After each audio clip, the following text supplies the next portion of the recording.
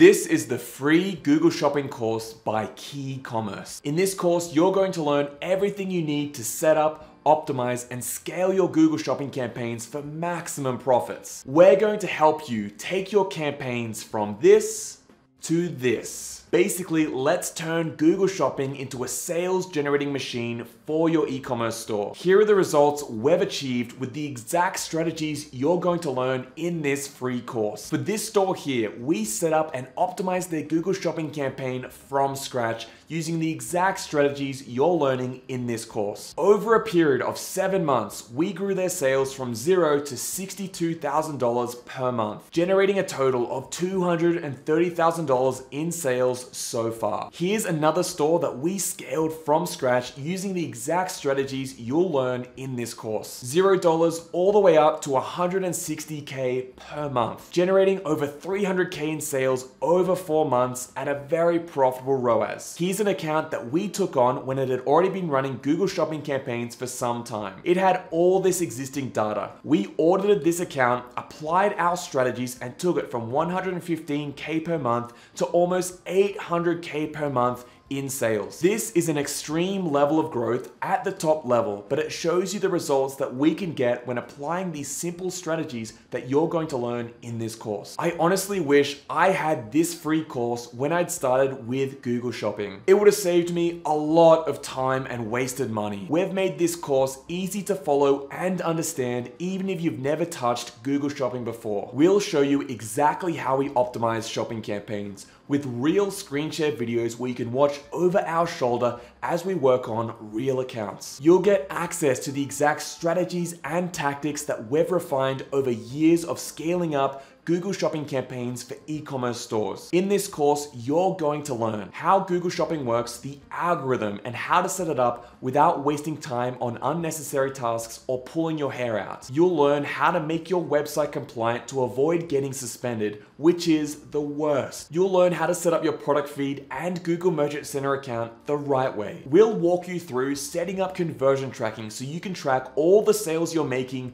in your Google Ads account. We'll then show you how to optimize your campaigns to scale them up to make more and more profits every single month. We even give you a checklist and schedule for when to optimize your account and how to optimize your account. And to top it off, if your campaigns still aren't making money, we have a full section on troubleshooting your Google Shopping campaigns. You'll learn exactly what to do if you're not getting clicks, not getting sales, or if your campaigns are just not profitable. This course is jam-packed with bonuses. Below each lesson, we've added templates, checklists, and other downloads you can use to help optimize your campaigns. Under each video, we've also added a comment section. Here, you can ask us any question you like and we'll reply as soon as we can. Now, you may be asking, why is this free? What are you trying to sell me? Well, I'll be totally honest. We're a team of e-com experts that help stores scale from 20K to 500K plus per month. But we only work with stores that are already generating at least 20k per month, if not more. So we made this course to help you get there as quickly as possible. That's why it's jam packed with absolutely everything you need to set up and scale your Google shopping campaigns. There's no upsell, there's no secret strategy left out.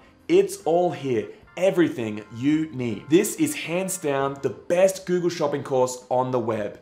Better than any paid course out there. And if we help you get to 20K, 50K, or 100K per month in sales from your Google Shopping campaigns, maybe you're going to run out of time to properly manage them. That's when you're welcome to get in touch with us and we can help you take it from there. So you can see it's in our best interest to help you as much as we possibly can. It's pure value. And if you do get value out of this, please share it with a friend. You can see that we've put so much time and energy into this free course to make it as good as it possibly can be for you guys. Ready to start learning? In this video, you're going to learn why you should run Google Shopping campaigns and what your store needs to have to make them most successful. The first reason to run Google Shopping campaigns is obviously the money. Properly run Google Shopping campaigns, which you're going to learn how to set up in these videos can deliver huge sales for your e-commerce store. Let me walk through some examples right now. For this first store here, we set up and optimized the Google Shopping campaigns using the exact strategies you're going to learn in this course. Over a period of seven months, we grew this campaign from zero to $62,000 in sales per month. So far, generating a total of $230,000 in sales. So how do we actually do this? We set up and optimize their product feed. We conducted manual bidding adjustments. We added negative keywords. We also further optimized their product feed over time while providing them feedback for improving their website to improve the conversion rate. This led to a huge amount of profits for this store and we created a sales generating machine. Here's another campaign that we scaled from scratch using the simple strategies in our videos. $0 all the way up to 160K per month. Over a period of four months, generating over 300K in sales, all with a profitable ROAS.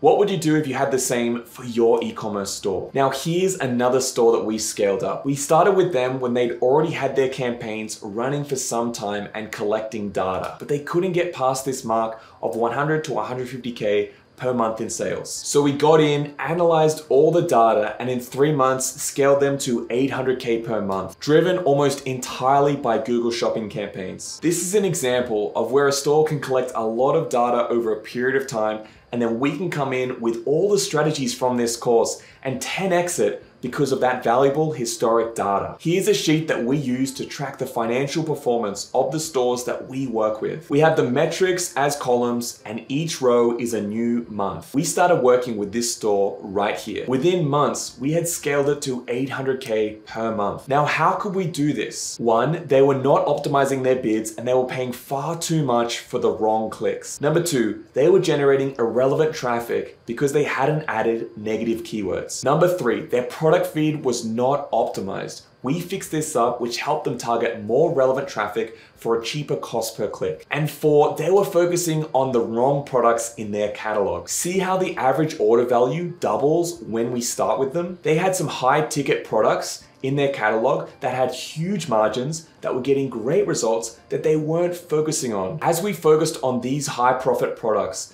we tripled their ROAS. We also 10x their net profit from 9K per month to 90K per month in net profits. This is pretty crazy, right? Now, don't worry if you don't understand everything that I've just said because you're going to learn everything here in these videos. So let's keep going. The next reason we love running Google Shopping campaigns is that it's a great alternative to Facebook ads. So many of the stores we work with see great success because we use Google Shopping to drive high converting traffic straight through their store. This high converting traffic then seasons their Facebook pixel so they can run remarketing and lookalike audiences on Facebook ads. Instead of spending hundreds or thousands of dollars testing audiences on Facebook, we can skip this whole part by using the seasoned Facebook pixel after all the hard work on Google Shopping. This is why we recommend using Google and Facebook at the exact same time because they both help each other and generate better results overall. Plus, if your Facebook ad account gets banned, we can still keep running Google Ads campaigns and generate revenue while you fix the Facebook issue. The next reason to run Google Shopping campaigns is that they're extremely targeted. When set up and optimized properly, we're gonna show your products in front of people actually searching for your products. Our campaigns let us get right in front of our perfect customers people that would otherwise never have found us. On top of this, Google Shopping is also very data driven. In my videos, you're going to learn exactly how we optimize these campaigns using data and analytics. We'll be analyzing performance, creating new strategies, and making changes to keep moving the campaigns in the right direction. This means you don't need to have amazing creatives, imagery, and videos like you do with Facebook ads. You just need some time, the know-how, and the expertise to sit down and manage your campaigns. Finally, we love Google Shopping because we see a lot of consistency and scaling. When done right, we generally see consistent scaling and growth as we constantly make profit-driven optimizations. With the right approach, which you're going to learn in these videos, it just keeps growing over time. Now, I can't promise you it's always going to be up every single month, But over time, with these profit driven optimizations, we see the compounding effect. This is why we find Google Shopping quite a reliable way to grow your e-commerce store compared to other forms of traffic. It's perfect for getting those sales, building up your customer base, building up your email list, seasoning your Facebook pixel. You may run into hiccups like a Google Merchant Center suspension, but it's generally consistent over time especially as you're optimizing it for the Google algorithm. This happens because we're leaning on Google's algorithm to show our products to more relevant people. We'll often find that Google shows us for more search queries and keywords that we never considered when setting up our campaigns. As we'll learn in the coming lessons, Google has a mountain of data on who our potential customers could be. And as we run our campaigns for longer and longer, they get better and better at showing them for the right people. If we can successfully guide the algorithm in the right direction, this can be incredibly profitable for our e-commerce store. And this is how we get results like these here. We're able to just keep growing their sales over time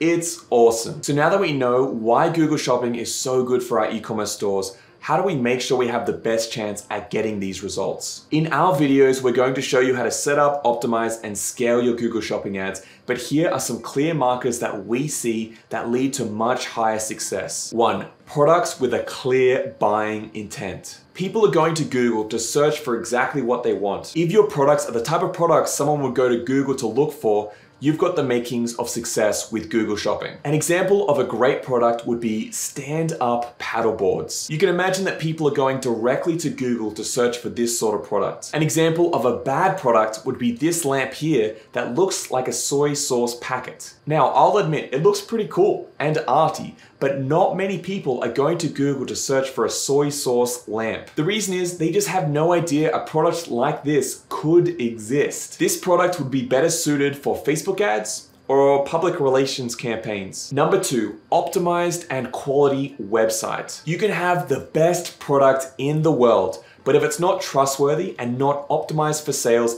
it's going to be very hard to sell on Google Shopping. You need to have a strong base of a website first. This means making it look professional, adding the right information, and really understanding your customers. Your store needs to really sell the products and show their value. You can't just have a description, a title, and the image. Focus on building a brand and website that looks 10x better than any competitors. This is important because it improves the conversion rate. We're going to learn more about this in these later videos. But the more traffic you can convert, the higher your return on ad spend. It's going to make it much easier to scale your campaigns and make more profits because we're making more sales from the same amount of clicks. Number three, competitive value proposition. Every time a potential customer looks at your product page, they're deciding if the price that you're charging for your product is lower than the perceived value that they get from purchasing it. This is how any purchase works in our reality. I'll leave a link below to some more resources so you can learn more about this concept. Basically, you need to demonstrate that the perceived value of your product is greater than the price that you're charging for the product and compared to competitors. Your potential customers will be looking at how you present your product with things like quality of the product, features and benefits, how it solves their problems, your reviews and testimonials, videos and content to demonstrate the product, the trustworthiness of the site and brand, and of course, the pricing of the product. If you're trying to sell a product for $1,000, but you have a competitor that's also on Google Shopping selling the exact same product for $500, it's going to be very hard to make Google Shopping work. Number four, customer lifetime value and profit margin. Now, there are many ways to define customer lifetime value. So here, I'm just going to say that it's the amount of profit you generate per customer over the lifetime of their relationship with your store. Say you're selling on Google Shopping and it costs you $30 to convert a customer,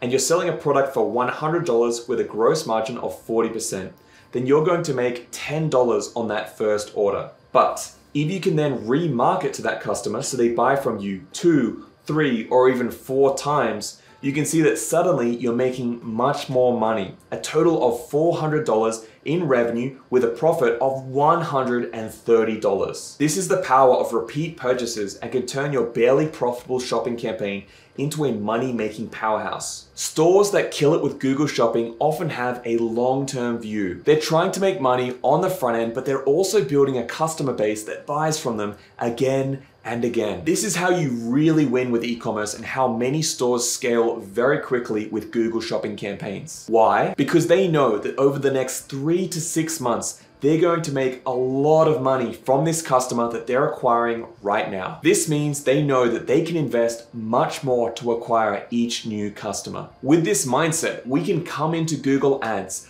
price out the competition because we know that we're going to make a lot of money over the long term. This is the sort of thinking that takes you from a beginner e-com store owner to a store owner that builds an e-commerce empire over years and years. So there you have it, the huge potential and effectiveness of Google Shopping, as well as what makes a winning store for Google Shopping campaigns.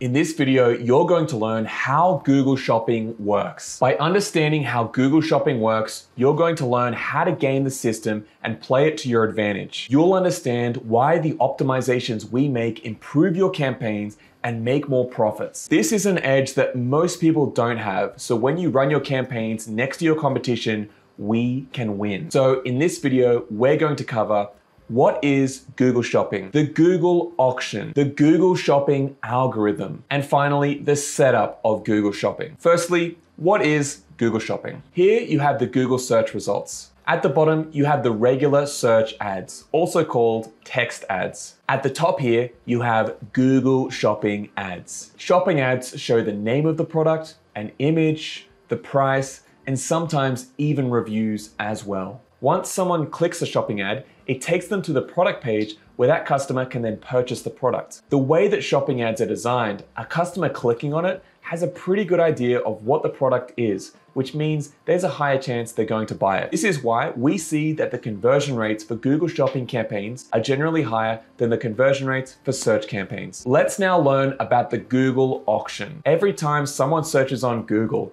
Google runs an auction to decide who gets what position in the search results and how much each person would pay for that click. The higher the position in the results, the more traffic you're generally going to get.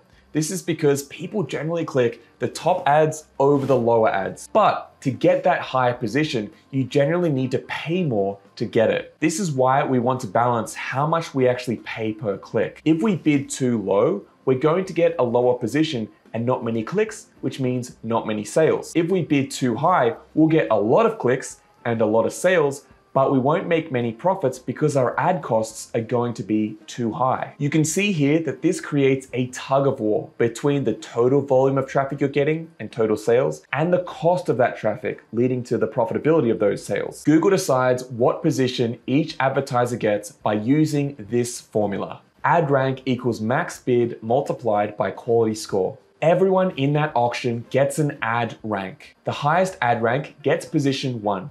The next gets position two, and so on and so forth. Your ad rank equals your max CPC multiplied by your quality score. Your max bid or your max CPC is the amount that you've told Google that you're willing to pay for the click in that auction. Your quality score is a grade that Google gives you for that auction. It's based on how relevant your ad is, the experience of your landing page, and the expected click-through rate of your ad. The quality score is Google's way of rewarding us for improving and optimizing our account. They want advertisers like us to deliver a better user experience for the people on Google so people keep going back to Google and continue using it as a search engine. If we optimize our account and quality score, we can actually get a higher position than our competitor and still pay less per click than them. This is the benefit of optimizing our account. Even though Google doesn't show us our exact quality score for our Google shopping campaigns, they have indicated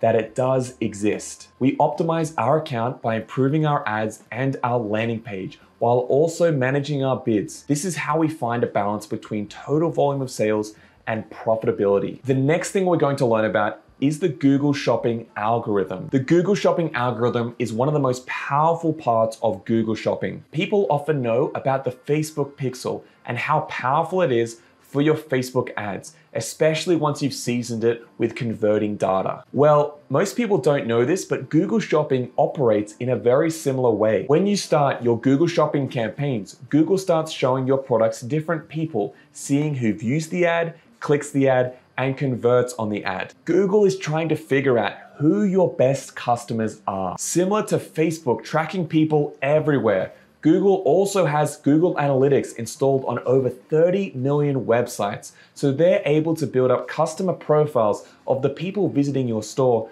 through Google Shopping. This helps them to show your products to people more likely to buy from you, and this improves over time. While this is happening, we can speed it up by optimizing our account and guiding the algorithm in the right direction. The better we do this, the cheaper our clicks and the more sales and profits we're going to make. So how does Google know who to show our products to? Well, if you've ever run regular search campaigns on Google Ads, you'll know that they look like this. You'll also know that when you set them up, you get to choose which keywords you want to show your ads for, which gives you the control of who to show your ads to in the search results. With Google Shopping, it's very different. There are no keywords. Google uses your product feed to figure out who to show your ads to. Google will crawl your product feed. It will try to figure out what you're selling, start showing it to people, and watching how they interact with your products. This is why at the start, it takes some time to get views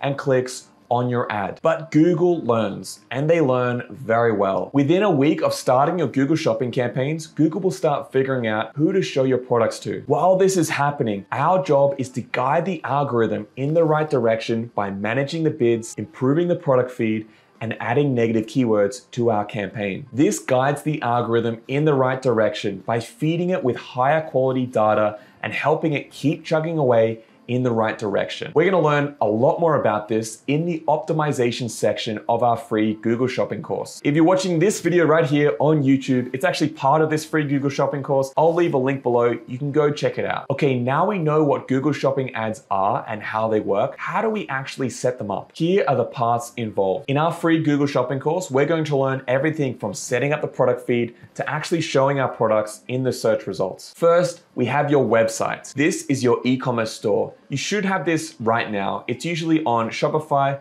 WooCommerce, Magento, or a custom platform. Then we need to set up our product feed. Our product feed is basically a table that has all our product information. It's arranged in such a way that Google can read it, understand it, and use it to create our shopping ads. In our videos, you're going to learn how to create this product feed and how to create it well. The next part of the process is creating our Google Merchant Center account. The Google Merchant Center account is used to check and verify our feed so it matches Google's requirements to run Google Shopping ads. It's kind of like a gatekeeper for Google to check your ads to make sure it meets the standard for Google Shopping. Okay, we then have our Google Ads account. Yes, this is a little bit confusing for some people. You have your Google Ads account and you have a Google Merchant Center account. Like I said, Google Merchant Center is the gatekeeper that basically checks your feed to make sure it matches what Google wants. But then we have Google Ads to actually create our shopping ads. We'll also need to make sure we link Google Merchant Center with Google Ads so the product data can travel from Google Merchant Center to Google Ads to create our shopping campaigns. After this, our products are going to show in the Google search results as Google Shopping ads. This means people will see them, click them, and visit our e-commerce store. As you can see, there are many parts with getting your Google Shopping campaigns live. Let's get into the next video. In this video, you're going to learn everything you need about the metrics to scale and optimize your Google Shopping campaigns. Metrics are what we use to track and measure the performance of our campaigns. Now, we need to learn what these metrics are and how to use them so that we know that when we optimize our campaigns, we're focusing on the data and the performance that really matters. Here are the main metrics we're going to learn about in this video. I'll also add a link below this video to our metric handbook. Our metric handbook is a deeper guide to all the metrics you need for Google Shopping and an explanation of each one. First, let's talk about impressions. An impression occurs when your ad is served on a page like the Google search results. Basically, someone seeing your ad is an impression. If it's served to 10 different people, it's counted as 10 impressions. If it's served 10 times to the same person, that's still 10 impressions. Unfortunately,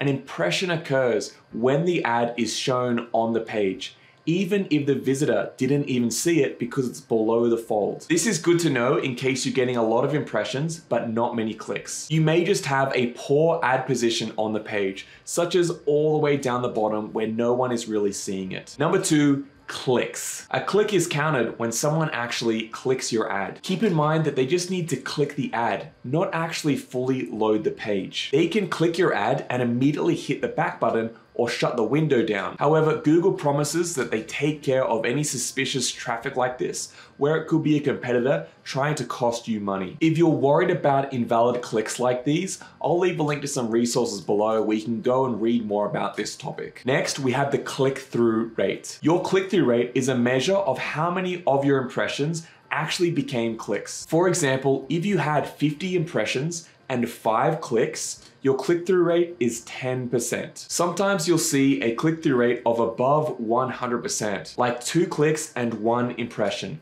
So what is happening here? Well, it means that a shopper clicked on your ad twice to get to your store even though they only saw your ad once. This is possible because a served ad can get cached by a browser and doesn't get served again. It can happen, but don't worry about it too much. Google hasn't messed up the math on you, and yes, they'll still charge you for both clicks. Next, we have cost or ad spend. This is the running total of what Google will be charging you for those clicks. Note that the words spend, ad spend, and cost are used interchangeably. Also, your cost can change if Google determines that there were invalid clicks. Next, we have conversions. Conversions are an action or event that gets recorded. In this course, we're gonna focus on one type of conversion, which is the completed action of a purchase on your website. We'll go into far more detail about this later, but just know that orders, purchases, and conversions are used interchangeably throughout this course. Now, conversions are recorded from the date of the click. This means that if a shopper clicks your ad on Tuesday, but only converts on a Wednesday for whatever reason,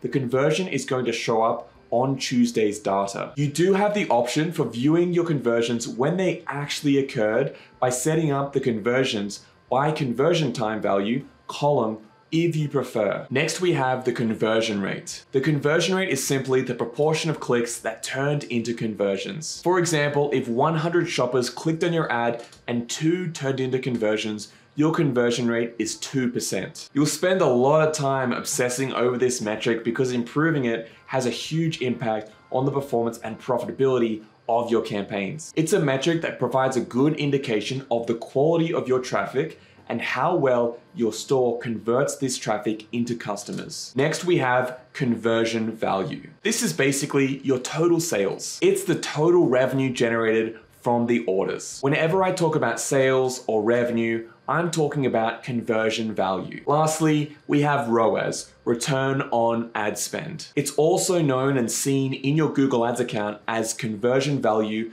divided by cost. ROAS or conversion value over cost is the total sales divided by the total ad spend or total cost. This metric tells you some very important information. For every $1 you put into your ads, how much in sales do you get back? This tells you about the profitability of your ads. Google calls it conversion value over cost to make it easier, I usually call it ROAS, which means return on ad spend. ROAS and conversion value are the two most important metrics in your Google Ads account because it tells you how much actual profit you're generating. Okay guys, they are the main metrics we'll need to optimize and scale our Google shopping campaigns. Let's get into the next video. Having a profitable Google Shopping campaign is one of the best things you can have for your e-commerce store. Seeing the traffic coming in every day, making you money, and seeing your bank account grow is a pretty good feeling. In this video, we're going to learn all about profits and profitability for Google Shopping. Overall, to make money with Google Shopping, you need to spend less on your ad costs than the gross profit you generate from your campaigns. Now, doing this requires a lot of work, but we teach you everything in this free course. In this video, we're going to learn the foundations of profits and everything you need to get there. So in this video, you're going to learn how to calculate the profits for your e-commerce store. How to know if your ads are actually profitable or not. And then finally, what are the next steps to actually optimize your campaigns based on this profitability? So before we jump into calculating our profits, What is profitability? I like to define profits simply as the total amount remaining after you get your sales and pay for your expenses. For example, if you sold your products and made $1,000 in sales, but it cost you $600 for the products and your other expenses, your net profit would be $400. We then divide $400 by our original $1,000 in sales to get a net profit margin of 40%. This is what we really care about here. These net profits are the amount of money you would have in your bank account at the end of the month. Now that we know what profits are, it's important to know what ROAS is. ROAS is your return on advertising, R-O-A-S. You calculate it by getting your total sales revenue divided by your ad spend. This tells you for every $1 you put into your marketing, how much do you get back in sales? For example, if I put $1 into my marketing and I got $5 in sales back, my ROAS would be 5. In the same way, if you put $10,000 into your marketing this month and you got $50,000 in sales, your ROAS would still be 5. Now, that's your actual ROAS. Another important metric is your break-even ROAS. Your break-even ROAS is the minimum ROAS you need to break even or at least start making profits on your sales. Basically, knowing that if you spend $1 on your ads, how much in sales do you need to not be losing money? We want to learn this so we can keep a close eye on our campaign's profitability. For example, if I know that my break-even ROAS is 3.4, and then this month I get a ROAS of 3.1, this campaign is not profitable and we're losing money. On the inverse, if I got a ROAS of 5.2, then this campaign was profitable because 5.2 is higher than 3.4. Knowing your break-even ROAS informs how you actually optimize your Google Ads account all the way down to the single product ads. It keeps you data driven, always pointing towards profits as your ultimate goal. So how do you calculate your break-even ROAS and your profit margin? Well, I'm going to show you that right now. You calculate your net profit margin by getting your total sales, taking away the cost of your products, and the cost of your expenses. If you have a new store, you're generally going to be making a few guesses here. But if you have at least six months of data, that's going to give you a good average net profit that we can use to inform our campaigns. Here's what we're going to do together. Go below this video, I've left a link to a special spreadsheet that we're going to use to calculate our net profit margin as well as our break-even ROAS. Let's go right now, open this up and fill this out together. Once you have the sheet open, add in your sales in this first section here. Let's say $100,000 over the last 12 months. The next box is for what's called cost of goods sold. This is how much your products cost from your supplier. Say I have two different types of products here.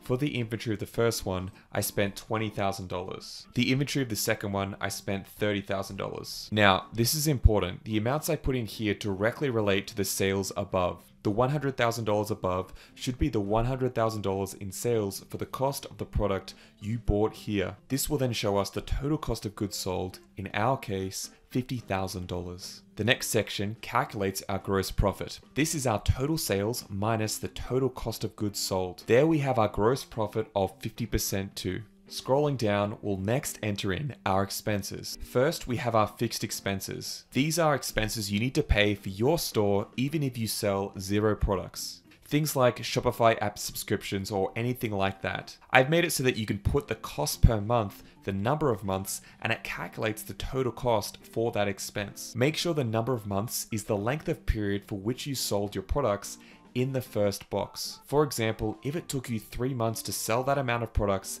then put three months. Next, we have our variable expenses. These are expenses that increase as we sell more products. A good example is any payment processing fees. We have to pay a fee on these for each credit card transaction, so these go up with each sale. Another one is shipping so they're in there too. This then gives our total expenses at the bottom, which then allows us to calculate our net profit net profit margin, and finally, our break-even ROAS. This is all done for you with the formulas in our sheet. We now know that we need each $1 of advertising spend to make us at least $2.26 in sales for us to break even. Anything above, we make profits. Anything below, we lose money and we make a loss. So the next point is how do we actually know that our Google Shopping campaigns are profitable? With this break-even ROAS right here, we know that we need to get above this break-even ROAS for the actual ROAS for our campaigns in order to be profitable. What I love about this is it's an easy metric that we can check anytime we want. Just open up your Google Ads account and show the column conversion value over cost. You'll find this metric viewable through all of your Google Ads account. You can see if certain campaigns, certain ads, certain search queries are profitable for your store. So now that we know if we're profitable or not, how do we actually make our account profitable? This is where the optimizations and strategies come through. There's a lot to cover, which is why we have a lot of videos on the topic in our free Google Shopping course. So if you're watching this video on YouTube, it's actually part of this free course and you can access the course totally free, no sign up required by clicking the link down below. The optimization process takes time. This is how it works. Imagine that we have a huge group of traffic that we're showing our ads to, but only a small percentage of those would actually buy our products. How do we carve away all this traffic that's not converting and focus on these customers here that are profitable. This is exactly what we learn in the optimization section of our free Google Shopping course. We're also going to learn how to guide the algorithm so that we show more to people just like these people here that are more likely to buy from us. It requires regular work, collecting the data, analyzing that data and making smart, profit driven decisions. That's it, guys. That's how we calculate the break even ROAS and profitability for our e commerce store. In this video, you're going to learn how to make your website compliant before running your Google Shopping campaigns. This is crucial to avoid getting a nasty Google Merchant Center suspension, which can take weeks to fix. So we're going to learn what is Google's risk meter and what are Google Merchant Center suspensions, as well as how to make your website compliant, such as your refunds and returns page, your contact us page, your shipping policy page, your terms and conditions page, your privacy policy page, your product page, and what to put on your footer. Below this video, you'll also find a link to download our full compliance pack. This includes all the templates that you need for each of these pages, along with a checklist so you can make sure that you're doing the right things for each of these pages to avoid getting suspended. So download that now before we go through the rest of the video. Let's go. Getting suspended is the worst. You spend all the time to set up and optimize your Google Shopping campaigns, you're getting profitable sales, and then boom, you've been suspended. Your ads stop running and you have to go through a tedious process of fixing your Google Merchant Center suspension. So why does Google suspend accounts? First, in 2011, the FTC fined Google half a billion dollars for letting advertisers use Google to promote their scams. This was a wake up call for Google to actively find and ban these fraudsters before they racked up more fines. Secondly, and even more important for Google, they need to keep their reputation as the world's best search engine. So, to borrow a term used by Google's own policy specialists, they give what's called a risk meter to each advertiser. This is about the risk that you pose to the visitor, to Google's reputation, and to Google legally. Google evaluates these risks based on your transparency of your business to Google and to the public. The rest of this video, we're going to talk through all your different pages and what to do to lower your risk meter and avoid getting suspended. First, let's go through one of the most important pages for lowering your risk meter, your refunds and returns page. This is the page that stipulates what happens when someone wants to return a product or get a refund. There are five things you must have on your returns and refunds policy page. What is your policy for returns? How is someone eligible to get a return or a refund? How do they initiate a return? The timeline for getting a return or a refund and how the refund will be given to them. Of course, check below this video for a full template that you can use to create your own returns and refunds page. One, what is your policy for returns? Meaning, do you accept returns or not? A lot of people don't know this, but you don't have to accept returns. This in itself is a returns policy. But you need to state that. Your policy must be applied across your entire catalog with the exception of a clearance sale, and this must be stipulated when you run that promotion. You should also include here where the shipping costs are refunded to, as well as any restocking fees. Second, how is someone eligible for a return or a refund? Meaning, in what situations do you accept returns and refunds? You can say that you only accept returns under special circumstances, such as a mistake on your end or if a product is defective. Or you can say only if they initiate the return within a limited time. Again, clearly spell this out so there's no question regarding the user's eligibility of the return. Third, how do they initiate a return? Make it clear how someone will contact you to initiate a return and provide at least two means of contact to initiate it. An example you could put would be contact us at returns at domainname.com or call us on 1 800 123 4567. Please include your order number and reason for return. Fourth, the timeline for a return or getting a refund. How long does it take for the customer to receive an exchanged item or their refund. Some examples that you could put here are when they first contact you to initiate the return, when they send you the tracking number of their return shipment, or when the product is received by you and inspected. And fifth, how the refund will be given. How does the customer receive their money back? Here, you might just send it back to their credit card or via PayPal. Just like with all these policies, it's really up to you. Just make it clear. Your Contact Us page is just as important as your refunds and returns page for lowering your risk meter and avoiding getting a Google Merchant Center suspension. Google looks at it simply. Legitimate businesses are easy to contact. In this section, we're going to learn the six things you need to have on your Contact Us page to show Google that you're a legitimate business that's easy to contact. Like with our other pages, we've created a full template and checklist that you can download below and build out this page for yourself. First, your business name name. Google wants to know what business entity is behind the website, and if you don't provide this, they're less likely to trust you. So if your legal business name is XYZ LLC, then make sure you put this on your Contact Us page. You can also put your doing business as name on the Contact Us page if you have a legally registered trade name. Use the same name across all your Google accounts so Google never sees any variation in this data. Next, add your business address. This must be a physical location from which you operate your business. Some people try to use a PO box or a rented mailbox. Since you can't work out of a mailbox, Google instantly sees this as a red flag and they won't accept it. If Google ever suspects that you have a false physical location, you'll get an instant suspension. Next, add your business phone number. This is the phone number where customers can call your business and be serviced. What is critical is that when people call, they feel like they're reaching whoever is operating the website. This means they hear the business name when answered and they can leave a voicemail if no one answers. Just like with your business name and address, I recommend you keep this consistent across all Google services. Next, here are the three things that you should have on your Contact Us page to avoid getting a suspension. First is your business email. Your business support email should use a custom domain not a service like Google, Yahoo, or Outlook. Next, add your hours of operation. This is where you let your customers know when you're available to answer their calls and reply to their emails. Something simple, such as, we operate between the hours of 9am to 5pm, Monday to Friday, EST. Lastly, we have our contact expectations. Clearly state what will happen and when the user can expect for you to respond to their email or their message. Will you reply within one business day? That's okay. Just be upfront and let them know that they can expect an answer within that time frame. If you prefer to receive phone calls during operating hours and receive messages after operating hours, let them know. That's it for our Contact Us page. Let's now look at our shipping policy page. Your shipping policy page is the page that outlines how you ship your products to your customers. Here are the three critical elements for your shipping policy page. Delivery zones, shipping costs,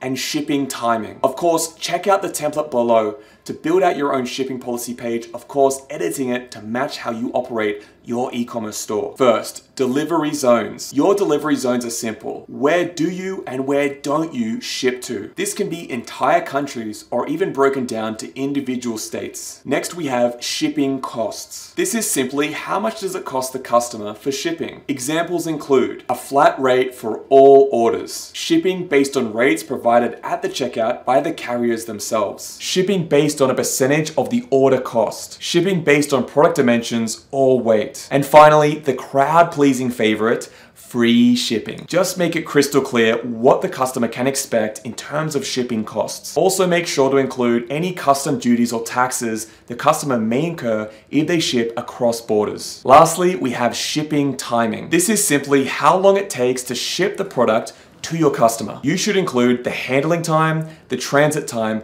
and the cutoff time. The handling time is the number of days it takes to process the order before it ships. The transit time is the amount of time the product will be in transit before it arrives with the customer. The cutoff time is the time of day that the customer needs to complete their order in order to start the clock on their transit time. That's our shipping page. Let's move on to the next one. We're now looking at our privacy policy page. This tells your customers that you're going to handle their information with care. For this page, you can generally use a template, so we'll include ours down below download it, and apply it to your own store. In summary, Google cares about these seven factors on your privacy policy page. What information is collected from your customers? Why is this information collected? Who that information is shared with? How the information is kept secure and for how long? Which methods you use to collect it? How do people opt out or delete information gathered about them? And finally, does this all adhere to the country of sale? That's it for the privacy policy page. Let's move on to the next one. Now we have our terms and conditions page. We have a template for this page below. I recommend you go through it and apply it to your own store. Here's what Google really cares about on your terms and conditions page. One, defining the acceptance of the agreement. Two, limitation of liability or disclaimers. Three, intellectual property rights. Four, termination. Five, notification of changes. And six, contact information. Let's now jump into the product page. Our product page is where we send our Google Shopping traffic. It's crucial we make sure it's compliant to stop any suspensions that could stop our traffic or our sales. Your product page receives extra scrutiny because Google wants transparency on the product itself. We've developed a 10 point checklist that covers the mandatory elements for compliance for your product page. Here it is. You can find the checklist down below to make sure you apply this to your own page, but let's go through it right now. First, we have the title. This needs to be highly relevant to the product. Don't include promotional copy in the title such as free shipping or buy it now. And don't include emojis or random characters to try and draw attention. Next, we have our description. While it is hard for Google to know exactly what your descriptions mean, it does know when they're too short. Make sure to thoroughly describe your products as best you can. Then we'll look at the image. The image can't be of poor resolution quality. It must be at least 250 by 250 pixels in size. It shouldn't have a file size larger than 16 megabytes. It shouldn't include overlaid text. And ideally, it should only show the product itself on a white background. Okay, next, let's look at the price. Your price must be clearly shown and precisely match what's in your product feed. Any mismatch could result in an immediate disapproval of your product. Then we have our sale price. If you have a sale going on, make sure it also matches what's in your product feed. If there's a date that the sale ends, this should be clearly stated. Then we have our availability. This means whether your product is in or out of stock. Make this clear. Next, methods of payment. Somewhere on your product page, you need to outline the ways that your products can be purchased. This means what credit cards you accept and any other payment methods. Placing that information on the footer is fine as long as it's somewhere on the page. Then, an obvious one, our add to cart button. Simply, there must be a way for shoppers to complete their purchase from the product page. Next, we have our important links. Make sure on the page there are links to returns and refunds page, contact us page, shipping policy page, privacy policy page, and your terms and conditions page. We'll cover the footer in the next section, which is where we're going to add all these links. I also like to add a tab in the description that has our shipping policy and our returns and refunds policy. Lastly, on our product page, we add any pertinent information. This is anything else specific to the product that could be considered necessary to know for the customer to purchase. This includes information such as the shipping weight, if you charge by weight for your shipping, or if your product is not available for express shipping, even if other products are. If customization options add to the handling time. If your product has any legal warnings. And if there are any disclaimers required for product specific claims you're making, such as durability or function. There's our 10 point checklist for ensuring compliance on our product page. Lastly, we have our footer let's get into it. We want to use our footer to the max in terms of compliance. Your perfect footer includes links to your About Us, your Contact Us page, your returns and refunds policy page, your shipping policy, your privacy policy, and your terms and conditions. It also includes your methods of accepted payment, as well as your business name and address. Whew! That's a thorough summary of what we need to do for our store to make sure it's compliant to avoid getting a Google Merchant Center suspension. If you want to dive into each of these pages, we've got guides on each one and I'll leave a link down below to those guides. Of course, below this video, you'll also find the template pack that has all the templates and checklists for all these pages. Thanks for watching guys and I'll see you in the next video. In this video, you're going to learn how to create your account in Google Ads. We're going to walk through this step by step and at the end, you're going to have a Google Ads account ready to start running ads on the Google Ads network. First, we'll go to ads.google.com. You can also find this page by just searching for Google Ads in Google. You'll see this page, just click Get Started. If you're not already logged in, it's going to ask you to sign in with your Gmail or G Suite account. Ideally, we want to use the same email for all the accounts we're going to use. This means Google Ads, Google Analytics, Google Search Console, Google Merchant Center, and Google Tag Manager. Don't worry about setting up the other ones now, we'll do that in another video. Let's just focus on Google Ads. Once you are logged in, you will see a screen like this that has the goals. Google is trying to take us through a recommended setup. We don't recommend doing this at all. Scroll down and find a link on the page that says switch to expert mode.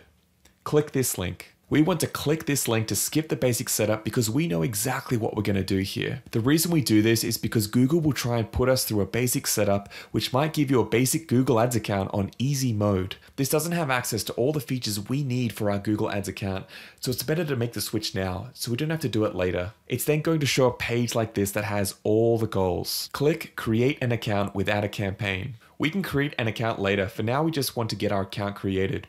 Now we enter in our business information. The billing country is where our bank or credit card is located. The time zone will be for our own time zone. This is for reporting. The currency, make sure this is the same currency as the main currency of your store. All your reporting should be in the same currency, whether that's your own currency or if you have a store that's selling to another country, you should use the currency of that store. Analytics and Google Ads will be. Try to keep the currencies of all the accounts the same because if you're trying to register conversions in Shopify in USD, but you've got your Google Ads account in British pounds, it's not going to work really well. Once you've added these in, click submit.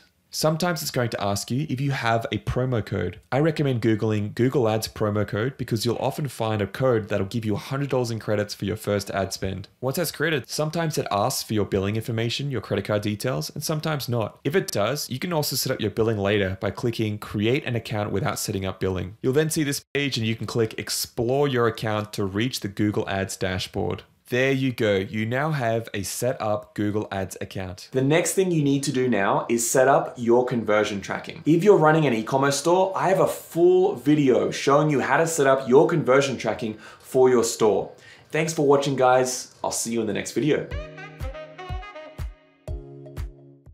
In this video, you're going to learn how to set up conversion tracking for Google Ads and Google Analytics for your Shopify store. This allows you to track the actual sales amounts from your Google Ads campaigns right there in your Google Ads account. This is our favorite method for tracking conversions with Google Ads as it shows the sales values right there in your analytics account and in your Google Ads account. Here's an overview of how it all works before we jump in to do it step by step. You're running Google Ads to drive traffic to your e-commerce store. We'll set up a Google Analytics account and then install a tracking code on our Shopify store. This is so that all traffic demographics of those users, and the data on the sales we're making will show up in our Google Analytics account. We'll then link our Google Analytics account to our Google Ads account. This is so the conversion data will show up in Google Ads and on our Google Shopping campaigns. Showing up in our Google Ads account is going to show us what actually helped to get that sale or conversion. This means we'll see which campaign is getting conversions, which products, which ads, and everything in between. This is important for us to know what's working and how to optimize our account further with Google Ads and Google Shopping. First, let's create our Google Analytics account and link it into Shopify. If you don't have a Google Analytics account, we're going to create one right now. If you do, just skip this part here and go straight to the part where we link it into Shopify. Go to analytics.google.com. If you're not yet logged in with your Gmail account, make sure you do that. Click Start Measuring. We're going to add in our account name. This is just going to be the name of our store. It's then going to ask us our account data sharing settings. You can just leave this as it is and click next. It's then going to ask us our property name. You can put this the same as your store name. Put in your actual time zone and your currency as well. It's then going to ask you about your business information. Just fill this in. You're going to have to read and accept the terms and conditions. Once finished, it's then going to ask you about your email communications. So here we're going to put in what emails do we want to see from Google. I like to just check the first one.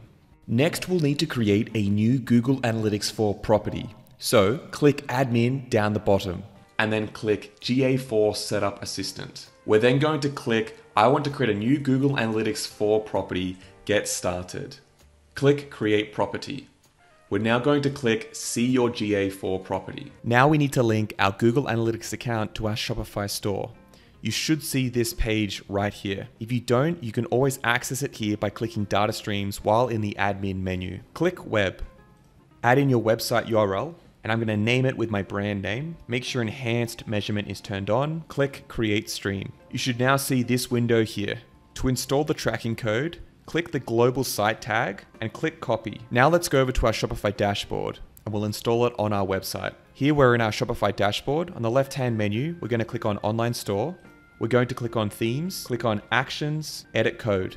Make sure to select theme.liquid in the left hand menu. Confirm that you're in theme.liquid by seeing the title of the page above. Scroll down to the section that says head. Type enter and make sure to create some space and then paste the code you copied from Google Analytics. Click save. It will say asset saved down the bottom to confirm. Now we need to confirm that it's been installed correctly. To do this, go back to our Shopify store front end and click through a few different pages. This will trigger the analytics code and send information to Google Analytics for us to confirm that it's been installed properly. Keep this window open and click back to Google Analytics on a different tab. Exit out of the stream details. On the left hand menu, go to Reports, Real Time. This page shows you who's on your website right now in real time. If you're not seeing anything here yet, that's okay. It just takes a few minutes to start working. I'll wait about three to five minutes here and then go back to my store. Click around a little bit to make sure I'm sending data and then I'll check again. Okay, you can now see that it's sending information. It has all the data I checked when I was clicking around. What do you do if you're not seeing the data come through? One, try refreshing the Google Analytics page here. That can sometimes work.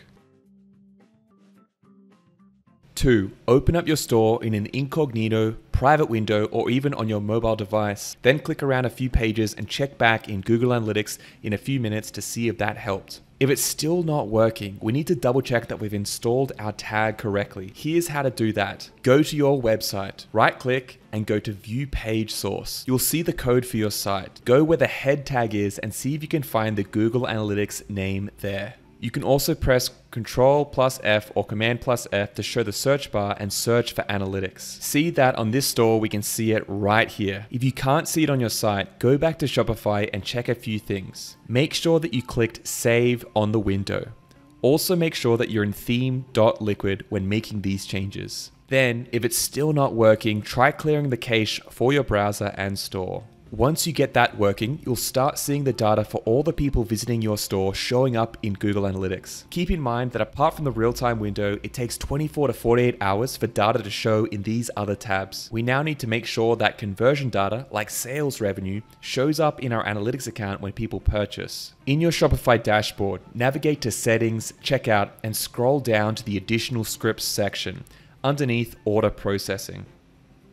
This is where we're going to add another analytics code that will send the conversion values over to Google Analytics. Go down below this video and find the full code. It should look like this. We will need to edit something in this code, but for now, copy this and paste it in the box of additional scripts here. Let me show you what this code does really quickly and then show you what you need to change.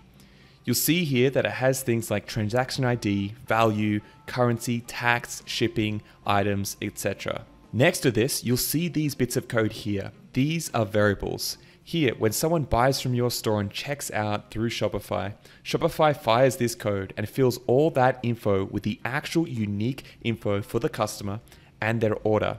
Basically, it sends the sales value and everything over to Google Analytics so you can track the conversion value for our store in the Google Analytics dashboard. Pretty cool, huh? So what do we have to change? Just find the variable that says KeyCommerce and change this to your Google Analytics measurement ID.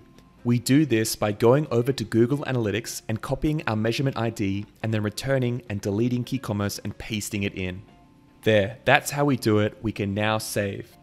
Next, we just have to quickly exclude Shopify as a referral in GA4. Basically what this means is that because of the way the Shopify checkout works, if we don't add Shopify as an excluded referral, then the Shopify checkout pages will show up in our reports, which is not something we want. To do this, go back to admin in Google Analytics. Click on our data stream here, scroll down to more tagging settings, click list unwanted referrals, add checkout.shopify.com as an exclusion and click save. We also want to exclude payment gateways such as stripe.com, paypal.com, and pay.google.com. I've added links to resources about excluding unwanted referrals in the description box below. Lastly, before we link Google Ads to Google Analytics, we do want to add the old version of Analytics to our store just in case. To do this, go to Online Store, then go to Preferences. Now we want to go back to Google Analytics and go to the admin page. We're going to click Create Property. Now here, we're going to scroll down and click Show Advanced Options. We're going to select this. Then we're going to select the second one, and we're going to add in our website URL. Change the name to the name of your website. Make sure you set the time zone and the currency. Scroll down and click Next. Fill out the business information as you wish. Click Create. It's then going to create our Google Analytics property. This is the old Google Analytics. We're just going to copy the global site tag here, go back to our e-commerce store, and paste it in the Google Analytics account box. Click Save. Now we're going to click Use Enhanced E-commerce. Click Save. Click Admin and navigate to the view for which you want to turn on Enhanced E-commerce. In the View column, click on E-commerce Settings. Here we want to enable e-commerce by clicking this button. Make sure you also turn on enhanced e-commerce reporting. Now we just click save. The next thing we need to do is link our Google Analytics account to our Google Ads account. To do this, log into your Google Ads account that you've already set up. Go to ads.google.com. If you haven't set it up, you'll need to do so. I'll leave a link to a video I made showing you how to set up your Google Ads account below this video.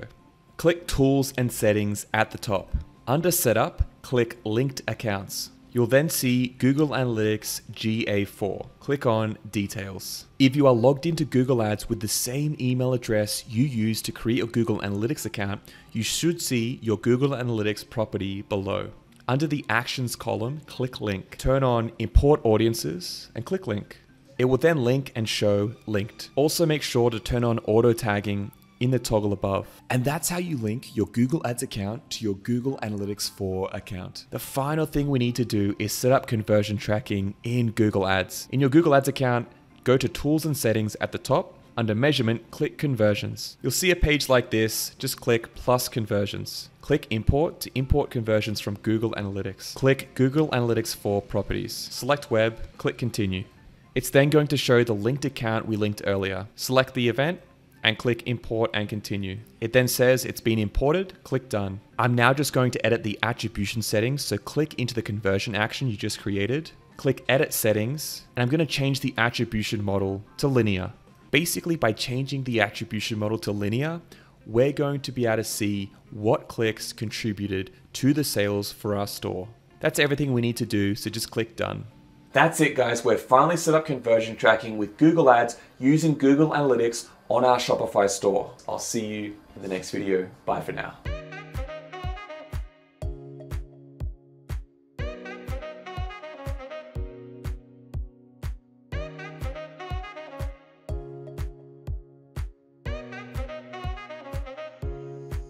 In this video, you're going to learn what Google Merchant Center is and how it works. Knowing this information is going to better set you up for setting up your product feed and shopping campaigns to make more profits for your e-commerce store. First, we're going to learn what Google Merchant Center is. Then we're going to learn how to set up our account together.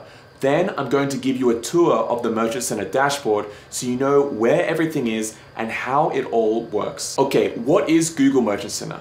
Google Merchant Center is a platform by Google that houses all the information about your products. Everything about your product information, your reviews, your inventory, and promotions are located here. Your Google Shopping ads can't run without a Google Merchant Center account or this information here. And when there are issues with that information, and there often are at the start, this is where you're going to come to diagnose and fix those problems. You can think of Google Merchant Center as the ultimate gatekeeper for your Google Shopping ads. You can't run Google Shopping ads unless your products are approved in Google Merchant Center, along with your business information too. Google needs to verify your product titles, your descriptions, your images, your pricing, and every other part of your products before they'll show your products in Google Shopping. So how do we set up our Google Merchant Center account?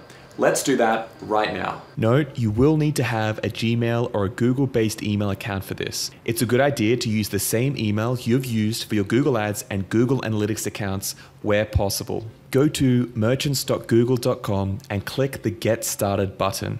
You'll see this page here, scroll down and enter in your business name. You'll want to enter your trade name, meaning the name you do business as. You don't need to put in your legal business name here. Then put in your country and time zone. This is where your business is registered. Don't worry, you're not locking yourself into selling to just that one country. Then you select the option for checking out on your website. For most stores, this is just going to be on my website. You can always change this at a later time. After that, you're given the option of selecting tools that you use. Currently, there are two tools, Shopify and PayPal. This just makes integration with these platforms easier. I'm going to select Shopify for this store. Then it's going to ask us about email notifications. You can keep this as it is. Then it's going to ask us about the terms and conditions. Normally, we tend to not read these because life's too short, so let me summarize what you're agreeing to. It ties what you do here to the core Google terms and conditions, which are actually pretty easy to read, to their credit. You agree not to sell prohibited content, generally illegal things such as counterfeit goods, sell restricted content, generally legal but controlled, such as things like alcohol. Misrepresent yourself or your product or try to abuse the ad network, and any of the other million little gimmicks and tricks that Google has already seen and will simply ban you for. You agree to let Google crawl your site, and you authorize Google to use your trademarks in your advertising. I'm going to accept and click Create Account. If you selected Shopify, it's going to show you this page, but we just want to go through to Merchant Center.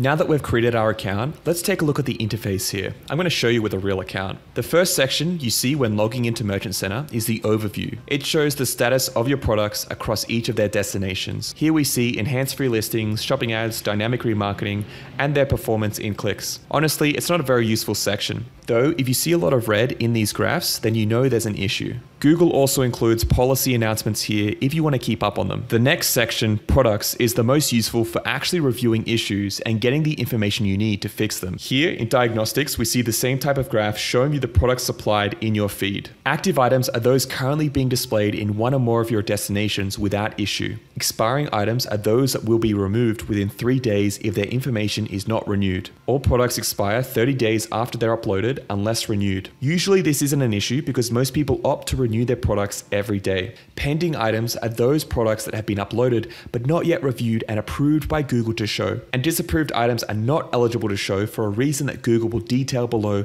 in the issues table. Here you'll see the warnings and disapprovals for your items, broken down by issue.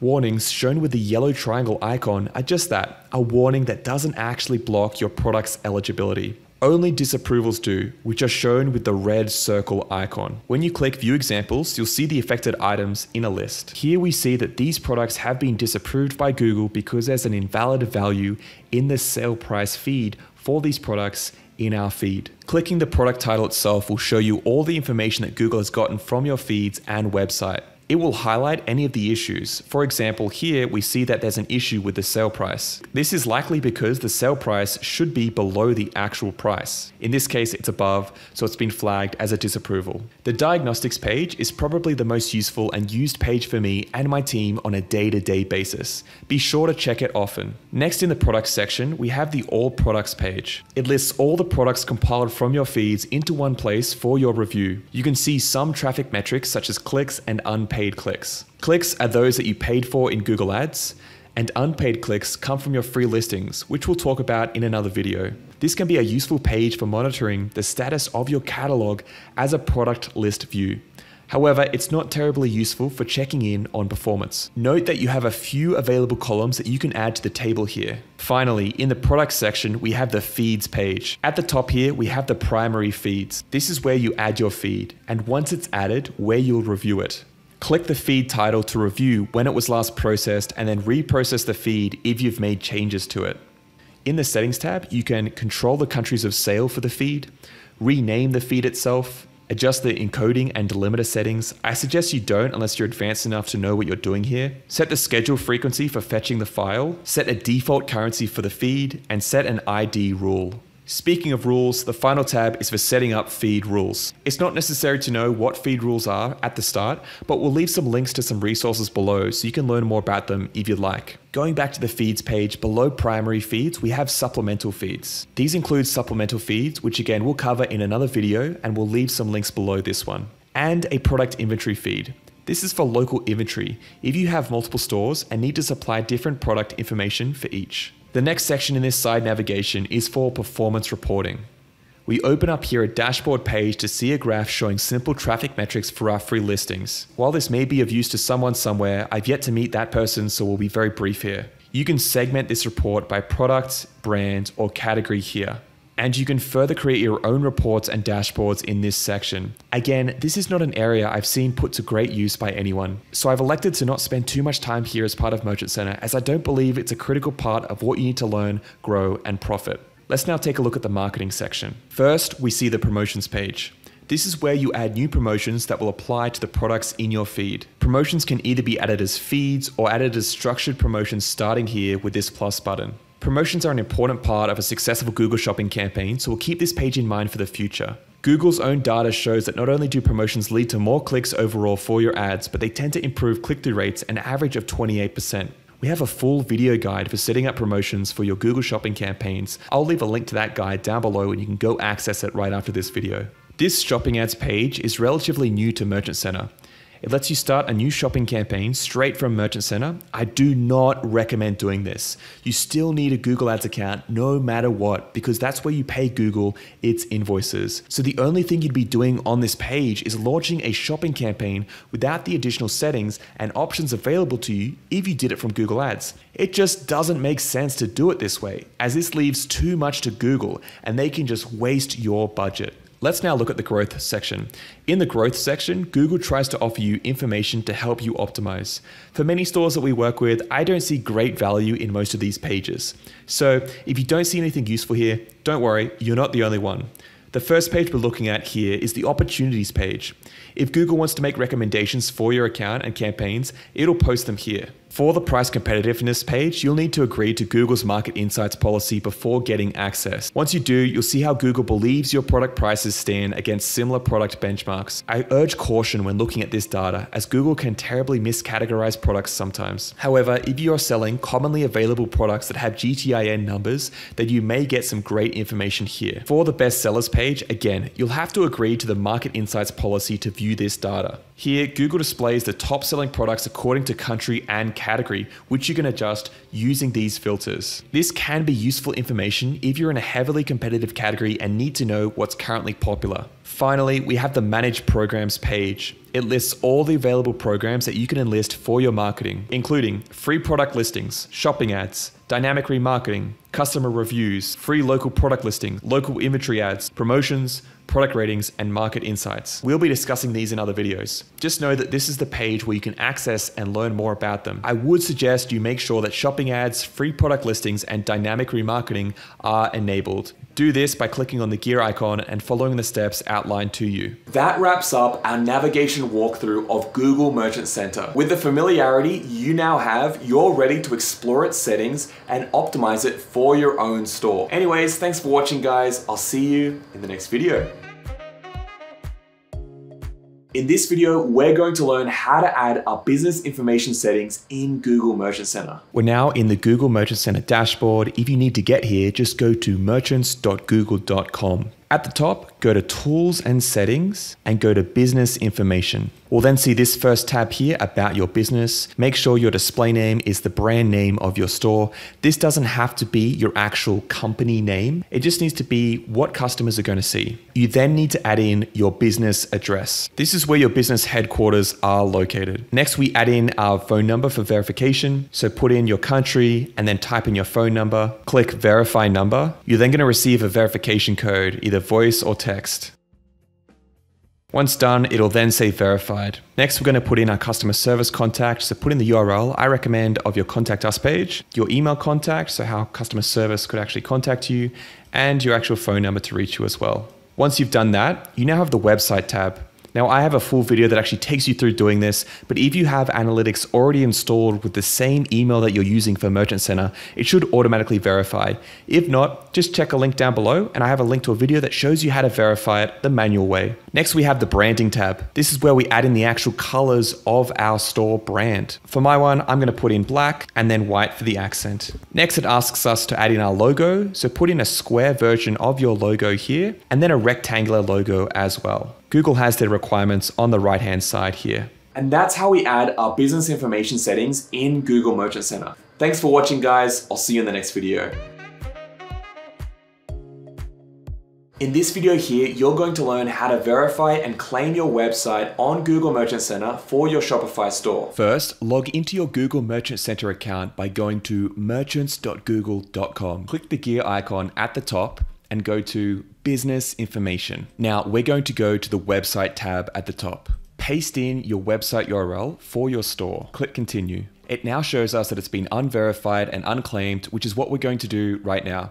If you've already set up Google Analytics, linked it to Google Ads, and linked Google Ads to Google Merchant Center, it might actually show here that you're already verified. This is because we use the same email across all Google services, and Google quickly matched up our accounts for verification. But if you see this and it says unverified and unclaimed, we have to do it manually, so let's do it now. We have these three options here for verification. The easiest one is going to be the first one here. Here, we're going to add this HTML code to our website. We're going to walk through it right now. First, just copy the code by clicking this button here. Now we log into our Shopify dashboard. If you're using a different platform, you just need to put this code into the header of your website. In Shopify, we go to Online Store, and it's going to show this page here with the themes. Click Actions, Edit Code. This opens a new page where we can see all the files as part of our website theme on the left here we want to click theme.liquid.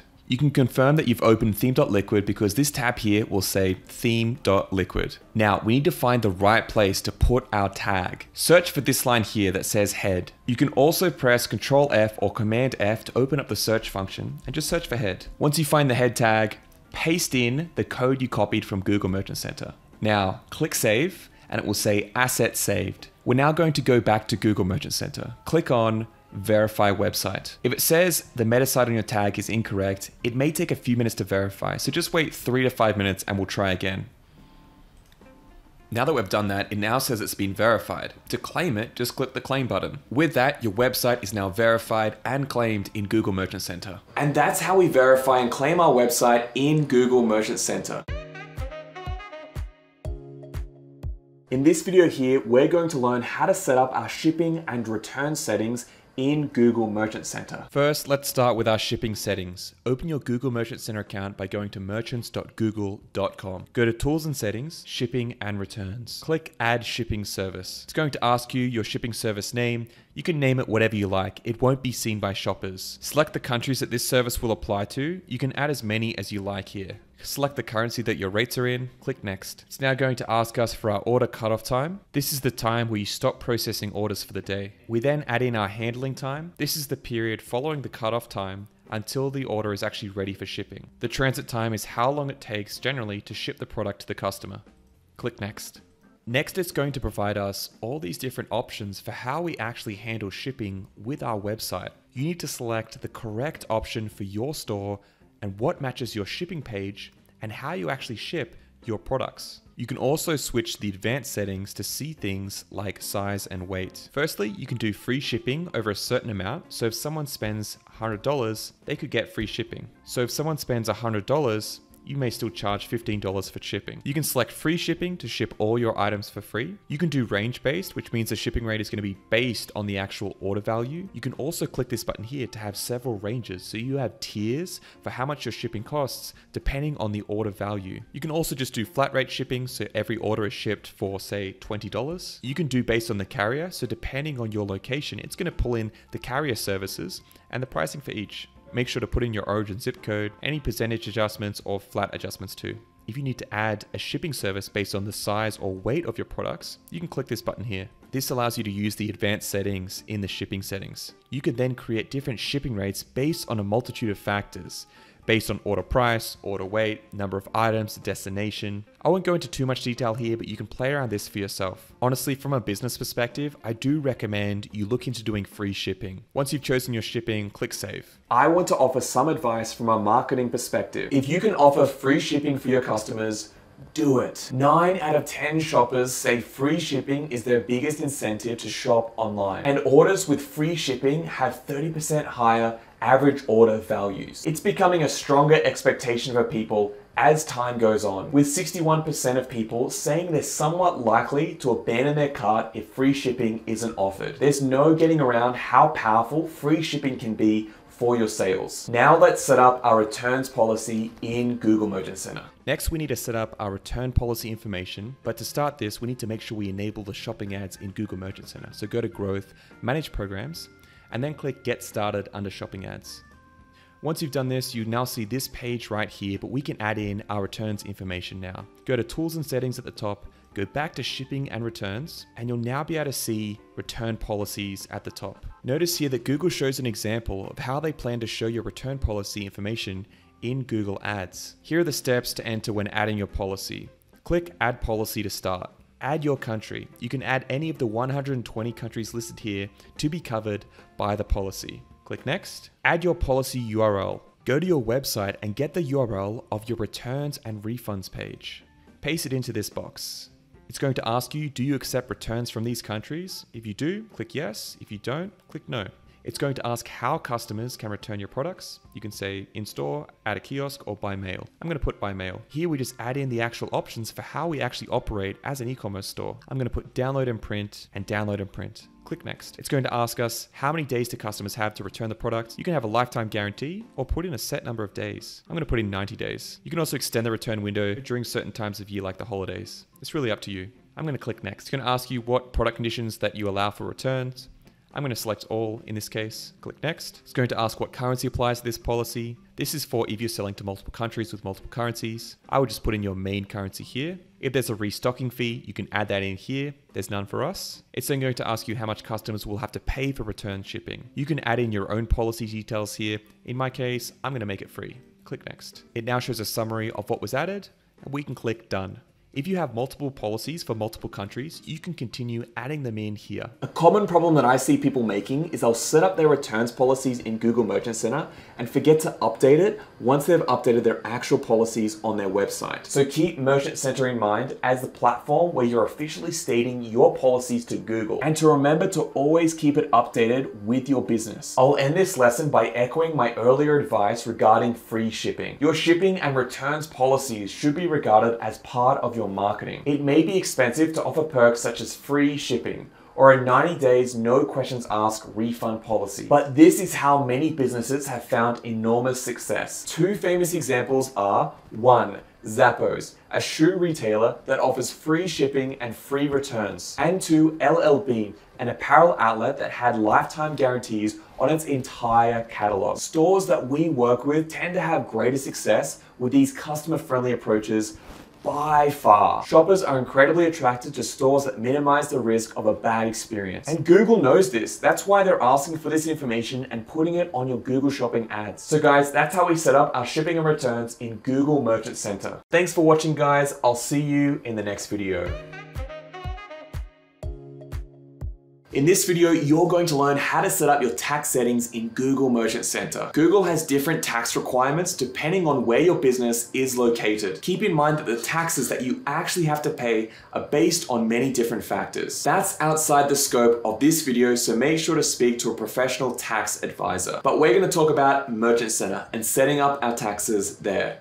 Google sees the world as three separate regions the United States, Canada, and the rest of the world. We can cover Canada and the rest of the world because there's very little to change there. For Canada, you don't have to set anything up but you can't include taxes as part of the purchase price. The taxes must be visible as a separate charge on the checkout page. That's it. For the rest of the world, it's even easier. Simply confirm that you're not in the US, and Google will assume that any taxes you're required to pay are included in the final product price. Now, let's cover the United States. The tax requirements for the US are a bit more complicated because of the differing state tax regulations. It can also change depending on your business and your products. So this is where a professional tax advisor is essential. You can set up the tax rates you need to collect at the account level, which is what we're going to do here, or at the product level in your product feed. The tax rates the shopper is shown here must match or exceed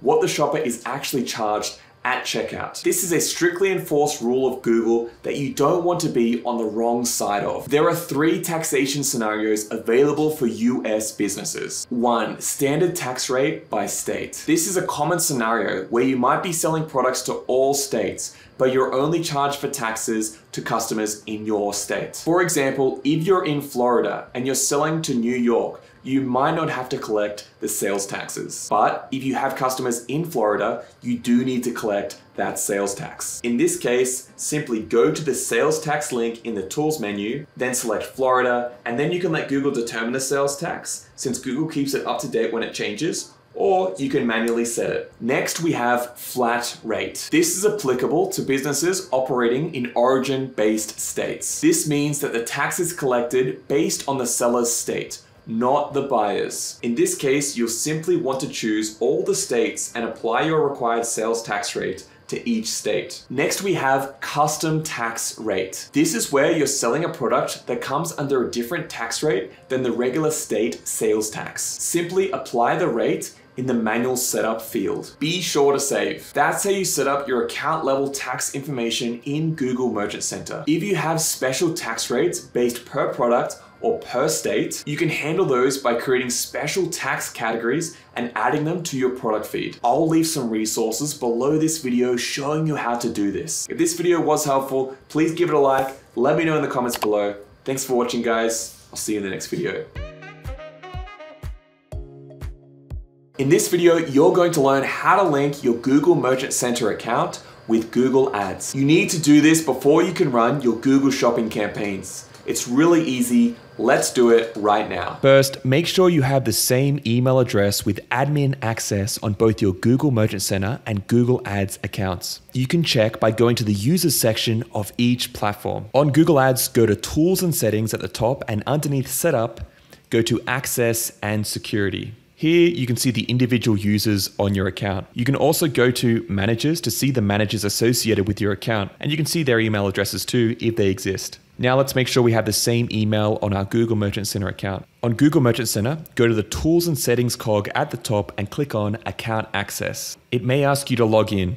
You'll then see this screen which shows all the users for the account and confirm that the same email is on the Google Ads and Google Merchant Center account. Once you've confirmed this, we're now ready to link our accounts. On Google Merchant Center, go to the top again and click on Tools and Settings. Underneath Settings, click on Linked Accounts. You should now see your Google account listed on the screen. Underneath the Actions column, let's click Link. It's then going to send a request to our Google Ads account and we'll just need to accept this. Go back to your Google Ads account. At the top, click on Tools and Settings and under Setup, click on Linked Accounts. Scroll down and find Google Merchant Center. Click on Manage and Link. We can now see this request from our Google Merchant Center account. Click on View Request and make sure it's the same Merchant Center ID as our account. Yes, that's the same.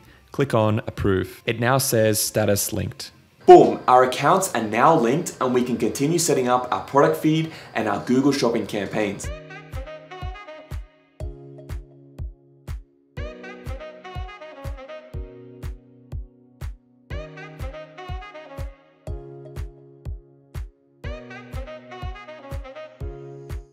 Product feed is a file that contains all the data that Google uses to categorize your products and show them in the Google Shopping ads. It's a file or bridge between the products shown on your website and what actually gets shown in the shopping ads. The product feed contains all the information about your products. It's like a giant table of data all in a file that Google can understand. Okay, let's take a look at what your product feed can look like. You can imagine that your product feed is like a giant table with all your product information. Here's a simplified example right here. You can see that we have the columns ID, title, description, price, and link. Under this first row, we can see that we have two different products with their information under each column heading. This is a simplified version. The feed that we're actually gonna build out with our videos is a bit more complex, but this gives you an idea of what it looks like. These columns are each called product fields, and some are mandatory and some are optional. It's our job to fill in these product fields. Some will get pulled from our Shopify store automatically, and some we will have to enter in manually. Let's go through the mandatory fields for your product feed right now. Number one, ID. This is the unique identifier for your product. You can use your SKU or a random number. It doesn't matter too much. Next, we have the title. This is one of the most important fields for your product feed. Google gives your title the most weight when it's deciding who to show your products to. We'll learn how to optimize this in a later video. Next, we have the description. This describes your product and you can often have the same description as what you have on your product page. Next, we have the link. This is your link to the product page for that product. With Google shopping campaigns, you have to send traffic to the product page for that product, not the homepage or another page, the product page. Next, we have image link. This is a direct link to the image of that product. It doesn't need to be the image that we already have on our product page. We can adjust this to an image of our choosing if we want to optimize our click-through rates. Next, we have the price. Obviously, this is the price of our product. It must match what's on our product page and what people pay when they check out with our product. If you're not using a product feed, this is one of the things that can cause disapprovals. This is because people forget to update their product feed when they update their price on their website. Next, we have availability. Availability is the last mandatory field. This is whether your product is in stock or not. If your feed says the product is in stock, but your website says it's not in stock, then you're going to have a problem and Google will probably disapprove your product. Make sure to keep this updated or use a dynamic feed, which we'll learn about in the next few videos. There are also some other fields that are mandatory, but only in specific scenarios. One, brand. This is the brand of the product. You can put your brand or the actual brand of the product. This is mandatory for every store that is not selling movies, books, and musical recording equipment. In most cases, you will need to add the brand. Next, we have condition. This is whether your product is new, used, or renewed. You only need to add this if you're selling a used or renewed product. Next, we have the color. This is the color of the product and is mandatory for apparel. It's used in Brazil, France, Germany, Japan, the UK, and the US. Next, we have the size. This is the size of the product, like small, medium, large. It's used for all products under the categories of clothing and shoes in Brazil, Germany, France, UK, Japan, and the US. Next, we have age group. If you're selling apparel, then you'll need to put this in for your products. Same as the others, this is required for Brazil, Japan, France, Germany, the US, and the UK. Next, we have gender. This is also for apparel, and you'll need to put in the gender of your product if you're selling to Brazil, France, the US, UK, and Japan. Okay, next we have the shipping weight. This is the actual weight of your product. Google Merchant Center uses this to provide accurate pricing based on your shipping settings. It's mandatory for products where the weight of the product is going to influence the shipping price that the customer pays. Next we have adult. This is just mandatory for products that are only appropriate for mature audiences. Most stores don't have to include this. And lastly, multi-pack. This is mandatory when you bundle products together and you're selling to Australia, Brazil, Czechia, France, Germany, Italy, Japan, the Netherlands, Spain, Switzerland, the UK, and the US. They're the mandatory fields for product feeds. There are a lot of optional fields too. We'll go through the optional fields that we'll need when we actually set up our feeds in the next videos. Just to know, ideally you want to add as much product information as you can to your feed. Don't just add the bare minimum and what you need for the mandatory fields. We want to add as much as we can to inform Google about what our products are so they know who to show them to. In this video, you're going to learn the three main methods for setting up the product feed for your Shopify store. Choosing the right product feed method is going to save you a lot of time and money and help you get more sales from your campaigns in the long run. I'm going to talk through each method and tell you which one I recommend depending on your situation. And this is gonna help you choose the best method for your store. Once you choose the right method for you, I then have a video on how to set up each exact method. You'll find a link to each of those three methods below this video. So once you choose your method, just go down below, click the link to the method that you chose, and you're gonna go through the full guide on how to set it up for your store. Here are the three methods. One, set up your product feed with a Shopify app. Two, directly upload into Google Merchant Center. And three, set up your feed with Google Sheets. Let's look at setting up with the Shopify app first. This means installing an app on our Shopify store that automatically creates the feed using our product information. We can then edit this feed, optimize it, and connect it to Google Merchant Center. So what are the benefits of using a Shopify app for your feed? First, it's straightforward and easy to set up. We'll do it together in the video linked below, step by step. It also creates what's called a dynamic feed. This means when you update your pricing on your website, it's going to update the feed and update in Merchant Center. Okay, but what are the issues with this method? Firstly, it doesn't provide a huge amount of customization in your feed. For example, changing the images. It also becomes a problem when you have a lot of products and you want to edit them easily. It's not super easy to edit products in bulk. So if you have more than a couple of hundred products, I recommend looking into using the Google Sheets method or using some third-party software like Data Feedwatch. I'll leave a link to Data Feedwatch below as well. For most people starting out that have less than one to 200 products, this is the method that I recommend. Like I said, I've got a full video on using this method. I'll leave a link down below. The next method we're going to talk about is directly uploading our product information straight into Google Merchant Center. That's right, there's no Shopify app, there's no Google Sheets, you just log straight into Google Merchant Center, go to products and start adding your products one by one. Sounds pretty easy, right? Yes, but there's a big problem. If you have more than say 15 products, this takes a lot of time. It's great for those people that want to get started quickly and don't have a lot of products. The problem is it's also not dynamic. If your product details change, like your description or your pricing on your website, you need to go back into Merchant Center and remember to update your feed. It's also not easy to edit your products in bulk. So if you want to make a lot of changes or you've got a lot of products you need to make changes to, you're going to be sitting there all day doing it. Okay, so who should actually use this method? If you only have a few products, say 10 to 15, this is the method for you. It allows you to quickly set up your feed without needing extra templates or apps or anything like that. It's also for you if you're okay with remembering to update your feed when you make changes to your products on your website. Just like with the other method, I've got a full guide on how to do this. I'll leave a link down below. Lastly, we have the Google Sheets method. This is where we use Google Sheets to provide the information about our products into Google Merchant Center. The advantage of this is that it's much faster if we have a lot of products and we download download them from Shopify, put them into Google Sheets, and then send them to Google Merchant Center. You can see all your products in one place and it makes it much easier to bulk edit fields. I also like it because I get a good overview of all my products so I can scroll through and find problems such as inconsistencies or anomalies with my product information. The disadvantage here is that it can be a little bit daunting if you've never used Google Sheets or Microsoft Excel before. It's also not dynamic. So just like with uploading directly into Merchant Center,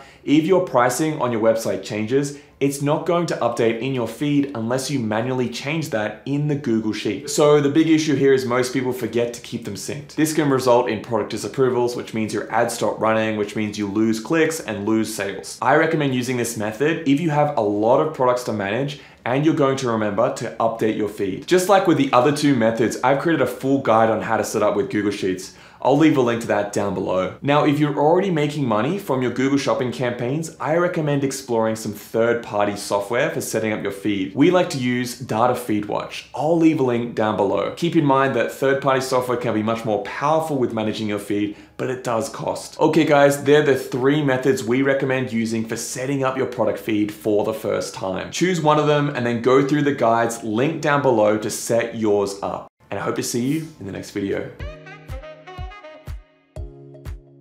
In this video, you're going to learn how to set up your product feed for Google Shopping with the Google Shopping app for your Shopify store. This allows us to quickly set up our product feed so we can start running our Google Shopping campaigns and make sales and profits for our store. We've used this method to generate a lot of sales for our stores like this one, this one, and this one. Now, what is required to set up your feed with this method today? The first thing you need is to set up your Google Merchant Center account. This means going to merchants.google.com, setting up your account and adding in all your settings and business information. You then need to claim and verify your website, add your shipping information, and your returns and refund information. This process is quite straightforward and I have videos on every single thing you need to do here. I'll leave a link to those videos down below. I walk you through the process step by step. These videos are actually all part of our free Google Shopping course that shows you how to set up, optimize, and scale your campaigns.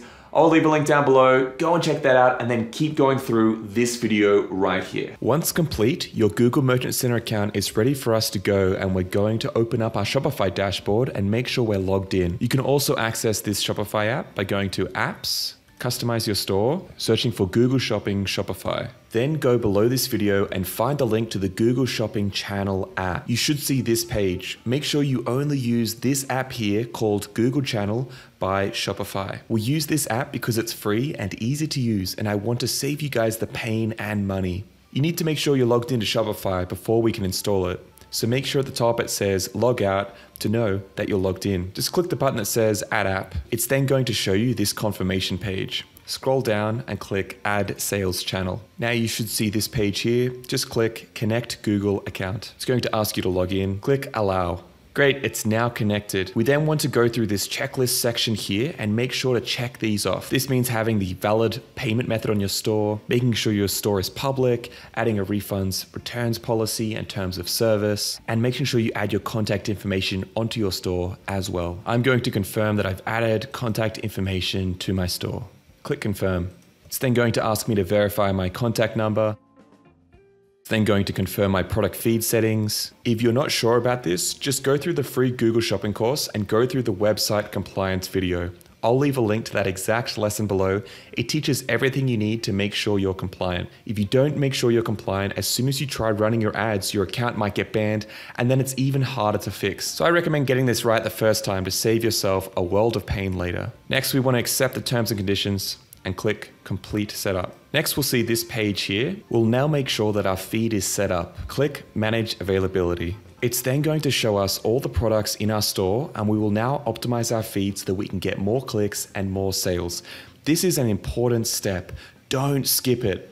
Optimizing our feed means editing each product field in this table. Now for some of these fields, this is actually editing what's on your website, but I'm also going to show you how to edit the titles and descriptions so it shows up differently in your Google Shopping campaigns. Optimizing the fields like this is a key part of scaling your campaigns, generating more sales and more profits. We'll go through all the edits we need to make right now to optimize our feed here. First, we need to unhide the columns that we're going to be editing. Make sure at the top here we have the following columns unhidden. Title, available to Google, Google product category, MPN, page title, and meta description. Once you see these columns, we're now going to go through one by one and make sure the product information is correct as well as optimize it. First, we're going to start with the product title. Your title is the most important product field for Google. Your Google shopping campaigns will perform much better if you spend the time to craft and optimize title. These titles here in the title column are actually what's on our e-commerce store, but honestly, you don't always want to have the same title in your shopping ads as what's on your store. Look at this example. This brand is selling a backpack called Lita, but how would Google know what the heck a Lita is? A better title would be Sling Backpack in Grey 40L. See how that's much more descriptive and also optimized towards what a customer might search? The question I often get asked here is, is there some sort of formula for a good product title? The answer is yes. We have a full guide on optimizing your titles using formula structures. It also includes these templates of the structures that you can use for your own titles, and I'm going to leave a link below this video. Now, something to note is that this title here means that you will be editing your website title, which is probably not what you want. That's why we unhid this column, page title. This means that instead of editing the title on the actual page, we're editing what's called the SEO title. This means what Google is going to show in the search results for organic listings, as well as affect what's going to show in your shopping ads. Now, let's edit our first title here. Snooze Go is not a very descriptive title for what we're actually selling here, which is a white noise machine. So I'm going to change the title to something a bit more relevant. I've put here white noise machine with fan, Bluetooth enabled. This is just an example, but you can imagine that people are going to be searching for a white noise machine with Bluetooth, maybe with a fan, and this is going to better target those search queries. This is going to allow Google to better understand what we're selling here to show to the right customers and get us more clicks for less. Now that we've optimized our title, we can now optimize our description. Similar to the title, Google does give the description weight in how to show your products to the customers. What I like to do here is just pull in the actual description on our page and then edit it to make sure we clean it up for any HTML or anything like that. Think about what sort of description someone that's searching for your type of products is going to want to see in the search results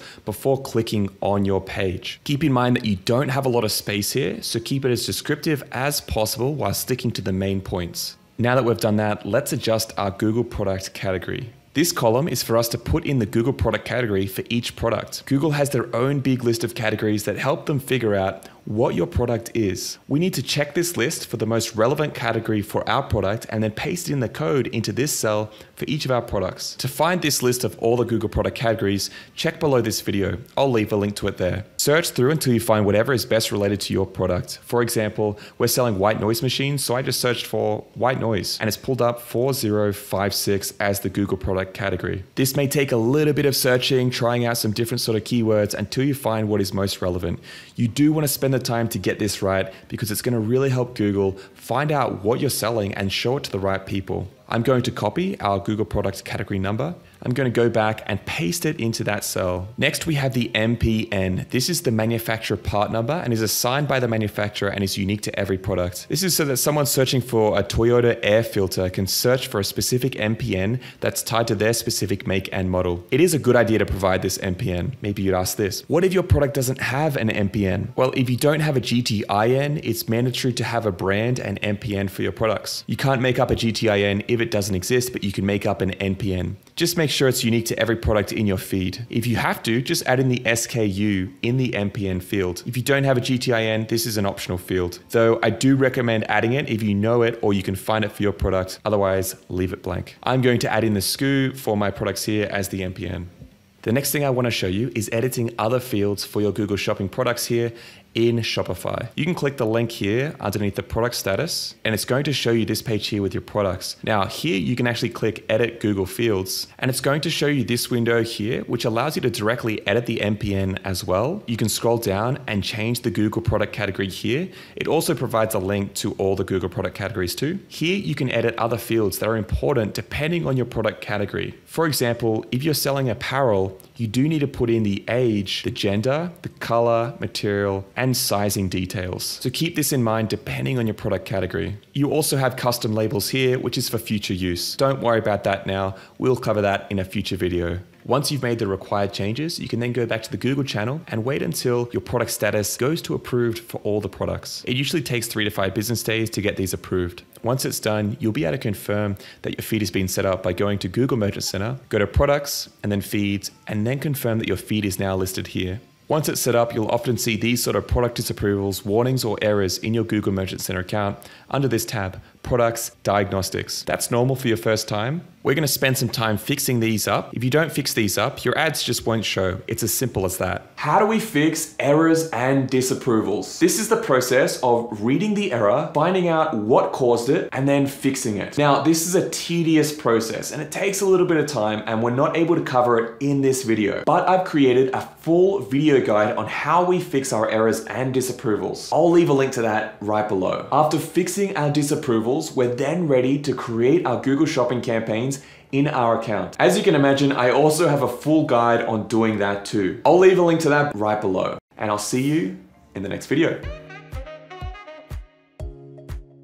In this video, you're going to learn how to set up your product feed for your Google Shopping campaigns by directly uploading your products into Google Merchant Center. This is by far the quickest and easiest way to set up your product feed and get your campaigns going if you have 10 products or less. To do this, we log into our Google Merchant Center account by going to merchants.google.com. On the left hand menu, we're going to click on products. If you haven't tried creating a feed at all yet, it will show you this screen. Just click on add product. If you do already have a feed set up, but you want to set up with our method today, just go to products and then all products on the left hand menu and click the plus sign. We'll start by setting our country of sale and language. This is where you're going to be selling to, of course. Make sure you check both boxes for free listings and shopping ads. If you don't see free listings here, it means you have to enable it in Merchant Center programs. I have a video on how to set up your free Google Shopping ads. I'll leave a link to that video down below this one. The first section here is the product identifier section. Your product identifier is usually a unique number in a database, depending on your region,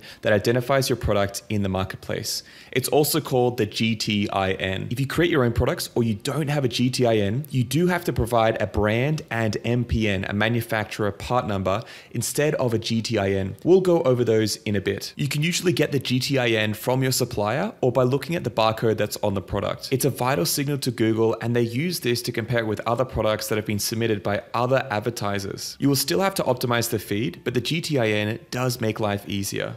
And you can see here that there are different types of GTINs, which are the UPC in North America, the EAN in Europe, the JAN in Japan, ISBN for books, ITF14 for multi-packs. You can often search Google too and find someone else selling the same product and check if they have the correct identifier too and use theirs. Like I said, if you don't have the GTIN, you can add in the MPN and the brand.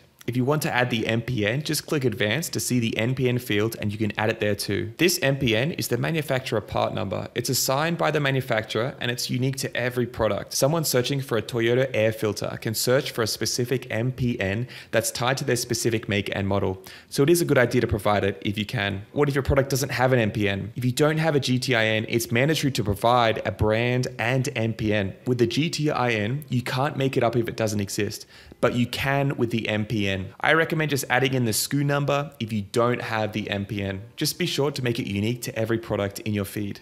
Next, we have the product data. Let's go through these one by one. The ID is the unique identifier for our product in our catalog. Don't reuse the same ID for different products and stay consistent with it. The ID will be the link between the primary and supplemental feed, so it's an important and required product attribute. You don't have to fill in the ID with SEO keywords or anything like that. It's just used as a key identifier for our products. It's often our SKU, but it can honestly be anything. This is going to be helpful for finding your products in your campaigns when you want to edit your bids manually. So I do recommend having it as the product name or something that allows you to easily differentiate between products. Keep in mind that when you have variants, each variant should have a unique ID. Just add that in and let's move on to the next fields. Next, we have the title of our product. The title is the most important product field for Google. Your Google shopping campaigns will perform much better if you spend the time to craft an optimized title. What makes a good title for our product? You don't necessarily want to have the same title that's on your e-commerce store. A lot of stores do this and it's a big mistake. Look at this example here. They're selling this backpack called Liter, but how would Google know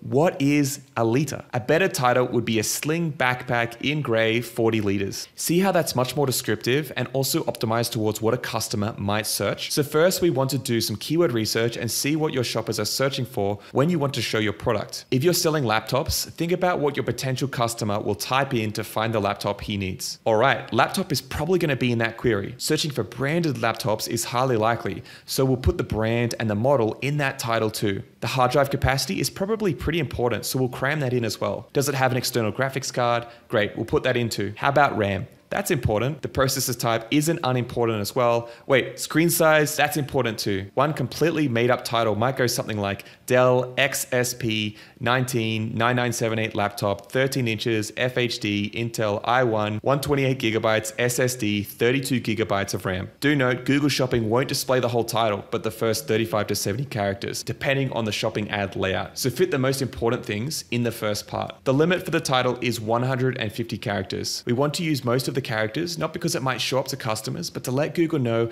as much information as possible about the product. Even if the 32 gigabytes of RAM doesn't show up in the title that the shopper sees, it's still taken into account by Google. So your laptop might still show up when someone is searching for Dell laptops that have 32 gigabytes of RAM. There isn't a universal formula for the best title, but there are some best practices depending on the niche and the products. With generic products, you want to put in the brand plus product type plus color plus material plus size. So let's say 3M adhesive tape, black, 60 inches by 1 inch. If you're selling jewelry, one title might be consisted of the brand plus weight, plus shape, plus style, plus material. An example might be something like your brand, 14 carats, yellow, gold, pendant, classic. For apparel, you might use gender plus keyword 1, keyword 2, plus brand, plus color, plus product type. For anything related to sports, you'd go with brand plus sport plus product type plus color. As you can see, there isn't a universal formula and it will be highly dependent on your niche, what your competitors are using, and what shoppers are expecting. There isn't an easy way to A-B test changes, but you can change a single product title, take note when you changed it, monitor impressions, clicks, and conversions, and compare it to the previous period. It's not a perfect method because you have to take into account a few more things like seasonality, but until Google gives us something better, we can only do it like this. Optimizing titles is so important and we have a blog post just on this. You can check that out with a link that I'll leave below this video. Next, we'll add in the brand of our products. If you're selling branded products, you definitely want to input the correct brand here. If you created your own brand, don't fret. You can just put in your own brand name here. It's a mandatory field and especially important if you're listing a new product on the marketplace. Let's now look at the description. Since you can't show your product in person and let the customer see, feel, and wear the product,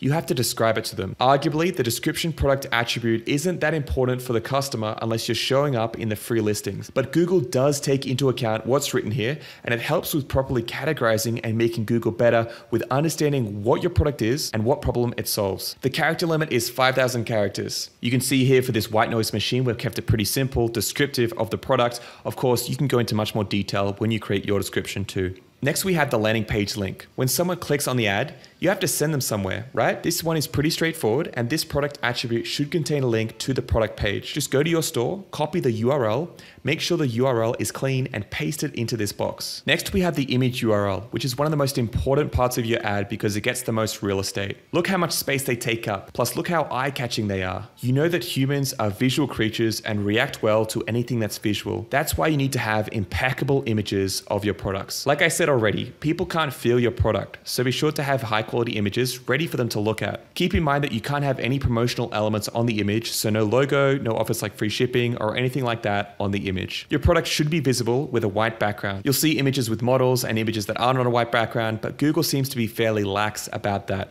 As long as the image isn't offensive, doesn't have borders, promotional elements, it will show up.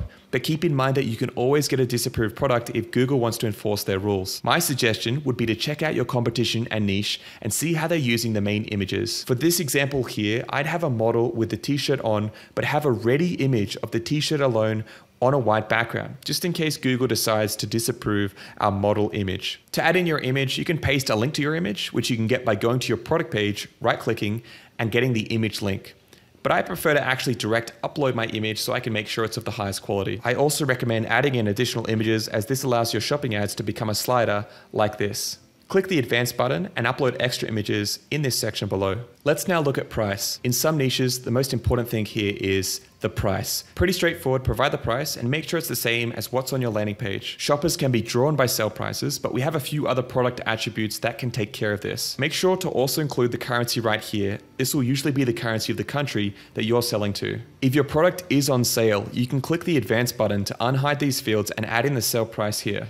Always make sure that whatever pricing you put in this section matches exactly what's on your website. If Google crawls your store and finds a discrepancy, they'll just disapprove the product. Your ads will stop for that product and you'll have to fix it before being able to start them all over again. The next thing we'll add is availability. Here we're telling Google our product is in stock or not. If your product is in stock, then just add in stock here. If it's not in stock, then you can set it as out of stock. You can also click the advanced settings here and tell Google what date it will be in stock so that it automatically lists your products in your campaign once they are. Next, we add the detailed product description. You're gonna add in the condition here, whether it's a new, refurbished, or used product. If you have an apparel product or a product with lots of variants, you can also select this toggle here and add in the details for those products. Next, we have our shipping. If you have your shipping settings already set up in Google Merchant Center, then you won't have to add in additional settings here. If you haven't set that up yet in Merchant Center, check out our full video guide on setting that up. I'll leave a link down below. If you do want to set up individual shipping settings for each individual product,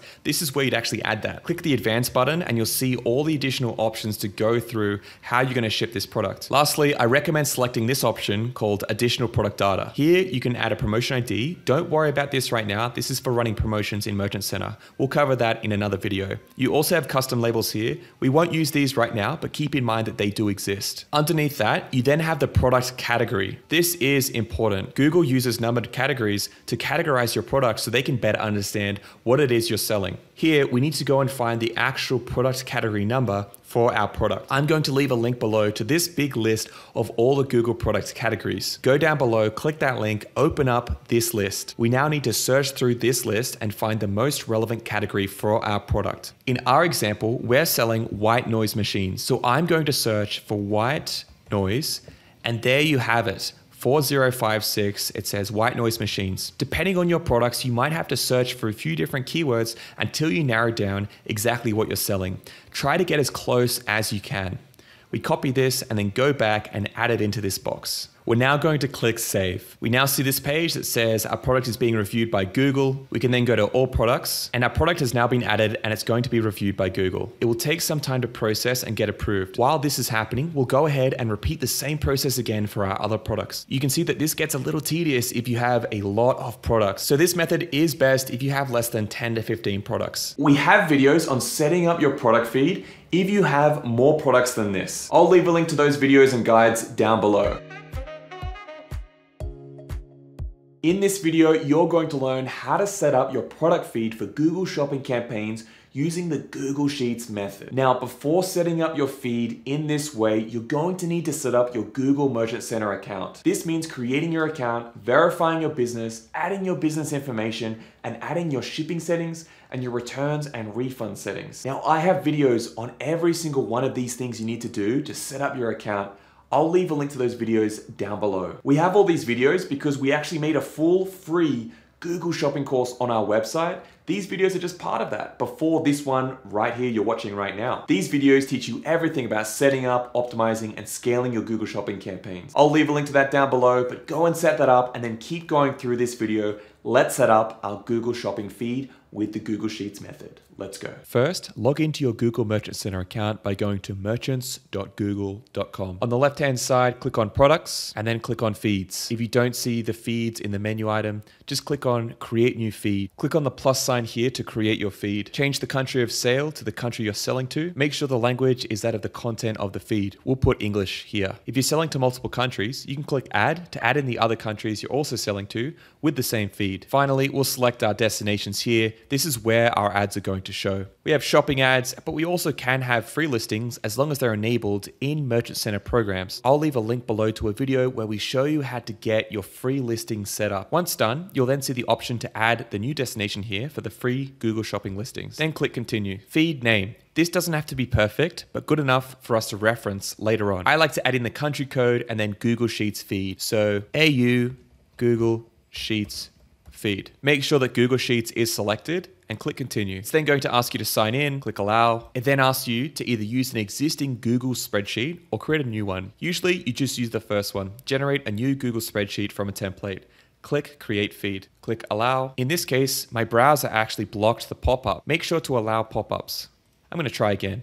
It'll then take you to this page here, or it'll take you to the feeds page. We can then get back to this page by clicking on the feed and then click Access Google Sheet. This is the template that Google provides and where we add our product information. Now it has some columns already there because it's a template and that's great, but we're now going to import our product information and assign it to each column. Getting our product information is going to be different depending on what e-commerce platform you're using. I'll show you how to do it with Shopify, but you'll have the same process with WooCommerce, Magento, or whatever you're using. Open up your Shopify dashboard, go to products on the left-hand side, click on all products and click export. Click all products and we want a plain CSV file. Click Export Products. It's then going to send our product information download to our email address. It may take a short while depending on the size of your product's catalog. Once you receive this email, just click the link. You'll then be able to download and then you want to open up that file. You'll then download a CSV file. You can open this CSV file in Microsoft Excel but you can also just drag this into Google Drive and Google will convert it to a Google Sheet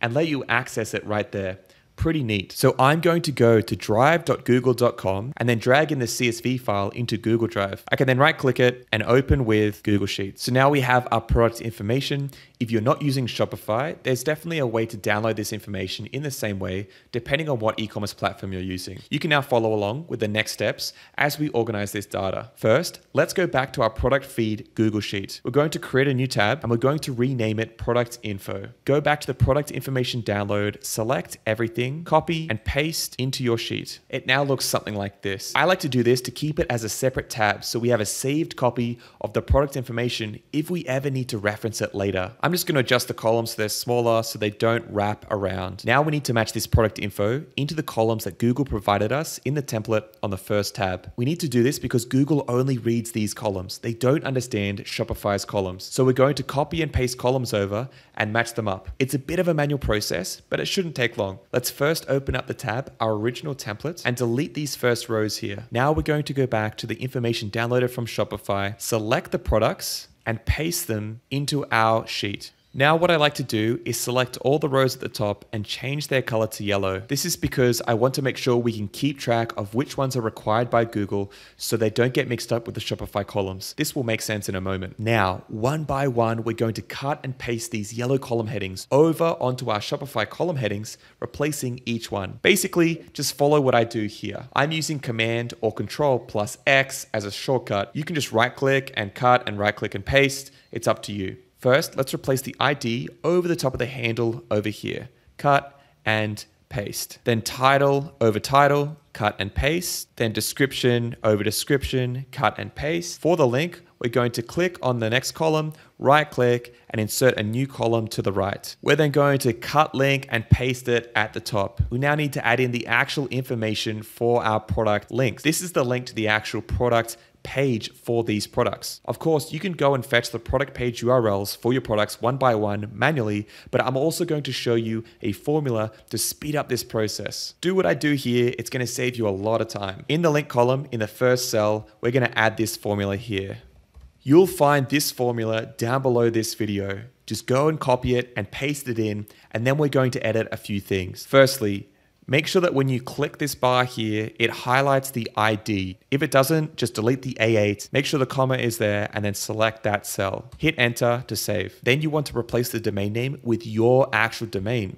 In my case, it's Sleepy Machines. Of course, if your store is on a different subdomain or you have a different .com, .net, .io, make sure to edit that as well. You now see that this actually creates a link using your domain and the ID. Let's test this out. There we go. It sends us to the product page. So this is working. You can now copy this cell by hitting Command C or Control C, selecting all the other products in your feed and then pasting. It's now going to paste that formula so it works for all your products. You see how this is much faster than adding them in manually? It should save you a little bit of time. Next, we'll now add in the condition. Same as before, we're going to select a column, right click and select insert one column to the left. We're now going to cut and paste our condition into that cell. Now we just need to go down and add the actual condition of our products. This is very easy. There are only three options here, new, refurbished, or used. So you just go down and paste in what makes sense for your products. All my products are new and yours are probably the same. So just add in new and copy and paste them for all your products. In 99% of cases, you'll have all new products. So you can just type in new and then copy that cell,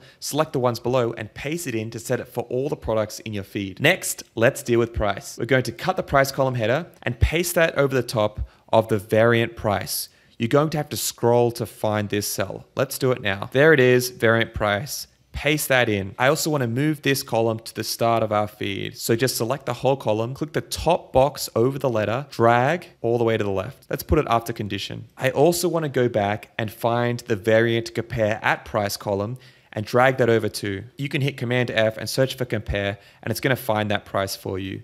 Let's drag that over. We're going to change the title of that column to sale price. We'll come back to this later, but for now, let's move on. Let's make a new fresh column to the right of sale price. Let's cut and paste availability and put it into that cell there. Availability is a field that tells Google if our product is in stock or not. There are several different values that we could add in here. In stock, out of stock, pre-order, or back order. In stock is for when your product is in stock and ready to be sold. People can buy it on your site and you're going to ship it to them. Out of stock means exactly what it says. You have no inventory for that product. Pre order is for new products that are not yet released that someone can pre order. Back order is when your product is out of stock but people can back order to get it when it comes in. Note that if you add back order, you also have to add in a new column here in your feed called availability date and add in the date that it will be in stock. What we'll do now is go down our products and add in the availability. Like with condition, we have to type this in manually. So I'm gonna type in in underscore stock and then copy and paste that down for all my products. You see here, I've only dragged it down for these four products here. There's no pricing for these products here. They're not actual products in our store. This product here does have a price, but it doesn't have a title. That's because it's a variant. So I'm actually gonna just paste down the title. I'm gonna adjust that to something about the variant, which is going to be the color. I'll also drag down the vendor and the description. Next, we have the image link. This is the image that Google will show on our ads. You can use one of the same images that are on your product page, or you can even use a totally different image that's not shown here. In this case, I'm just gonna save time by using our current main image. So I'm going to cut the image link column and paste it over the image source column here. I'll then take that column by clicking this top box here where the letter is and dragging it over with the rest of my columns. Okay, now we have four columns left. Let's right click above the image link column and add in four columns to the right. I'll then cut and paste in these columns into the new columns we've just created. Fantastic. Now we can see that there are no more columns to be added from the template given to us by Google. So let's now select these top rows here and delete them. Okay, now we have all the columns we need. It's now time for us to start optimizing our feed and adding in some of the missing column information. We want to optimize our feed because Google wants to see much better information here than what we copied over from our store. If we want to create the best shopping campaigns possible and make a lot of money, we need to put this time in and set it up right. The first thing we have is the ID. Now, the ID is used as Google's way to track each product. When we do our manual bidding strategy later, it's what we can use to know which products are which, which are important if our profit margins vary between products. I recommend keeping it either as the handle, like we have here, or changing it to something that you can easily and quickly identify. In this case, I'm going to leave it the same here, but you will see for these two variants that the ID is the same. We can't have this. We need to add some sort of differentiator to the end. So I'm going to change this to white and this one to charcoal. Let's now optimize our product title. Your title is the most important product field for Google. Your Google shopping campaigns will perform much better if you spend the time to craft an optimized title. So what makes a good title for your product? You don't want to just have the same title as what's on your e-commerce store. A lot of stores do this and it's a big mistake. Look at this example. They're selling a backpack that says liter, but how does Google know what the heck liter is? A better title would be Sling Backpack in Gray 40 liters. See how that's much more descriptive and also optimized towards what a customer might actually search. So first we want to do some keyword research, see what our shoppers are searching for when you want to show your product. If you're selling laptops, think about what your potential customer will type in to find the laptop he needs. All right, laptops is probably going to be in that query. Searching for branded laptops is highly likely, so we'll put in the brand and model in that title too. The hard drive capacity is pretty important, so we'll put that in as well. Plus, does it have an external graphics card? Great, add that in. How about RAM? That's important too. What about the processor type? What about the screen size? One title for a laptop completely made up and optimized might be Dell XSP 199978 laptop 30 inches FHD Intel i1 128 gigabytes SSD, 32 gigabytes of RAM. Do note, Google won't display the whole title, but the first 35 to 70 characters, depending on the shopping ad layout. So fit the most important things in the first part. The limit for the title is 150 characters. We want to use up most of the characters, not because it might show up to customers, but to let Google know as much information as possible about the product. Even if the 32 gigabytes of RAM doesn't show up in the title that the shoppers see, it's still taken into account, and your laptop ad might show up when someone is searching for Dell laptops that have 32 gigabytes of RAM. This isn't a universal formula for the best title, but there are some best practices depending on your niche and products. With generic products, you might want to put in the brand, product type, color, material, and size. So let's say 3M adhesive tape, black, 60 inches by 1 inch. If you're selling jewelry, one title might be consisted of brand plus weight plus shape plus style plus material. An example might be something like your brand, 14 carats, yellow gold, pendant, classic. For apparel, you might use gender plus keyword plus keyword 2 plus brand plus color plus product type. For anything related to sports, you'd go with brand plus sport, plus product type, plus color. As you can see, there isn't a universal formula and it will highly depend on your niche, what your competitors are using, and what shoppers are expecting. There isn't an easy way to A B test changes, but you can change a single product title, take note of when you changed it, and monitor impressions, clicks, and conversions to compare it to the previous period. It's not a perfect method because you have to take into account a few more things like seasonality, but until Google gives us something better, we can do it like this. Optimizing titles is so important, and we have a whole blog post just on this. You can check it out with the link I'll leave below this video. For this title here, I'm going to add in something different than a snooze go baby. Of course, this is actually a white noise machine, so let's make that clear.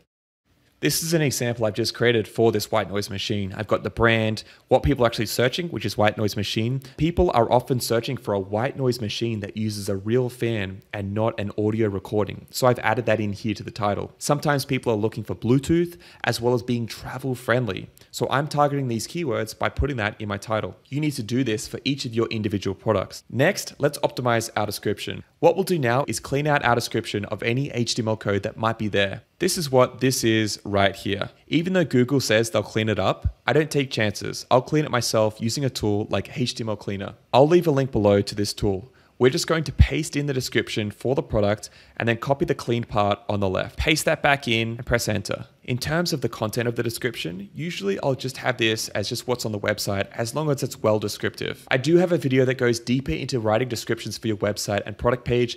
I'll leave a link to that below. The next thing I'm going to optimize is the GTIN. This is your product identifier and it's a unique number in a database, depending on your region, that identifies your product in the marketplace. If you create your own products and don't have a GTIN, you can provide a brand and manufacturer part number, MPN, instead of a GTIN. We'll go over those in a bit. You can often get the GTIN from your supplier or by looking at the barcode that's on the product. It's a vital signal to Google since they will know exactly which product is provided. You'll still have to optimize your feed, but it's going to make it a bit easier. I don't know the GTIN for this product, so I'm going to leave it blank. This does mean that I need to make sure the MPN and the brand are filled in. Let's look at the MPN right now. The MPN is the manufacturer part number and it's assigned by the manufacturer and it's unique to every product. Someone that's searching for a Toyota air filter can search for a specific MPN that's tied to their specific make and model. So it is a good idea to provide it if you can. Maybe you'll ask, but what if my product doesn't have an MPN? If you don't have a GTIN, it's mandatory to provide a brand and MPN. But if you don't have a GTIN and you don't know an official MPN, you can make it up. Just be sure to make it unique to every product in your feed. Though if you do have a GTIN, the MPN is an optional field. I do recommend adding it if you can, otherwise leave it blank. Because I don't have a GTIN, let's add in one now. I don't know the actual MPN number, so I'm just going to copy over the SKU or the ID and use that instead. I'm going to paste that down for all my products. Next, we'll add in the brand of our products. This is going to be the actual brand of the product. For example, if you're selling Nike sneakers, it would be Nike. If you're selling your own products and you are the brand, add in your brand name here instead. I'm going to add in Snooze because that's the brand of the products I'm selling. Next, we have the Google product category. This column is for us to put in the Google product category number for each product. Google has their own big list of categories that can help them figure out what your product is. We need to check the list for the most relevant product category for our product and then paste in the code into the cell for each of the products. To find this list here, I'll leave a link down below this video, so go check that out. What you need to do is go through this list and search for the most relevant product category for your products. Of course, don't go through it one by one, hit Command F or Control F and search through with a few keywords to find what's most relevant. We're selling a white noise machine, so let's search for that. Once I search for white noise, it comes up with white noise machines as a sleeping aid 4056. I'm going to copy this number here, go back to my feed, and paste that into the Google products category column. Copy and paste that down because all the products are from the same product category. Lastly, I want to talk about our price and the sale price for our products. Price is the original price of the product, and sale price is for when we are selling the product at a discount. It looks like this in our actual shopping ads.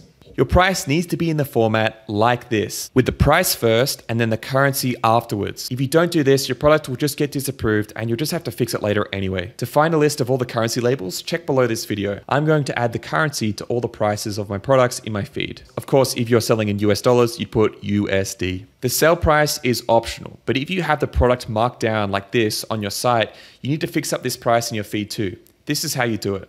Make sure you keep the price as the original price, so it will always be the higher of the two. If you don't have a sale on, just keep it as the price. But if you do have a sale on, change sale price to the new sale price. So if I sell this one for $39.99, I would change the sale price to $39.99 with the currency. If you have any products on sale, make sure to update them in this same manner. Now, there can be some other fields that you might need to add in depending on what products you're selling. For example, if you're selling apparel, you need to add in things like the size and gender of your products. I'll leave a link below to a guide on adding in these extra compulsory fields, and you'll need to tailor your feed for your own store if you're in one of these other categories.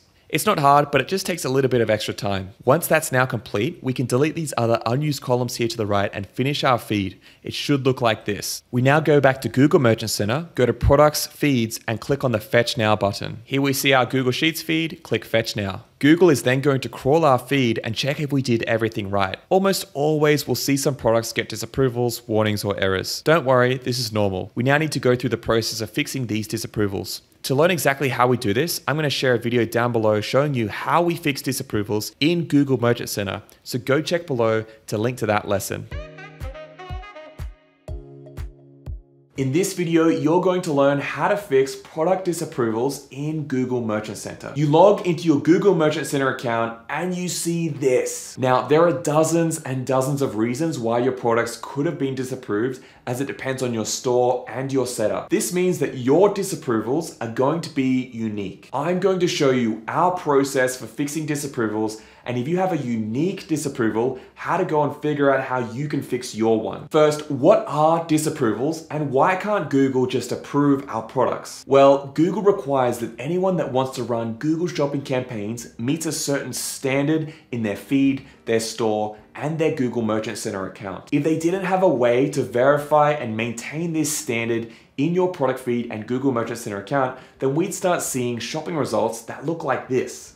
So Google created Google Merchant Center, which is kind of like the gatekeeper for your products before they go onto Google Shopping. This means that every single store owner has to go through what you're going through now fixing up the product disapprovals to make sure they're of a high quality to show on Google shopping results. So all these disapprovals mean in your account is that Google isn't approving of something you're doing in your feed. So what's the process of fixing a disapproval? One, identify what the disapproval is. Two, learn what specifically caused this disapproval and how you would fix it. Three, make changes to your feed and your store refetch your feed and see if Google approves it. You can refetch your feed at any time by going to products, feed, and then reprocess or refetch feed. Four, if it's still disapproved, repeat. This is a troubleshooting process and I know it can be really frustrating. So we're going to go over the most common disapprovals in this video and how to fix them, but we have a full guide that goes into great detail for every single disapproval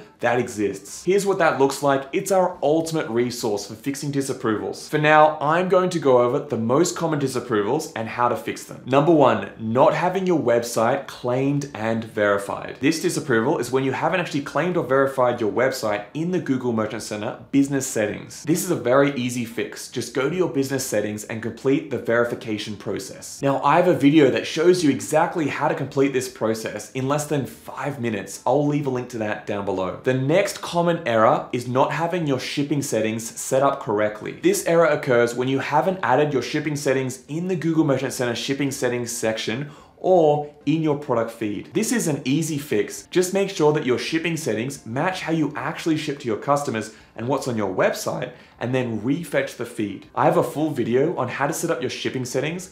I'll leave a link to that down below. The next error you might get is one that says pending initial review. You'll sometimes see this error when you first submit your products into Google Merchant Center. This means that Google is still crawling your feed and your store to make sure that everything is okay. There's nothing you can do here except wait. I usually check the feed every single day and usually this disapproval is cleared up within about three days. If not, try refetching the feed. Next we have a more generic violation of the Google Shopping ads policies. This is a generic disapproval that Google gives you when you're violating one of Google's policies. We might see this when working with sensitive niches like supplements or things like that. This is a tough one. You'll need to go through all of Google's policies and see if any of your products violate them. I'll usually go through and comb the policies to see if I can find what's causing it If not, I'll get in touch with Google to see if they can tell me more about what's causing this disapproval. You can contact Google support by going to the help button in Google Merchant Center. We also have a page on our website that has all the Google Ads support numbers. You can often call and speak to someone to get more information about your disapproval.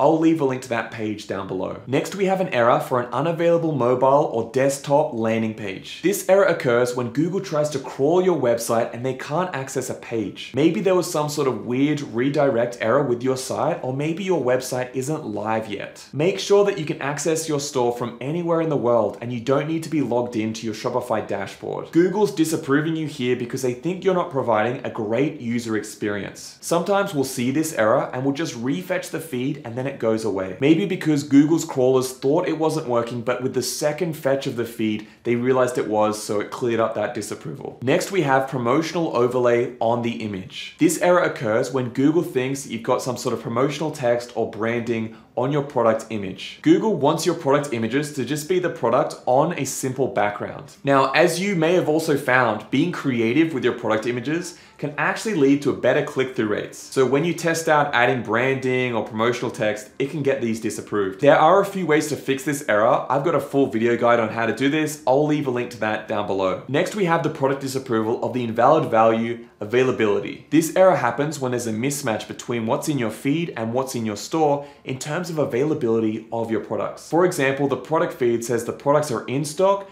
but a customer goes to the website and it says out of stock. Google sees this as a poor user experience, so they'll disapprove your product until you fix this. Just make sure that your feed's always up to date. They're the top disapprovals we see and how to fix them. As you can see, each one requires a unique approach depending on the error and also how you've set up your feed and your Google Merchant Center account. If you're watching this and you have a disapproval that's completely different from the ones I've spoken about, that's okay. We've created this full ultimate disapproval guide that goes through each error possible and shows you how to fix them. I'll leave a link to that down below so you can start working through fixing all your disapprovals and get your Google Shopping campaigns up and running. I'll see you guys in the next video.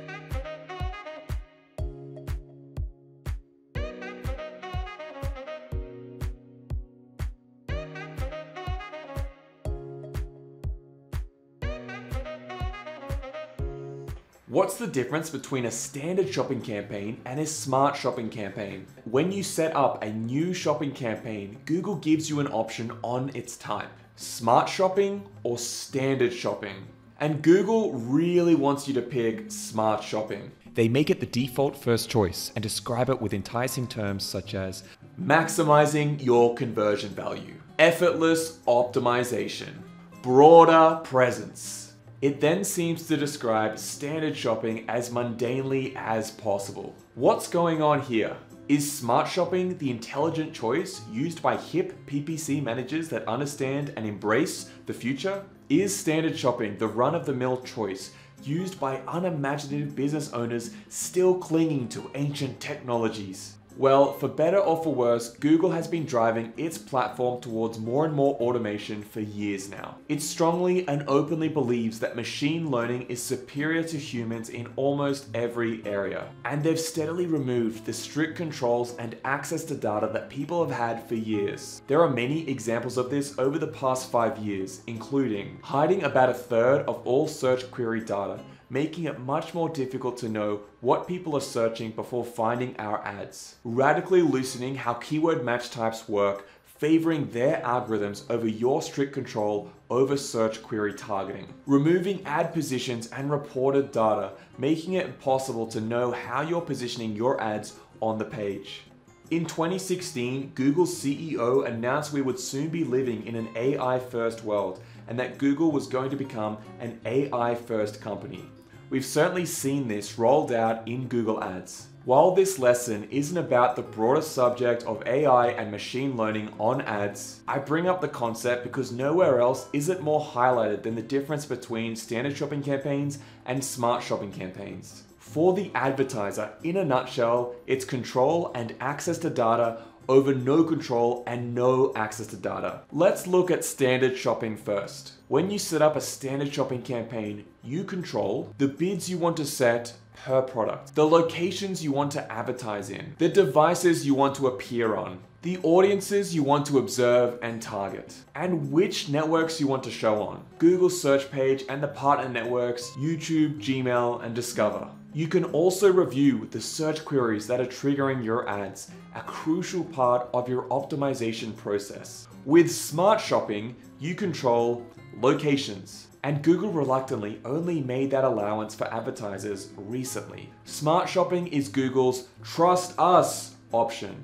Don't worry about the audience or network. Don't worry about the bids or scheduling. Don't worry about all that data you use to depend on for optimizations and growth for your business. We don't want to share that with you because you're going to ask too many questions. Google's got it from here. Just make sure that your credit card is up to date. The ads may appear anywhere Google feels they should. On Google's main page, Google's shopping page, YouTube, Gmail, various search partners. So that's the difference between standard shopping and smart shopping from an advertiser's perspective. But what about from a business perspective? Well, in the two years or more that smart shopping has been available, my team and I have been testing it extensively. And what we've found is that it works brilliantly sometimes.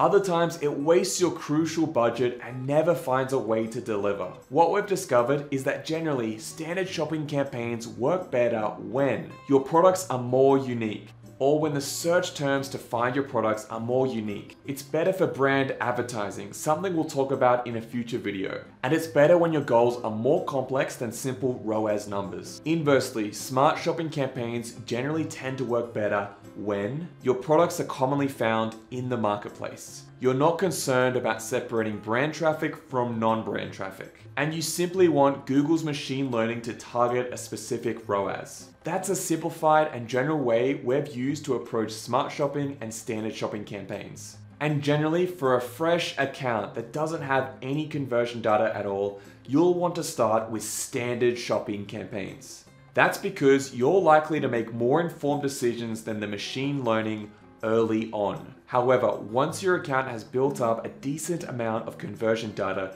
you'll want to test out Smart Shopping to see how it performs for your store. Keep in mind that Smart Shopping campaigns always get priority in your Google account, so traffic to the standard shopping campaign will dry up immediately. Unfortunately, you can't test them side by side. We'll wrap this up with a quote from Frederick Vallaeys, an ex-Google employee who wrote the book Digital Marketing in an AI World. It's for you to figure out if a smart campaign is really the way to go in a specific situation. And the answer is sometimes no. Well managed but more manual campaign types built on long-standing optimization principles frequently still work more effectively. In this video, you're going to learn about the structure of Google Shopping campaigns. Knowing how Google Shopping campaigns work and their structure is going to better help you set them up optimize them, and scale them. Having an organized and well set up campaign structure gives you a strong foundation for optimization and growth. It also saves you time in the long run by having everything organized. Let's start with how campaign structures look starting at the account level. This is the hierarchy that you will grow familiar with over time. Your account contains multiple shopping campaigns, and within those shopping campaigns, you have ad groups. Ad groups then contain product groups, which are comprised of your individual products. This structure allows you to organize your products into themes and groups, which is far easier to manage. It also allows you to see which of your products or categories are performing well or not. For example, if you sell games, your structure could look like this. Here we see the hierarchical structure of your catalog with campaigns divided by top categories, video games, and board games. And within the board games campaign, the ad groups are divided between card, trivia, and strategy. And within strategy, we have our product groups of chess, backgammon, and the classics. Finally, you have the products themselves. Setting up a structure like this lets you more easily set finer goals. It allows you to quickly see performance patterns as it relates to stock. For example, if you happen to make less money on Monopoly than Risk, then you can bid less on Monopoly. Or if the backgammon ad group is seeing a lower conversion rate than the rest of your ad groups, you can take a deep dive into your funnel to see what's causing the issue. Or if the video games campaign is seeing a higher bounce rate than the board games campaign, perhaps your site has poor navigation for that section. The point I'm illustrating here is that a well thought out campaign structure better helps you identify problems and opportunities. In this video here, you're going to learn how to set up your Google Shopping campaign in your Google Ads account. Before doing what's in this video, you're going to need to have set up your product feed and your Google Merchant Center account. If you haven't done this or you have no idea what I'm talking about, go to the description. I'll leave a link to the videos on how to set up your product feed and your Google Merchant Center account. They'll teach you everything you need to know before going through the rest of this video. Okay, first open up our Google Ads account. If you haven't created a Google Ads account yet, make sure to go to ads.google.com and go through the steps of creating an account. I do have a video that shows you how to create a Google Ads account. I'll leave a link to that down below. Once we're looking at the Google Ads dashboard, I want to go to all campaigns, campaigns, and be viewing all my campaigns here. I'm then going to click this button here and go new campaign. On this page, you'll be asked for the objective of your campaign. This is Google's method of providing a guided setup to make it easier for people that don't know very much. At this point and with my videos, you should know a whole lot more than other advertisers out there. So we're going to set up our campaign without a goal and I'm going to show you exactly what we're going to do. It's going to ask for our campaign type. I'm going to click on shopping. It's then going to ask us about our conversion goals. If you haven't yet set up your conversion tracking for Google Ads, I recommend doing that right now. I've got a whole video on how to set this up with analytics for your Shopify store. Check the link down below. Next, we'll see that Google Merchant Center is connected to Google Ads and our feed is coming through. Select the country where you're going to be selling these products. If you want to create this shopping campaign for the US, then make sure the US is there. Here, we see the options for a smart shopping campaign or a standard campaign. We're going to be setting up a standard campaign. This is exactly what I recommend. If you go through our free Google Shopping course, I show you how to set this up, optimize and scale these campaigns. So check out those videos too, but let's click this for now and then click continue. You're now going to be asked to name your campaign. Honestly, you can't go wrong with a name as long as it's as descriptive enough for you to remember what the campaign is. In this example, I want to set up a campaign for men's wallets. So I like to put my initials at the start, then add the campaign type, then finish with what products are being sold. There are reasons that I do this. My initials are to indicate that I created it, which can be useful if you have multiple people accessing the account. The campaign type is so that I know what it is quickly, and I can reference it in some advanced scripts that we'll go over in a future video. And of course, it's always good to know the products that are being sold from the campaign. But there really is no right or wrong way to name your campaigns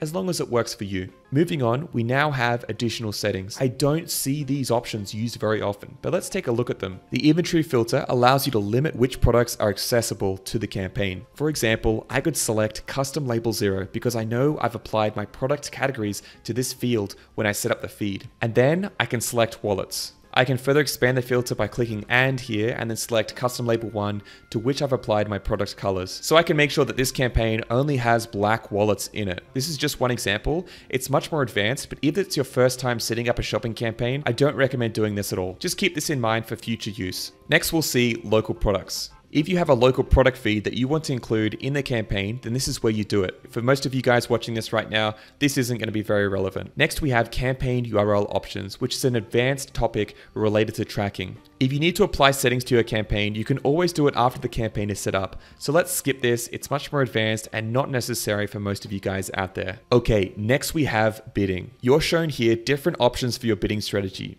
one manual and two automated. The manual CPC option tells Google that you will set and adjust your own bids. You can also complement the manual CPC with Google's enticingly named enhanced CPC, also known as eCPC. What this means is that if you bid, say $1, but Google thinks that your ad has a good chance of leading to a sale, then it might raise the bid to $2. However, if Google thinks the likelihood of the sale is relatively poor, then it might lower the bid to say 10 cents. Overall, Google will try to average out to your manually input bid of $1 over time though. You can choose for Google to optimize for conversions, simply mean to getting as many orders as possible regardless of the revenue, or you can select optimize for conversion value, meaning to get as much revenue as possible. If you have products that vary greatly in price, and this does make a difference. Looking at the automated bidding strategies, first we have target ROAS. This setting asks Google to shoot for a return on ad spend that you set. If you calculated your break-even ROAS in one of the previous videos that I've made, you'll have an idea of what to put here. It can be a balancing act. If you shoot too high, Google's algorithms will bring very little activity as it doesn't think the traffic is likely going to lead to the goal. And of course, you don't want to shoot too low and lose money. It's a case by case basis and you'll have to decide for yourself. And don't worry, you can adjust it later. Finally, we have the maximize clicks option. The explanation's the name here. You're simply asking Google to send you as much traffic as possible. This often isn't a great choice because you really do want to have quality traffic for your store. But where it can be useful is if you're seeking exposure for your site and your products. Perhaps you're looking to show your brand to as many people possible. Now, in the rest of the videos in my free course, which this video is a part of, we show you how to do everything on a manual basis. We recommend setting it with manual CPC, with enhanced CPC, optimizing your campaign until you have 50 to 100 conversions, and then testing out a target ROAS strategy. So let's keep this as manual CPC for now with the enhanced CPC enabled. I'm also going to adjust this to optimize for conversion value. Next, we have the budget. I'm going to start here with about $50 per day. This really depends on your goals. At the start of your campaign, I recommend setting it to between 30 to $50 per day. Depending on how much you pay for clicks, this is going to limit the volume of clicks you get per day. If you set it for something like 2 to 500, you're going to get a lot of clicks and as you're learning how to optimize your campaigns, there's just going to be too much data for you to optimize and you're going to actually waste a lot of money. I recommend capping your budgets 30 to $50 per day, get your campaigns profitable, and then increase your budgets. Now we see campaign priority. You only want to use this when you have multiple campaigns showing the same products in the same locations. Now, this is an advanced strategy that I only suggest when you're feeling more comfortable and familiar with shopping ads. A big mistake that beginners make is they try and do a multi-campaign structure from the start. This spreads out your traffic across multiple campaigns, so you have to spend a lot more money to actually optimize. I recommend starting with one campaign on manual, follow my videos, optimize from there, and then only explore other strategies once you dial in that first campaign. Keep this as default right now. If you only have one shopping campaign, this setting does nothing, so keep it on default. Moving on to the targeting section, we see the additional networks that Google has us appearing in by default. While there's no one size fits all advice to give here, I will tell you that most professionals choose to uncheck both of these boxes. The performance and return are often quite low relative to simply showing your ads on Google. The caveat here is that if you're thinking of this campaign as branding and simply want to be seen for as many people as possible, I've done hundreds of audits on campaigns showing on other networks, and only once have I ever seen a network outperform Google. So at the start, when you're just trying to get profitable, turn these off. Next, we have this section for devices. For some reason, Google doesn't allow us to change anything here. However, if you decide to adjust your bids or completely exclude a device such as mobile phone, tablets, or computers, you can do that after the campaign setup. We have a full video on doing bidding adjustments. I'll leave a link to that video down below. Next, we have locations, and we see the country we selected at the start here as the default. Opening up the location options, there are target and exclude settings. Something you absolutely want to remember is not to use the default here here. Change your target setting to presence, people in or regularly in your target locations. This restricts Google to only showing your ads in the country you're actually targeting. Moving on, you can set the start and end dates for your campaign. If you only want to let the campaign run for a selected period, this is where you set it up. Next, Google wants you to insert your first ad group name to get started. Since I want to start with my most popular wallet first, I'm going to call this Bilford Wallets. Keep in mind that at the beginning, all the products that are accessible to this campaign will automatically be live in this ad group and you'll be able to narrow them down as you like after creating the campaign itself. We're going to be doing this in the next video anyway, link is going to be below. And finally, we have the cost per click bid that you want to set. A typical starting point is $1, but you'll soon learn best what bid is right for you. This is setting the default bid that will be applied to your products at the start. You can then adjust those bids in the campaign. We have a full video on optimizing the bidding for your manual shopping campaign. That's going to be below and it's one of the next videos in our free course. Once you're ready, click create campaign and you're now live. That's how we create our Google Shopping campaign. In the next video, we're going to be diving deeper into that campaign to learn how to segment our products so we can do our bidding process. In this video, you're going to learn how to segment your products in your Google Shopping campaign. If you haven't created your Google Shopping campaign yet, you need to do that first. You also need to create your Google Merchant Center account and your product feed. I have videos showing you how to do every single thing to get up to this point here. I'll leave them down below, so check the description. Why segment our products? Segmenting our products into ad groups and product groups improves our targeting and helps with optimizations later on. Let's go into our Google Shopping campaign and find the ad group that we created. Here under product groups, we see the product group that we created. It contains everything in your feed. We want to subdivide this product group, so we'll mouse over the name of it and Google displays a plus sign. Clicking it brings us here where we can sort through the products based on select information Google has from our feed. Brand will show us all the brands we have entered into the brand fields, for example. Item IDs show us every product because every product must have a unique item ID. Google also shows you the title right after the item ID, which is helpful if you want to use this search function here to find certain products. Condition simply divides products based on how they're new, used, or refurbished. You may remember that product type is an optional field that Google gives us to create our own categories. Here's where that pays off because you can now use that to easily subdivide between your categories here. If it's your first campaign, this is not entirely necessary. That's more for advanced users. Channel is for differentiating between local inventory and online. Channel exclusivity segments products by availability in one of the channels or both. We're not covering local ads in this video or in our free shopping course, but I'll include some links down below if you'd like to explore that more. And finally, we have custom labels. These are, of course, are something that you can set up in your product feed, and they're a fantastic way to further sort and segment your products. For example, if you're selling t-shirts and you know that certain colors are more in demand than others, you can have a custom label for colors. By subdividing the more popular colors out to their own product groups, you can make sure that they get higher bids. As another example, say you've labeled in your feed which products are high margin and which are low margin. You may want to segment out the low margin products so that you can bid lower on them than the rest of the products. There are a million ways to use these custom labels for smart product segmentation, and you'll need to think of the right way to do it for your products. If you recall, we created this ad group to target wallets. For this campaign here, because we're doing manual bidding on the product level, we're going to select by item ID, select all of the products by clicking this box here, scroll down to make sure that all the products have been selected, and then click continue to edit bids. It's now going to show this page here. If you're just setting up your campaign, I recommend keeping the bids at the same level unless there are huge differences between your products. For example, you're selling a product for $5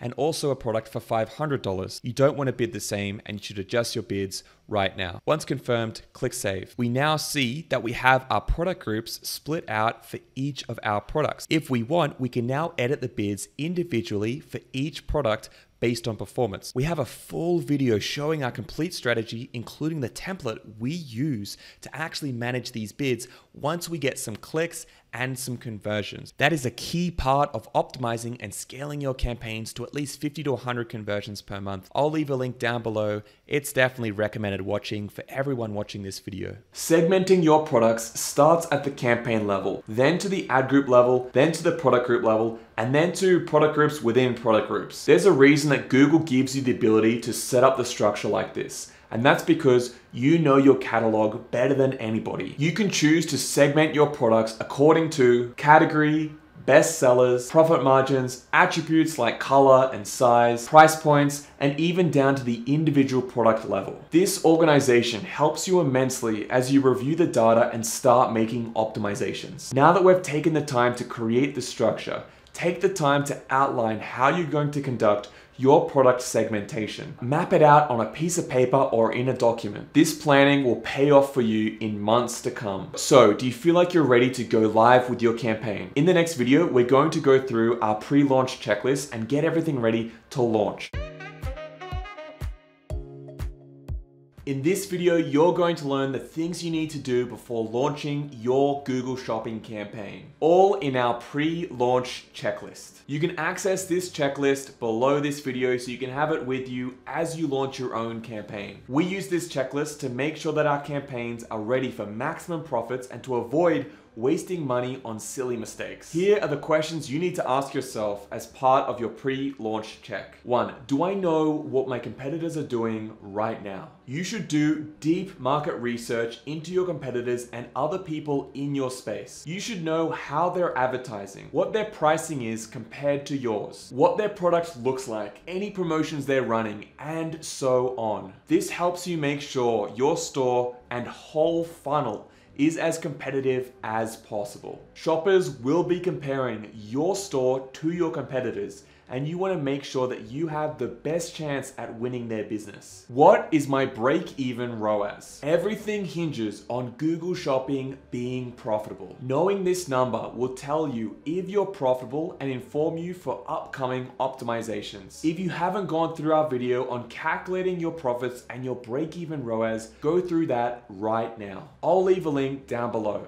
The next thing you need to ask is, is my website compliant? Millions of businesses are banned on Google Ads and Google Merchant Center every single year. Many for simple mistakes that could have easily been prevented. Businesses come to my team all the time after being banned and I'll tell you, they're stressed out. We've helped them get their suspensions removed, but wouldn't it be great to not have this happen in the first place? From your contact pages all the way to your policy pages, make sure you go through everything we cover in our compliance compliance video to make sure you don't get suspended. If you haven't gone through that lesson on making sure your website is compliant, go through it right now. I'll leave a link down below this video. The next question to ask yourself is, have I made a test purchase on my site? In online marketing, I can't think of anything more tragic than spending thousands of dollars on your advertising only to find out that your checkout isn't working. Yes, I've seen this happen. That's why I'm including it right here. Make sure you test out your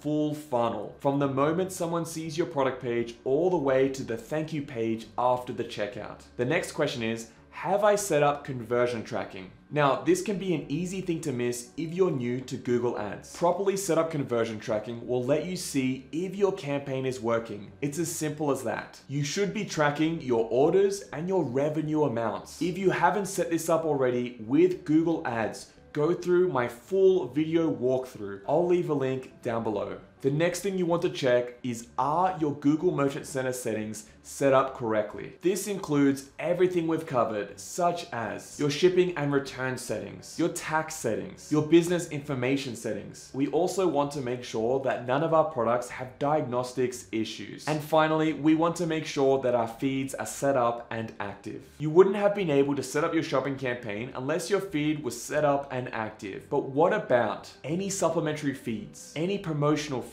And what about your reviews feeds? These are a bit more advanced and we go through these in our free Google Shopping course in the later lessons. I'll leave a link to those lessons down below so you can check them out if you're interested. And last but not least, do one more pass of your Google Shopping campaign. Does your structure make sense? Are your audiences set up? Are you targeting the right locations? Okay, great. We're now ready to launch.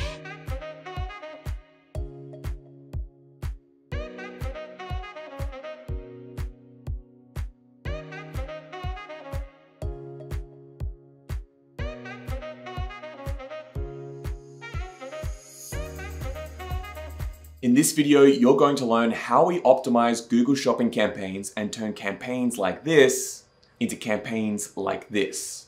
First, we're going to answer some important questions about optimizing and scaling, and then we're going to get into the strategies. Okay, what is optimizing and why do we do it? If you want to get awesome results with your Google Shopping campaigns, they don't just happen overnight. They also don't happen without you doing the work. The optimization process involves regularly looking at your data and making incremental changes to move it in the right direction. Imagine that you're a sculptor that's creating a beautiful masterpiece. We make changes, Step back and look, see how that affected the results, and then get back in and make more changes until we make more and more profits from our campaign. This takes time and patience and requires a lot of experience, but you will get better over time. This brings me to my next question. How long does it take to get results? This depends on a number of factors, including the conversion rate of your store, the market, the search volume of the traffic, and the competitors also competing in the market. Usually we see that Google Ads is a long-term game with consistent growth over time. The cool thing about Google Shopping campaigns is that as long as you're consistent and working on the right things, we can build what we call a sales generating machine. Imagine if you had a traffic source like this, ticking over every single month, bringing you more sales and more profits for your store. Well, it takes work. It's what we do here, and that's what you're going to learn in this Google Shopping course. But in terms of general timeline, here's what you can expect. It takes a few days to get your first impressions and your first clicks to trickle through. You'll usually start to see conversions in the first one to two weeks at least. And usually we break even in one to two months, if not sooner than that. Then it's just consistently balancing the profitability and sales volume as we grow the account. Every account is going to be different, but as long as you keep working on it with profit driven optimizations, it should move in the right direction. So what are the optimizations we make? We'll go through each optimization here in this video. I'll also leave links to full video guides on how to do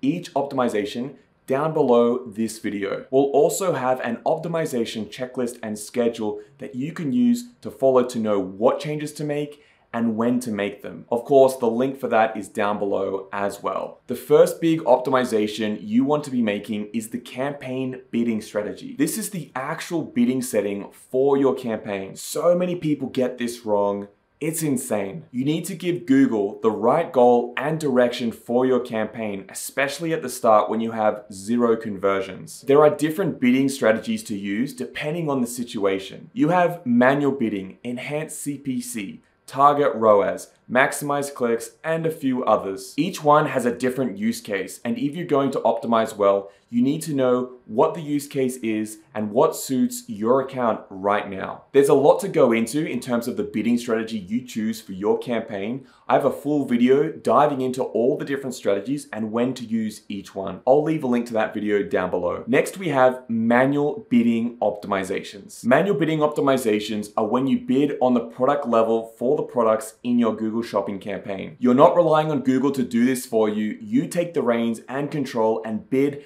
based on the profitability of each individual product. For a new campaign, this is one of the most important things you should be doing to get that campaign off the ground and profitable as soon as possible. At the start, you want to use this strategy to give Google the right direction and to focus on the products that are doing well. This is why we use a manual bidding strategy and we have a full template and video guide to show you how we do this for all the stores we work with. I'll leave a link to that guide down below. It goes super granular into your bidding and shows you how to move the algorithm in the right direction. Next, we have our bidding adjustments like location, time of day, and devices. On top of our regular bidding optimizations, our bidding adjustments allow us to adjust our bids based on other factors. This includes the device the user is using, where they're located, the time of the day, and the day of the week. This allows us to get more granular with our bidding based on what's actually profitable. We could say we want to pay more for someone that's located in Los Angeles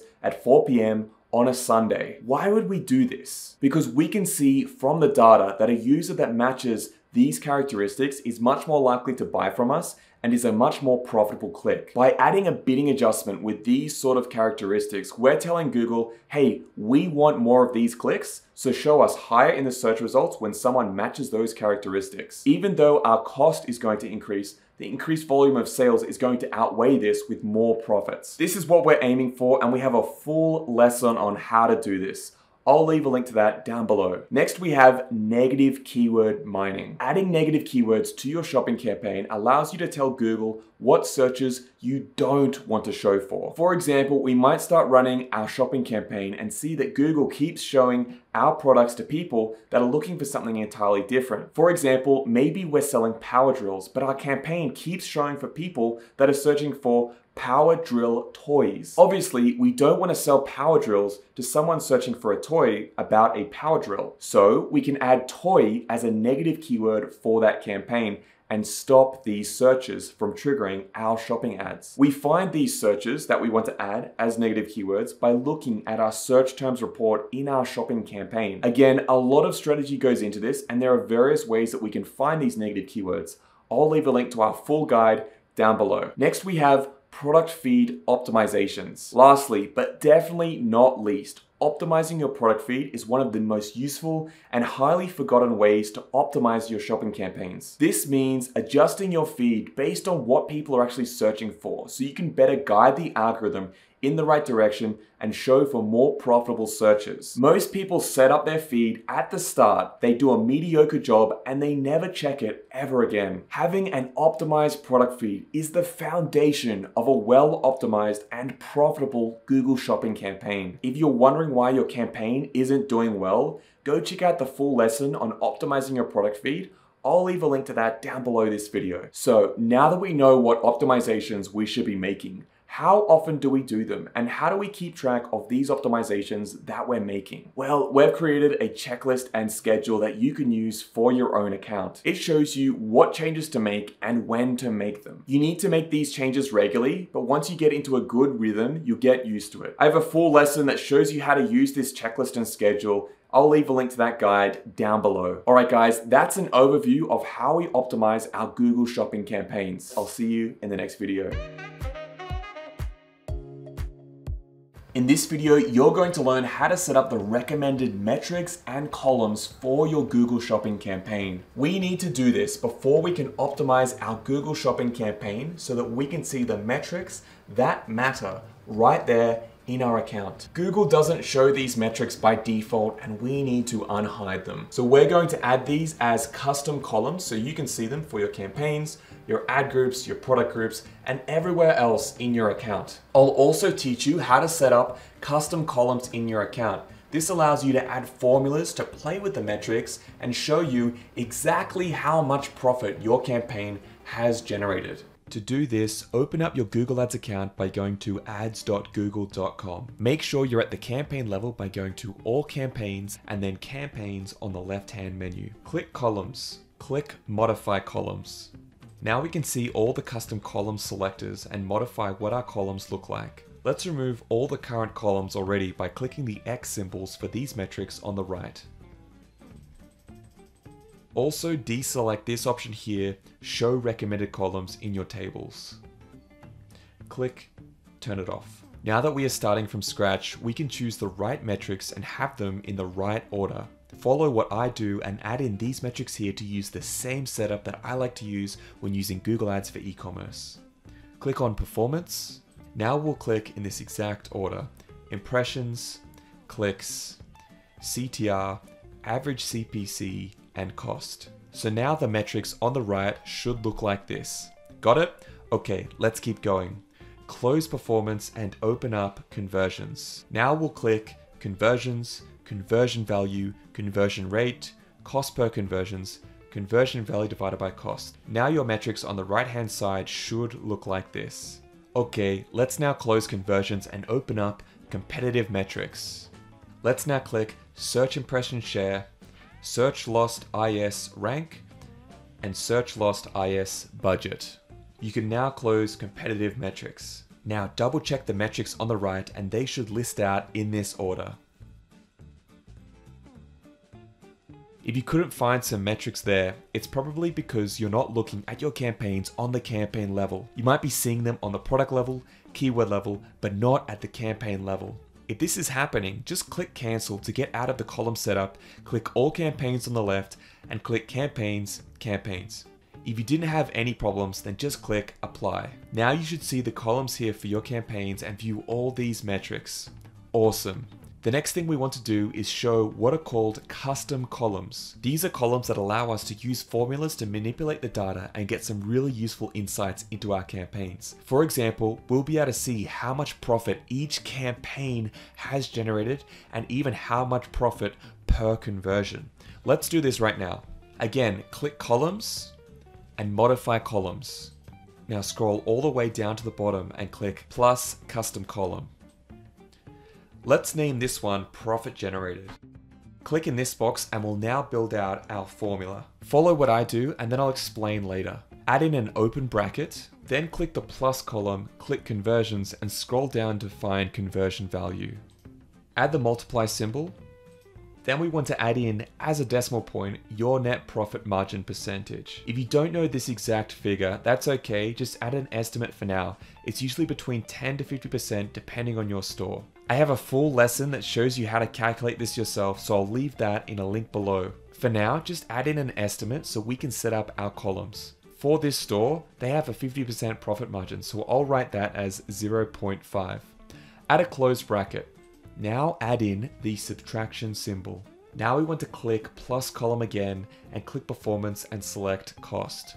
Now your formula should look like this. Double check to make sure it does, but with your own profit margin percentage here as a decimal. Click save. Now that we've added in our profit generated, let's now add in average profit per conversion. This metric will tell us, on average, how much profit we make per sale through Google Ads on our e-commerce store. Let's repeat this process, but with a slightly different formula. Click plus custom column, add the name average profit per conversion, click the formula creation box. Let's now make two open brackets, click plus column, and we'll repeat what we did in the last formula.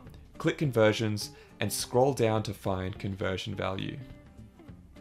Add the multiply symbol. Now add in our net profit margin as a decimal, same as before. Add a closing bracket, add the subtraction symbol, cl click the plus column again and click performance and select cost. Now let's add a closing bracket, then add in a divide symbol. Now go to plus column and click conversions and find conversions. Your formula should now look like this but with your own profit margin added as a decimal. This formula calculates the total net profit for a campaign and then divides that by the number of conversions that campaign has achieved. In other words, the average profit per conversion, or average profit you generate from each order from this campaign. Pretty cool, huh? Let's now click Save.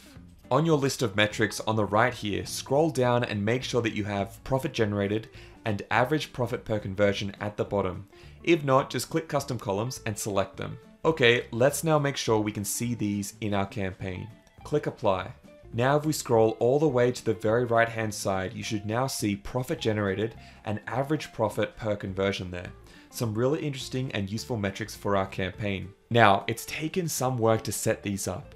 How about we save them as a save template so we don't have to repeat this process all over again. Click columns, modify columns, click save column set, and add in a name like campaign columns. Click save and apply and now we're saved. Now, we just did this at the campaign level of our account. When you go down to other levels like ad groups or keyword levels, you'll need to enable the custom columns there too. This is because there are different metrics shown to you on each level of your account. Okay, now we know how to set up recommended columns for our Google Shopping campaign. If you want to learn more about the metrics, what they mean and how you can use them, we have a full video guide going into each metric. I'll leave a link to that guide down below. In this video, you're going to learn about the different bidding strategies you can use for your Google Shopping campaign. We're going to go through each bidding strategy, show you the advantages and disadvantages, and when you would use each one in each situation. Firstly, if you're not sure what bidding means or how the Google Ads auction work, Google works on a pay-per-click model. This means that Google is going to show your ads, your products to people searching on Google and they're going to charge you for each person that clicks your ad and goes to your store. Your bidding strategy is your way of telling Google how to show your products and how much you're willing to pay per click. Maybe you really care about profits, so you can use a target ROAS strategy and tell Google to maintain a ROAS of 4 on your campaign. Google will aim to do this and show your ads to the people that will try and get you a target ROAS of four on your campaign. Maybe you just care about getting as many people to your website as possible. In that case, you could use a maximize clicks strategy and Google's going to go out and try and get a huge volume of people looking at your store, regardless of the relevancy of that traffic. Now, we're gonna go deeper into these right now, but if you want to learn more about the Google Ads auction and how it works, I have a full video that takes you through this. I'll leave a link to that down below. Looking at the bidding strategies that we can use with Google Shopping, there are two main categories, automated and manual. Automated strategies are when we lean on Google to use their machine learning and mountains of data. This can be good and bad. as we'll learn. It can lead to reaching people we would never have otherwise reached, leading to more sales, but it can also cost more as the algorithm doesn't know who our customers are and needs to go through an extensive learning process at the beginning. Generally, we recommend starting with a manual bidding strategy so we can guide the algorithm to focus on what's really working and then later switch to an automated bidding strategy once we have enough data. This does take more time to optimize the campaigns at the start, but it saves you a lot more money, can get quicker results, and we have a full guide showing you how to do this strategy. I'll leave a link to that down below. Here are all the bidding strategies you can use for Google Shopping. Let's go through each one right now, one by one. First, let's talk about the automated ones and the most automated of the lot, Smart Shopping. Smart Shopping is Google's most automated strategy of all time. It's basically Google's don't think and let us take care of everything strategy. If you're watching this video after July of 2022, feel free to skip past this section about smart shopping campaigns. Google has actually made smart shopping campaigns redundant and have now introduced what are called performance max campaigns. These are quite similar to smart shopping, but with a bit of a different strategy and approach. We're getting some pretty awesome results with these campaigns for our clients, and we'll leave some videos below showing how to run and optimize these profitably. Okay, let's keep going. Now, I have a full video on smart shopping versus regular shopping. I recommend watching that if you haven't. I'll leave a link to that down below. Smart shopping campaigns are basically Google's black box bidding strategy, where you have almost no control over the campaigns and you receive almost no data from them. You can adjust the budget and provide an optional target ROAS to guide Google. Now, when would we use smart shopping? The rare times that I would recommend smart shopping is when you're an absolute beginner to Google shopping and you don't have the time or the expertise to optimize your campaigns. The other time I'd recommend it is when you've tested out manual and other automated strategies and they've failed. If this is happening, you want to make sure that your store is also optimized for conversions. We have a series of videos that show you what to do if you're not getting impressions or clicks, you're not getting sales, or your campaigns aren't profitable. I recommend going through those. I'll leave a link down below. If you're going to run smart shopping, having a quality store with a high conversion conversion rate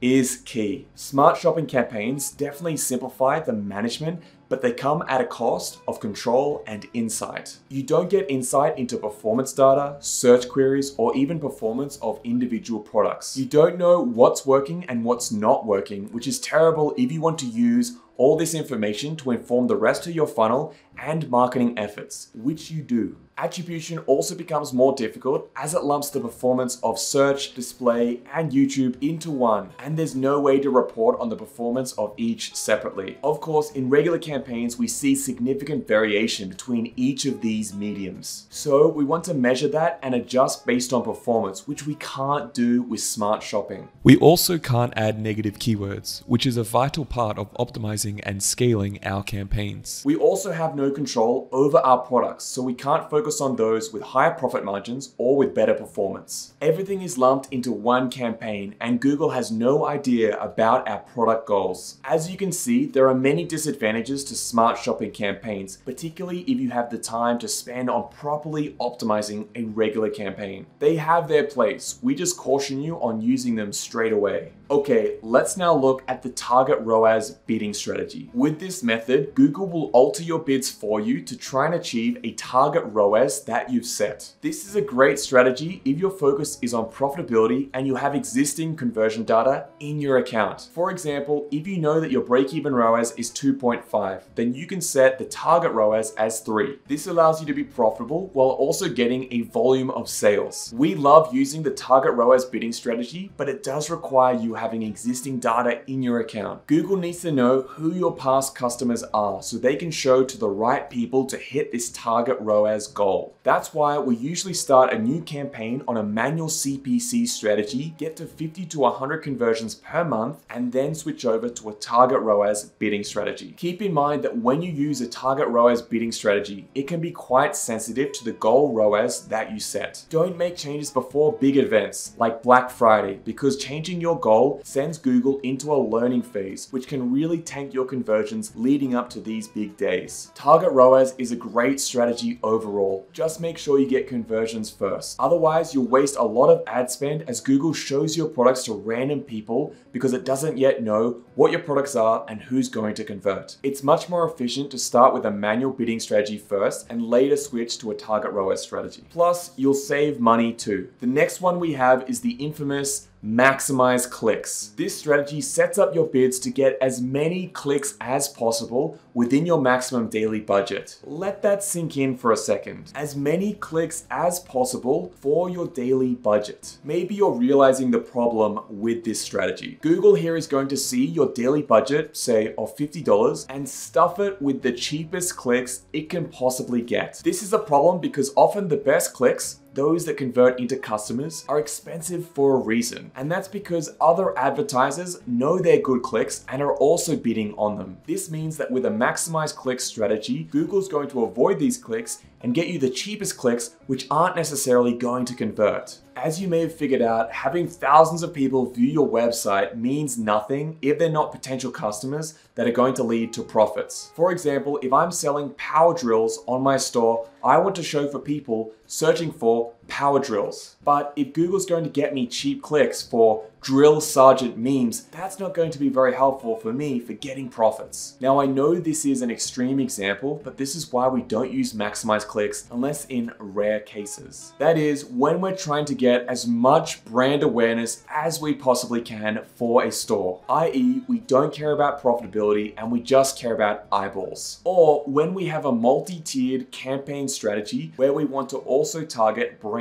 queries with one of the campaigns. This is a more advanced strategy and if you're starting out with Google Shopping campaigns, this is not useful for you at all at this time. We only do this once we're generating hundreds to thousands of conversions per month from our campaign and we want more granularity with search query targeting. Just know that for now, I don't recommend using a maximize clicks bidding strategy for your shopping campaign. The next strategy we have is the maximize conversion value bidding strategy. This strategy works by trying to get you as many sales as possible. Not volume of customers, but volume of sales value. This strategy uses your conversion tracking and prior conversion data to try and get you as much sales as possible. It focuses on sales, which is great if that's what you're about. This is a great strategy to test out. Just make sure you have historic conversion data in your account. We recommend at least 50 to 100 conversions. Also make sure your conversion tracking is perfectly set up. This is crucial. If you haven't set up your conversion tracking properly, go and check out our full video on how to do this. I'll leave a link down below. The disadvantage of maximize conversion value is that it doesn't specifically focus on profitability, just volume of conversion value. Ideally, we recommend starting your shopping campaign with manual CPC, then trying out a target ROAS bidding strategy. If that isn't working, then test out maximize conversion value. Okay, now we have our manual CPC bidding strategy. This is where you manually tell Google how much you want to pay per click for your campaign. We can even get more granular and tell Google how much we want to pay per click per individual product. And this is where the secret sauce is. If you keep going through our free Google Shopping course on our website, you'll see that this is one of the fundamental strategies of building and scaling a profitable Google Shopping campaign. We start with a manual CPC bidding strategy. We focus on the products that are performing well, get cheaper clicks and cheaper sales, and later, once we have the conversion data, we switch to a target ROAS strategy. We do this because we can do it from the start of the campaign as soon as we start getting those initial sales. We can also target products that have higher margins, have more stock, or are performing better with the shopping algorithm. The disadvantage is that it takes time and knowledge to do this. Of course, we teach you absolutely everything in our manual bidding strategy video. After that, you just need to check it regularly, usually once every one to two weeks to make sure it's performing well. The more clicks you get, the more data you're going to have and the quicker you can make optimizations and changes. Now, once we get to 50 to 100 conversions per month, that's when we can switch over and test out a target ROAS bidding bidding strategy. Finally, we have the bidding strategy enhanced CPC. This is where you use manual bidding, but let Google use a little bit of their machine learning algorithm. they'll now marginally increase or decrease your manual bid based on whether Google thinks that click is going to convert or not. It gives you the control of manual bidding while also allowing you to lean on Google's algorithm just a little bit. Google does have a lot of data on its users, so we do like to lean on Google a little bit at the start as we're doing our manual bidding optimizations. Usually we do turn this on as we run our manual bidding strategy just to get a little bit of an edge from Google. There we go guys, they're the different bidding strategies for our shopping campaigns, what they are, when we use them. If this video was helpful, please give it a like and let me know in the comments down below. Thanks for watching guys, I'll see you in the next video.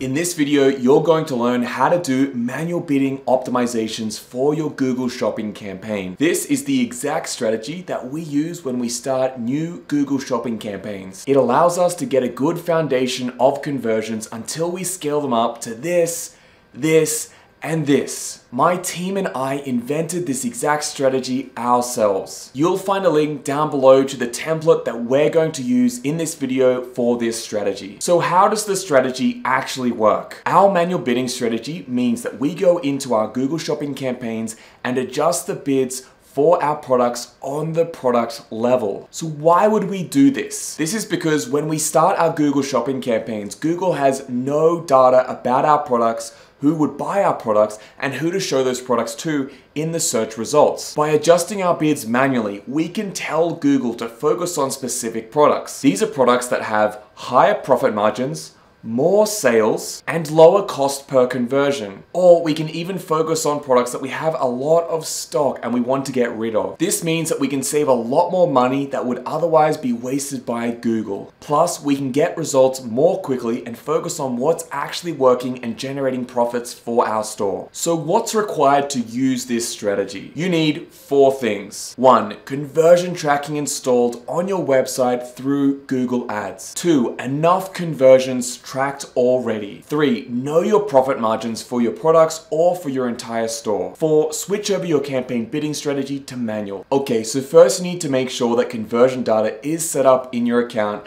and conversion values and amounts are being pulled right into your account. If you don't have it installed and it's not pulling in accurate conversion data, including revenue amounts, then go watch our video on how to set this up for Google Ads. We have a full guide, I'll leave a link down below, go set that up, collect some conversions, and then come back to this video. Next, we need to have some conversions tracked for our campaign. Yes, we can set our bids initially at the start, but this strategy works once we start getting conversions and we can start adjusting our bids based on how profitable each product is. I recommend doing this for products that have at least 5 to 10 conversions each. So if you've only just started your campaign or you've only just set up conversion tracking, that's okay. Keep the campaign running until you get some more conversions. Usually you can start this strategy about 1 to 4 weeks after starting your campaign depending on how many sales you've tracked. If you don't have any conversion data, you can still edit your bids right now. Just go through your campaign looking at the product level and reduce the bids for products that are spending far too much and still not getting a conversion. What is too much? Often if a product has already spent 2 to 5x more than the actual product price, then I'll reduce the bids by 10 to 20%. I'll also increase the bids for products that aren't getting much traffic to help them rank in the search results and start getting more clicks and hopefully some conversions. For these products here, you can always reduce your bids later once you get that conversion data. Next, you'll need to know the profit margin across your store or for individual products. If you're serious about running your e-commerce store, you should really know your margins. No problem if you're still learning, I have a full video guide taking you through calculating the profitability of your store I'll leave a link to that guide down below. Lastly, you need to make sure that you set your campaign bidding strategy to manual in your campaign settings. If you've been using an automated bidding strategy, no problem. Open up your campaign, go to campaign settings, go down to the bidding strategy and change this to manual. If you've been using a smart shopping campaign, that's unfortunate because we can't use any of that existing data, so you'll have to create a new campaign from scratch, making it a standard shopping campaign. We have a full video walkthrough on how to set up this standard shopping campaign. I'll leave a link down below so you can make sure that you set those settings up properly the first time. So now that we know the four things we need to run this strategy, how does the strategy actually work? We use our template here that uses your conversion rate, your average cost per click, and your profit margin per product to tell you how much we should be spending to break even and be profitable with our shopping campaigns. This strategy uses real data from your campaigns and tells Google where to focus its energy based on what's been working so far. This is pure profit driven marketing and the exact strategy that we've been using for years to scale up shopping campaigns. If you've been running your shopping campaign for some time and had some conversions, you'll have the data you need to use this strategy. First, let's open up the template. Like I said, I'll leave a link to this template below. It's a Google Sheet and we're just going to open it up, go to File, and click make a copy. Pause the video, go grab this now and come back and we're gonna keep going. Next, open up your Google Ads account. Click on the campaign. Once it's open, go to product groups on the second left hand menu. Here you should see this row that says all products. We're going to split this out. So click on the pencil and scroll down all the way to the bottom so you can see all your products. Click the blue checkmark box at the very top to select all of them and click continue to edit bids. Scroll down and click save. This is going to spread out all your products individually so we can edit the products on an individual basis. Now we can actually see the performance of each individual product. Now we just need to unhide the columns that we need for the right metrics for our bidding system. To do this, just click on columns and modify columns. We'll see this window here where we can edit all the columns. On the right hand side, remove all the current columns. Let's start from scratch. Now, we want to unhide average CPC, clicks, conversions, and conversion value in that exact order. You should see these exact columns on the right hand side and only these columns. Then click apply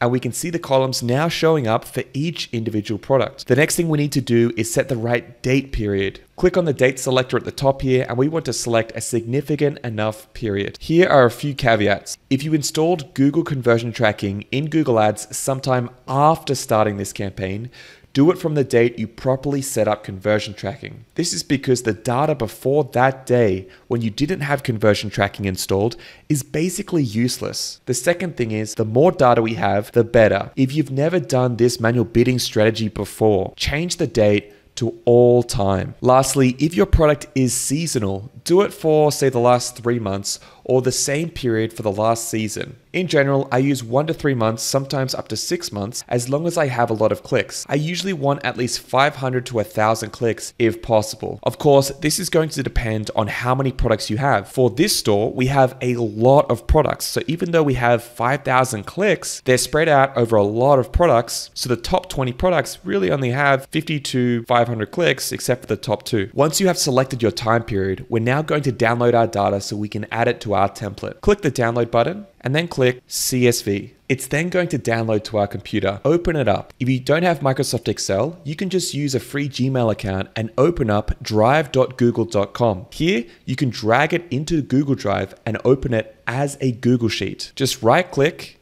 and go to open with Google Sheets. Once open, we're going to ignore the top two rows here that are just information. We don't need them. We're going to select the data from this row here that has the column headers all the way down to the bottom right. So I'm going to scroll down to the bottom of all the data, hold shift and select all the data. Then I'm going to right click and select copy. Now go back to our Google Shopping bidding template sheet. On the very top left hand cell, the campaign, click that and then we're going to paste the data that we just copied. This is very important. Only paste from this cell here, A1. It's then going to fill up the sheet. These formulas are going to automatically calculate based on what's in these columns here. That's why we needed to make sure we unhid the columns in Google Ad in the right order. Now that we have this data, let's expand this sheet and look at the data. Here you can see that it pulls in the data for our products for our Google Shopping campaign. But scrolling across, we can also see that it tells us some more metrics, which helps us how much we should actually pay for our bids. It shows us clicks until conversions, meaning on average, how many clicks do we need between each sale of this product? For example, maybe we have a click this morning and then 24 other clicks happen today and we got another conversion. For example, if we have 17.9 clicks per conversion, it means we had on average a conversion this morning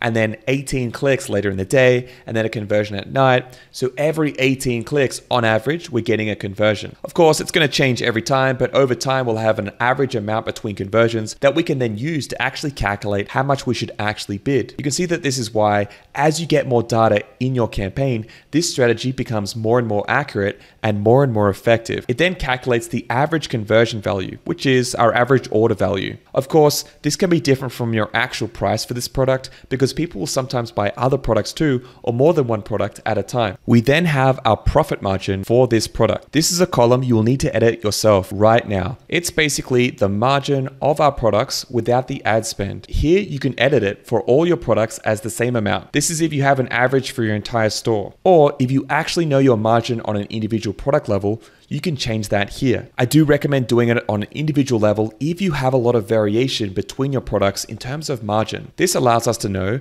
that we can bid much higher for a product with a much higher profit margin and be much more aggressive with our bids and potentially get a lot more sales for a profitable product. We then have our max CPA, meaning maximum cost per acquisition. This uses our profit margin for that product and multiplies it by our average order value. It tells us on average for this product that's clicked in our Google shopping campaigns, what's the maximum we should be willing to pay if we are trying to be profitable on the first sale? Of course, you're only going to see the data for products that have actually got conversions. Next, we then have this column here, new max CPC. This then takes this maximum cost per acquisition and divides it by the average clicks per conversion. Basically, this tells us if we want to be profitable with each product here, how much should we pay per click based on prior data? It basically tells us how much to bid to just break even. I think this is pretty cool. For example, this product here, we could pay up to $2.07 per click based on the past data and still break even. This one here is nowhere near as profitable. We could only spend 42 cents per click. See how there's so much variation?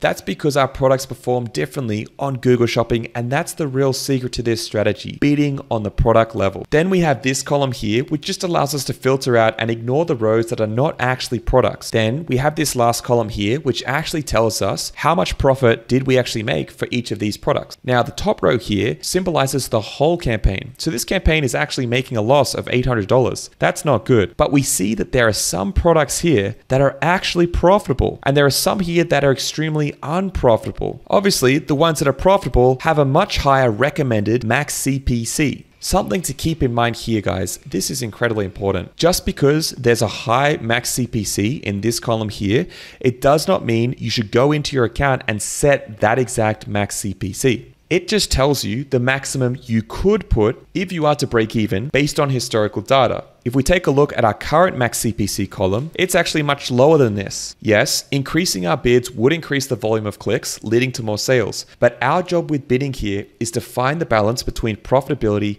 and volume. The more we increase our bids, the more clicks we get, leading to more sales, but we end up paying more per click in our bids, meaning our costs go up. This means the average profit per conversion is going to go down there's always going to be a balance between sales volume and ad costs in your account, and you need to use nuance to find that balance. So, what do I do? Here, I go through all the products and note a new bid I want to put for each one. First, let's look at the ones that are doing poorly. These are the ones where the new max CPC is significantly lower than what I've been bidding originally. This is the system telling us that we need to lower our bids to be profitable. Often I'll lower my bids straight down to this exact new max CPC or something close to it. Keep in mind that this new max CPC recommendation is just to break even. So obviously, for products that are performing very poorly, we just want to start by getting them down to break even. Secondly, we might have products that are close to breaking even, but not yet, shown by our new max CPC being just a little bit below our current average CPC. In this case, I'll lower the bid to often between 10 to 20% below the new recommended max CPC. This is because obviously I don't want to run my account just on break even. I actually want to make profit. So I'm going to push the bid a little bit further than the break even. Of course, I don't want to push these bids too far. For example, with this one here of 42 cents, I'd probably decrease this down to 40 cents and watch how it performed in my campaigns. I'm trying to push into profitability for this product without taking a huge hit on the volume of clicks because as you reduce your bid, you're going to reduce your ad rank in your Google Shopping ads. This means you're going to have a lower position in the search results, which is going to lead to a lower volume of clicks. This is because obviously people click the first ads much more often than the ads lower in position. But if that means that we can push this product into profitability, I honestly don't care too much if we lose a lot of volume of sales as long as we're actually making money, because that's what this is about. Now, before we talk about the profitable products, I want to talk about all these other products here that don't have any conversions. Now, if you're just starting with your campaigns, you're obviously as well trying to optimize your website and increase your conversion rate. At this point here, you might actually spend a lot of money without getting a conversion. This is when you definitely decrease your bids until you actually get a conversion. You do this to try and save some money so you don't waste a lot of money without getting any conversions. So for a product like this one that's lost $116 so far, I would decrease this bid maybe to 50 to 60 cents. There's no clear rule of how much to decrease it, but I'm just going to feel this out. But often I'm going to halve the bid, see if it still gets clicks, and go from there. Lastly, if your products are already profitable, meaning the new max CPC, like this one here, $6.14, is well above the actual max CPC or the average CPC that you're actually paying for your ads. Sometimes I will increase my bids. In this case, I have a lot of room to grow from $1 all the way to $6. So I might increase this by 50 to 100% and see if that substantially increases the volume of clicks for this product. If this product is profitable, which it is, it's made me $138. I want to get more sales, so increasing my bid is going to place me higher in the search results, which is going to lead to higher costs, but more clicks because people are more likely to click the products at the very top of the results. Sometimes I'll even just leave the bids as they are. You don't always have to change your bids, especially if it's chugging along profitably. So this is why it's a little bit of an art where you have to get used to your ads, get used to the bidding process and go from there. Once you decide on what bids you're going to change and how you're going to change them, go back to your Google Shopping account and you can edit the bids directly right here. Unfortunately, it's quite a manual process and you do it one by one. You're going to go through, make these changes, and then come back and repeat this process in a week or two weeks, depending on how many clicks you get. After you've got the new bids you want to set, you'll now go back to your Google Ads account into your shopping campaign and click each product and adjust the bids. Yes, I know this can be tedious and if you have a lot of products, it can take some time. Once this is complete, don't touch anything else. Let it be, watch the results over the next week or two weeks. I'll often run this strategy on my account at least weekly, sometimes every two weeks, sometimes monthly, depending on how much data I've got and the performance of the campaign. The goal here isn't to use this strategy forever. We want to use this strategy to help get those initial conversions as quick as possible get this campaign profitable, and then start testing out some automated bidding strategies. Usually we'll run this strategy until we're getting about 50 to 100 conversions per month and then switch over to a target ROAS strategy. This means going into your campaign settings, going down to the bidding strategy and changing this from manual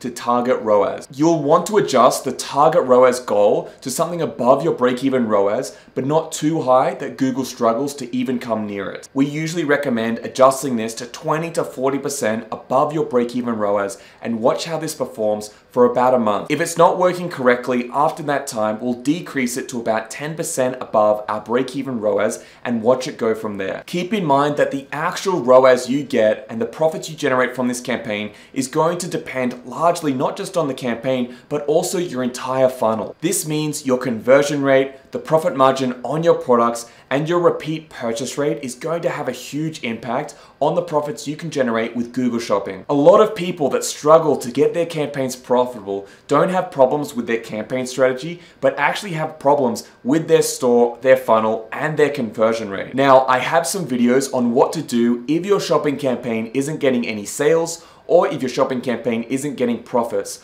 I'll leave a link to those two videos down below. So that's how we do manual bidding for our Google Shopping campaigns when we start them out.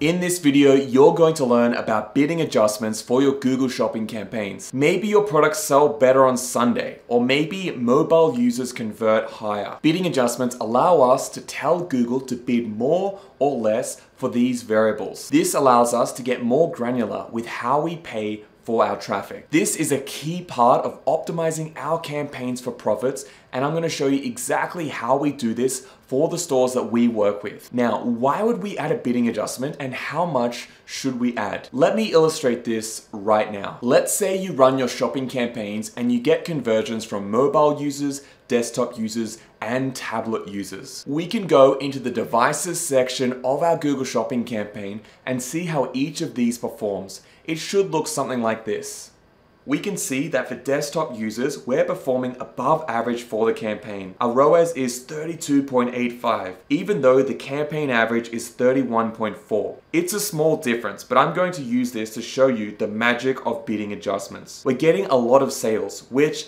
at a 30% profit margin is resulting in 450k in total profits. We then take away our ad costs, which results in 405k in profits for desktop. But I think we can increase these total profits, even though it's going to cost a little bit more to get this too. So let's say we add a bidding adjustment of 10%. That means on average, our average cost per click for desktops will increase by 10%. So now our new cost will be 54,811 because we're now paying more for these clicks. But Increasing our bid means we'll place higher in the search results. This means we'll get more clicks for desktops too. So let's say we get 10% more clicks. Of course, this will vary depending on the competitors in the auction and other factors like your quality score, but it's a good estimate. So instead of getting 92,000 clicks, we're now getting 102,000 clicks, which is 10% more. So yes, this means that we'll now have higher costs, which is now $55,000 for this campaign. But as long as we keep the same conversion rate,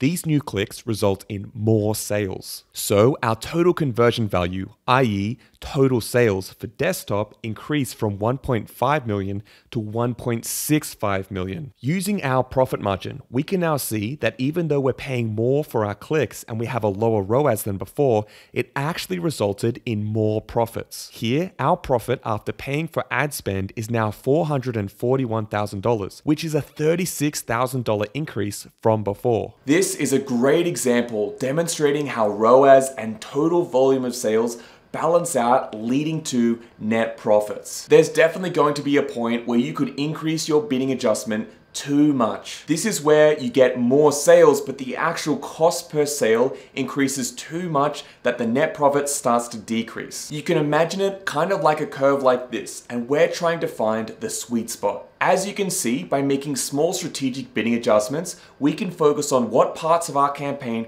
are performing well and generate more profits. The same can be done in the opposite direction with negative bidding adjustments. This means adding a negative bidding adjustment for the variables that are not performing well to try and move it in the right direction. A question I often get asked is, how big should the bidding adjustment be? Well, it's something that you play by ear, but I generally keep mine to about 5 to 10%. It depends on how well that dimension is performing compared to the campaign average. Because of the complicated way that the auction works and all the variables at bay, including the market, the search volume, and other competitors, I like to make small incremental changes and watch how this affects the results. Another thing to keep in mind is that every single bidding adjustment you make adds to every other one that you've already made. This is why I keep my bidding adjustments between 5 to 10%. I don't want to see huge spikes or dips in my CPCs if a search matches all the variables for my bidding adjustments. For example, say you added a 10% bidding adjustment for Sunday and a 10% bidding adjustment for people in New York and a 10% bidding adjustment for people using their mobile phones. Now, if someone is searching on a Sunday in New York on their mobile phone, you're going to pay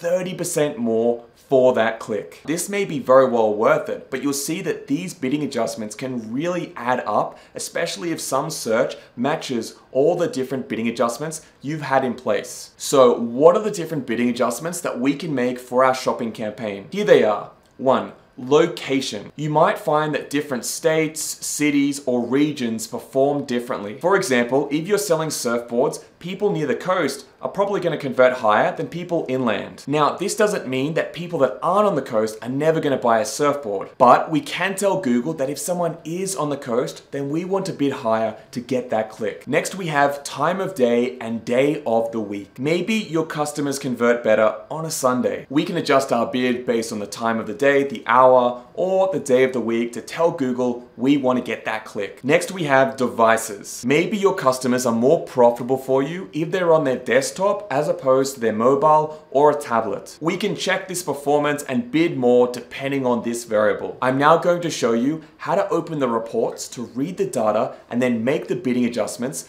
based on what's working. We often make bidding adjustments at least once per month depending on how many conversions the campaign is getting. We do have a full video giving you a schedule of what to optimize in your campaign apart from just doing bidding adjustments. I'll leave a link to that video down below. Let's now make some bidding adjustments. Let's start with location. We're going to open up our Google Ads account by going to ads.google.com, click shopping campaigns on the left, and then click on the shopping campaign we want to analyze. I'm going to start with this one here. We'll then find the locations menu item on the left. You'll see that right now it's showing the country, which is the whole entire location we're targeting with this campaign. But we want to see how different areas of the country, like states or cities, perform and make adjustments on that level. This is because if one state is generating way more profits, we want to focus in on that state and get more sales there. So click on the country name, here it's the United States, and click on states or regions in the list. If you don't see states, you can just select region or even city. Keep in mind that the more micro you go, as in looking at smaller regions, the more clicks you'll need across the entire campaign. This is because as you drill in smaller and smaller, you still need enough clicks for that area to be statistically significant. If your campaign only has 1 to 2,000 clicks, you want to stick to bigger regions. You're then going to see this report. It's going to break down all the states in the country with all the metrics for each one. We also want to change our date range at the top here. I'm going to put all time because it's the first time I'm optimizing the location data for this campaign. If this isn't the first time you're doing this, I recommend setting the date period to be since the last time you made a location bidding adjustments until now. Now we have these columns here, but we want to see some more data like ROAS and sales. Click on columns and click modify columns. Let's remove all the columns here and start from scratch. Click performance and in this exact order, click the checkboxes next to impressions, clicks, cost, average CPC. Then we'll scroll down and click conversions and in this exact order, click the checkboxes next to conversions, conversion value, and conversion value divided by cost. Click apply and we'll now see the data for each state that we can start analyzing. Next thing we'll do is make sure we select the column clicks with the downward arrow so it sorts by descending order. This allows us to see the states that are generating the most clicks. An important point to note here is that we shouldn't make changes unless we have enough data. If a state only has 10 clicks, it's really not enough to make any informed decisions at all. This is all about averages. If you have a thousand clicks for a state, or in this example, 42,000 for California, we have more confidence that what has happened so far is much more likely to repeat again in the future. With more data, there's less future variation in general. This is, in essence, the foundation of statistical significance. So take a look at your own data. Ideally, you want to have over 2,000 clicks in your campaign and then focus in on the states that have at least 200 clicks. In this campaign, we have over 300,000 clicks. That's a lot of great data to optimize. So we're going to scan down, especially looking at the conversion value over cost column, which is the ROAS for that state, and note any states overperforming or underperforming compared to the average for the entire campaign, which can be found here. For example, we can see that Hawaii is killing it with a ROAS of 161. But look at the number of clicks clicks. There are only 45 clicks out of Hawaii for this campaign. I honestly wouldn't trust this and I wouldn't go making any drastic changes to my campaign just for Hawaii. But if we look down and see in Connecticut, it's got a ROAS of 43 with over 4,000 clicks. This is a good 30% increase on the ROAS for the whole campaign. With this in mind, I would add a bidding adjustment to increase our bid for Connecticut to try and get more customers from that state. This is because so far these customers have been much more profitable than the average for the whole campaign. So even though if I bid more for these customers, I'm going to pay more more to convert them, the increased amount of sales from making this bid adjustment is going to lead to more sales, which means more profits at the end of the month. Likewise, scrolling down and seeing states like Missouri with a ROAS of 16, even though the whole campaign is doing an average of 31, means that it would be a good idea to add a bidding adjustment for Missouri. The bidding adjustment would not be a positive one, it would be negative. What I mean here is that Google will reduce our bids for people in Missouri when they search and trigger our campaign. So, how do you actually make bid adjustments? You'll see here that this is just an informational column. It doesn't actually allow us to edit the bids. So, what we need to do is click the X at the top and go back to all our targeted locations. Now, we need to add a new location. So we're targeting all of the United States, but we also need to target Missouri. Once we do this, we'll click save. We'll then see a report that looks just like this that allows us to directly edit the bids for that individual state. Once I've made the bidding adjustments I want to make, I'm then going to watch the performance closely over the coming weeks. You'll want to see, on average, how this change altered the performance of your campaign, and then rinse and repeat. Now let's look at time of day and day of the week. You can find these reports here, similar to locations, on the left-hand menu underneath Ad Schedule. Here we see the one broken down for day. This is the exact same process as with locations, but we're now looking at days of the week or time of day. Now make sure that you're viewing the right columns again. Of course, go to columns and then modify columns. And now we can analyze our data. So we have the same ROAS for the campaign of 31, but there is some clear variation between the different days of the week. Sorting by conversion value over cost, we can see that Sunday performs about 10% above the actual average for the whole campaign. It's also getting the most amount of sales and the most profitable sale. So I definitely want to explore putting a bid adjustment for days of the week. And Friday, man, that's not performing well at all. I'll definitely add a negative bid adjustment for Friday too. Now, even though this is just the report, to actually edit your bid adjustments, go to ad schedule and then add in the actual days you want to adjust bids for. You can also do this for hours of the day and also split it up for actual hours of a day in the week. This means that maybe you want to adjust bids for Sunday at 5 to 6 p.m. because this is performing so much better than any other hour of the week. Just like with locations, you want to make these adjustments and then check back in a few weeks. Review how the changes impacted your results and then rinse and repeat. Lastly, let's look at devices. You can find this by going to the devices menu item on the left hand side. I can see here that there is some variation between all the devices for this campaign. Interestingly, tablets are performing better than computers and mobile phones, but the actual volume of conversions isn't that high. Keep in mind here that this is going to tell you some more information, not just about mobile users, but also how your website converts on mobile versus computer or tablet. Just because I'm performing under the average for mobile phones, I wouldn't necessarily add a negative bid adjustment. I would look into why are we not converting on mobile phones? Look at the conversion rate. It's less than half of what the conversion rate is for computers. So if I could just increase the conversion rate, that would push this much higher with more profits without increasing the cost, without just focusing on paying less for that traffic. As you can see, you need to attack your data with this strategic mindset, not just following robotic instructions, but thinking about what could actually cause these results. In this case here, I would add a bidding adjustment of plus 5 to 10% for tablets. I would then look into improving the conversion rate for mobile phones. I don't think it's worth adding a negative bid adjustment for mobile phones because I can clearly see that the conversion rate differs significantly between mobile phones and computers. But if I still can't get that conversion rate to budge, I would then add a small negative bid adjustment to try and bring up that ROAS for mobile phones. That's how we do bidding adjustments for our Google Shopping campaigns.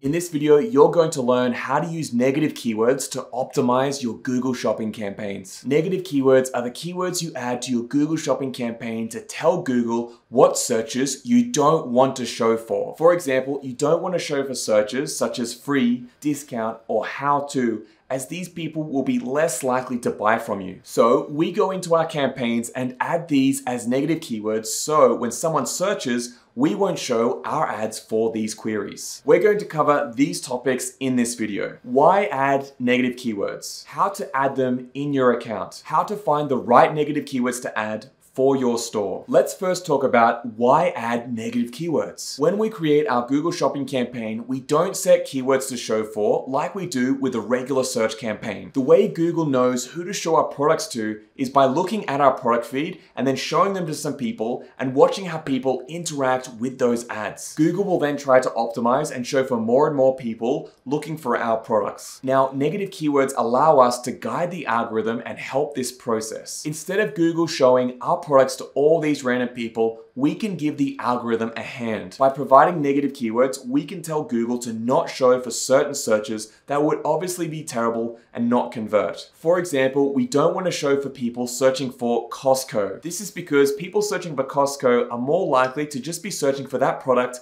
at their local Costco. Now, this isn't to say that we can't get conversions from these sort of search queries, but when we start our shopping campaigns, we want to focus on what's going to be profitable. Yes, some searches that we don't want could get us sales, but the cost is going to be so high that it's just not profitable. At the start of our campaigns, we want to focus on getting as many conversions as possible for our limited budget. So by adding negative keywords, we can help the algorithm get more profitable searches from more relevant traffic, which is going to be better for our campaign. Now, how do we actually add these negative keywords into our account? It's really easy. Let's do it right now. Just open up your Google Ads account, go to shopping campaigns on the left, make sure you click campaign here, Click your shopping campaign and go to keywords and then negative keywords on this menu on the left. You'll then see the negative keywords report. We can then click this plus sign to see this box where we can add our negative keywords one by one. You can also use a list by clicking this button here. We'll talk about that later in this video when we talk about batch adding negative keywords. You can also add them on the campaign level or the ad group level. It's then in this box here where we add our negative keywords. Once you've added your negative keywords, just click save. I also need to talk about match types. Match types are basically the different ways that you can tell Google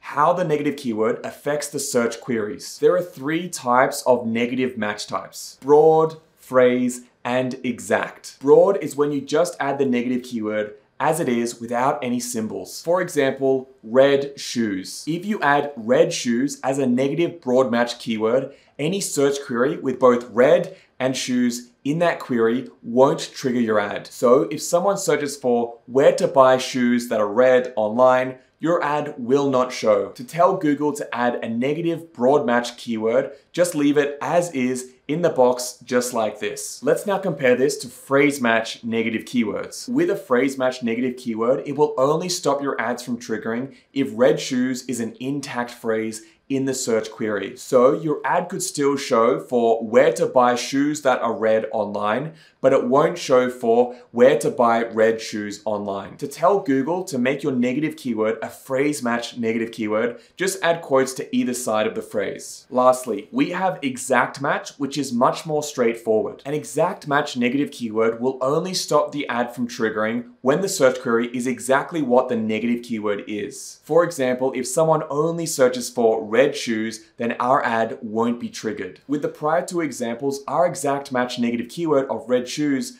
would still lead to our ad being triggered. To tell Google to use an exact match negative keyword, just enclose it in square brackets like this. We recommend using a mix of these different match types depending on the search query you're trying to stop. For example, let's say we're adding a negative keyword to our product group that only has white shoes. So we want to stop searches for other colors triggering our ad. We would add phrase match negative keywords for all the different colors like red, black, blue, etc. Now let's talk about how we know which negative keywords to add to our shopping campaign. There are three main methods that we use. One, using a master existing negative keyword list that every new shopping campaign should have. Two, regularly checking our search terms report on at least a weekly basis. And three, using some software that consistently analyzes our search terms report and finds the words that consistently lead to a lower chance of conversion. Let's look at one first. For most new campaigns, we'll add a pre-existing list of negative keywords. This is a list of keywords that we know have a very low chance at leading to a conversion. The list looks like this and has a bunch of terms like free,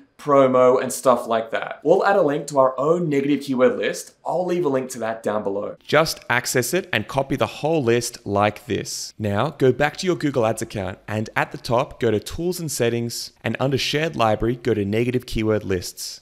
Click the plus sign to create a new list. Add the list name, master negative keywords Google Shopping. Then paste the list in the box below. Click Save and it's going to create the list of negative keywords. Now we need to apply this to our Google Shopping campaign. Go back to your shopping campaign and on the left go to Keywords, Negative Keywords. Then click the plus sign and click the radio box that says Use Negative Keyword List. Then select the list we just created and click Save.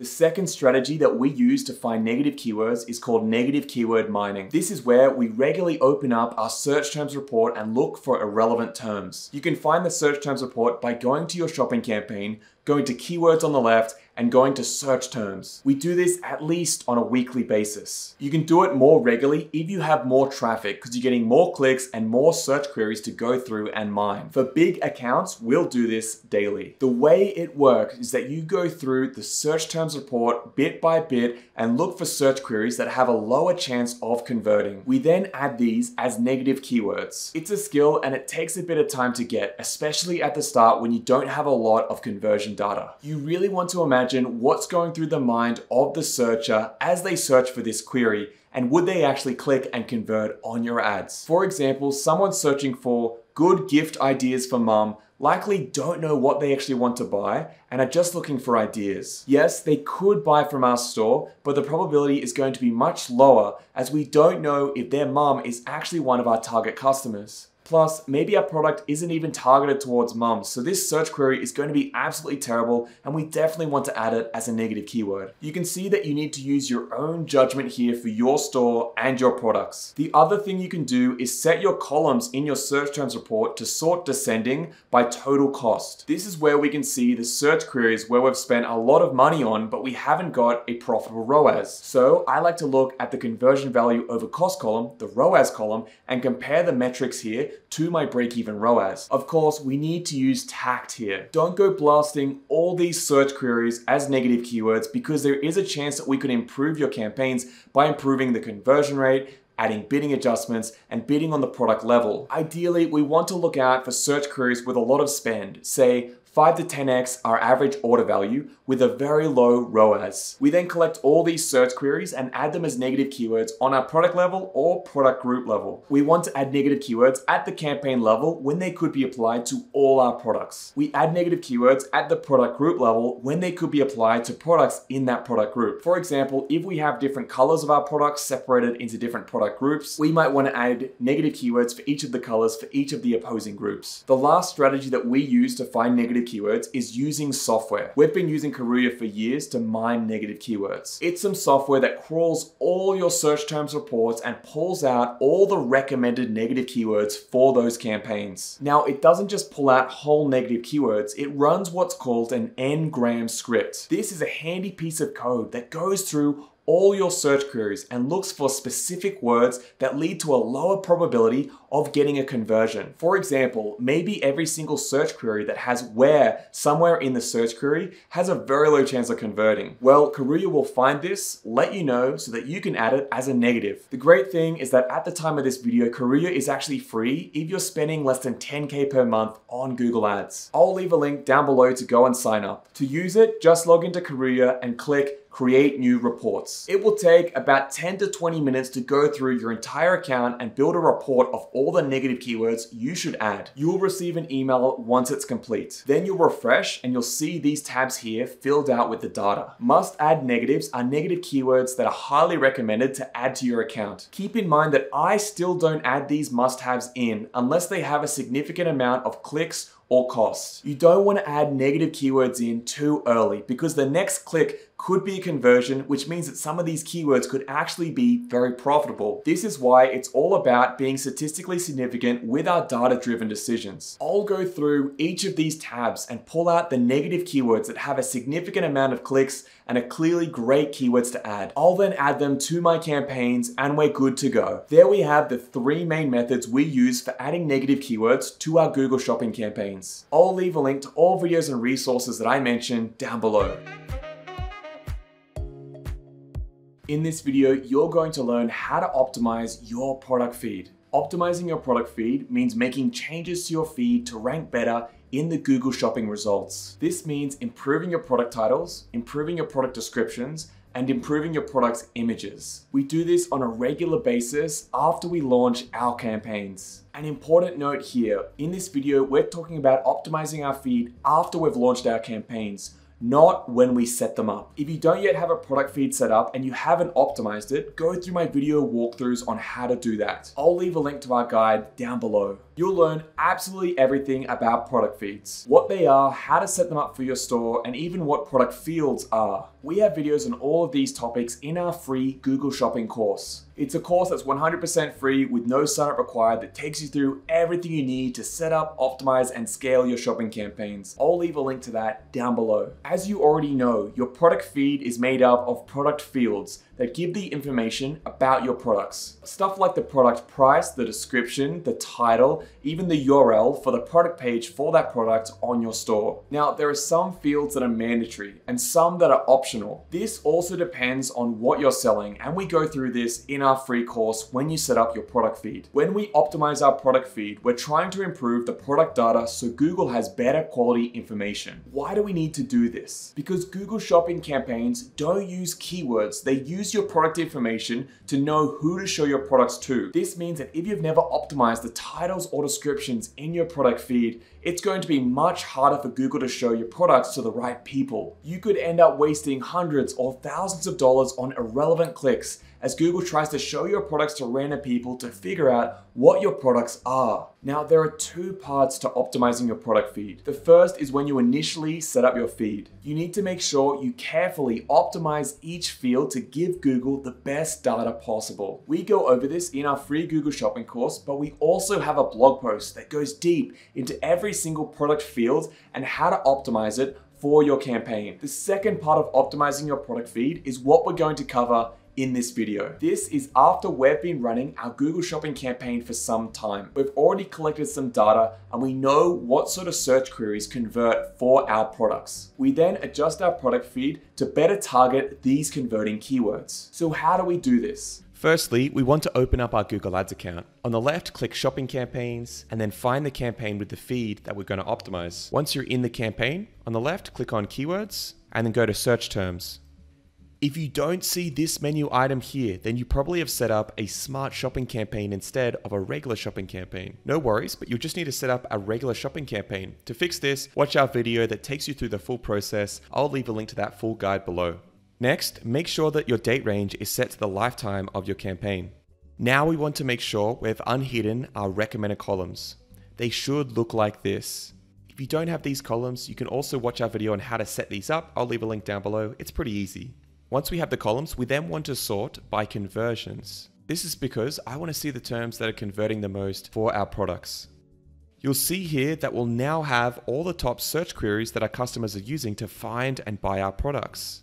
Every store will be different, but we want to look at these search queries and then compare them to what we have in our feed especially in the product title, but also in the description. There are many ways that customers can search for our products. They may use a variety of synonyms depending on their location or what they know about our products. We want to know how our customers actually search for our products and then update the feed to better reflect these searches. These search queries are getting the most conversions, so we want to encourage Google to get more of them. Now that we know what our customers are searching, how do we actually edit our feed? Now to edit your feed, it really depends on the method that you use to set up your feed. You can double check how you have yours set up by going to Google Merchant Center and going to the feed section. If you're using the Google Sheets method for setting up your product feed, just open your Google Sheets feed and then edit the different fields. If you directly uploaded your products to Google Merchant Center, just go to the product section in Google Merchant Center. Then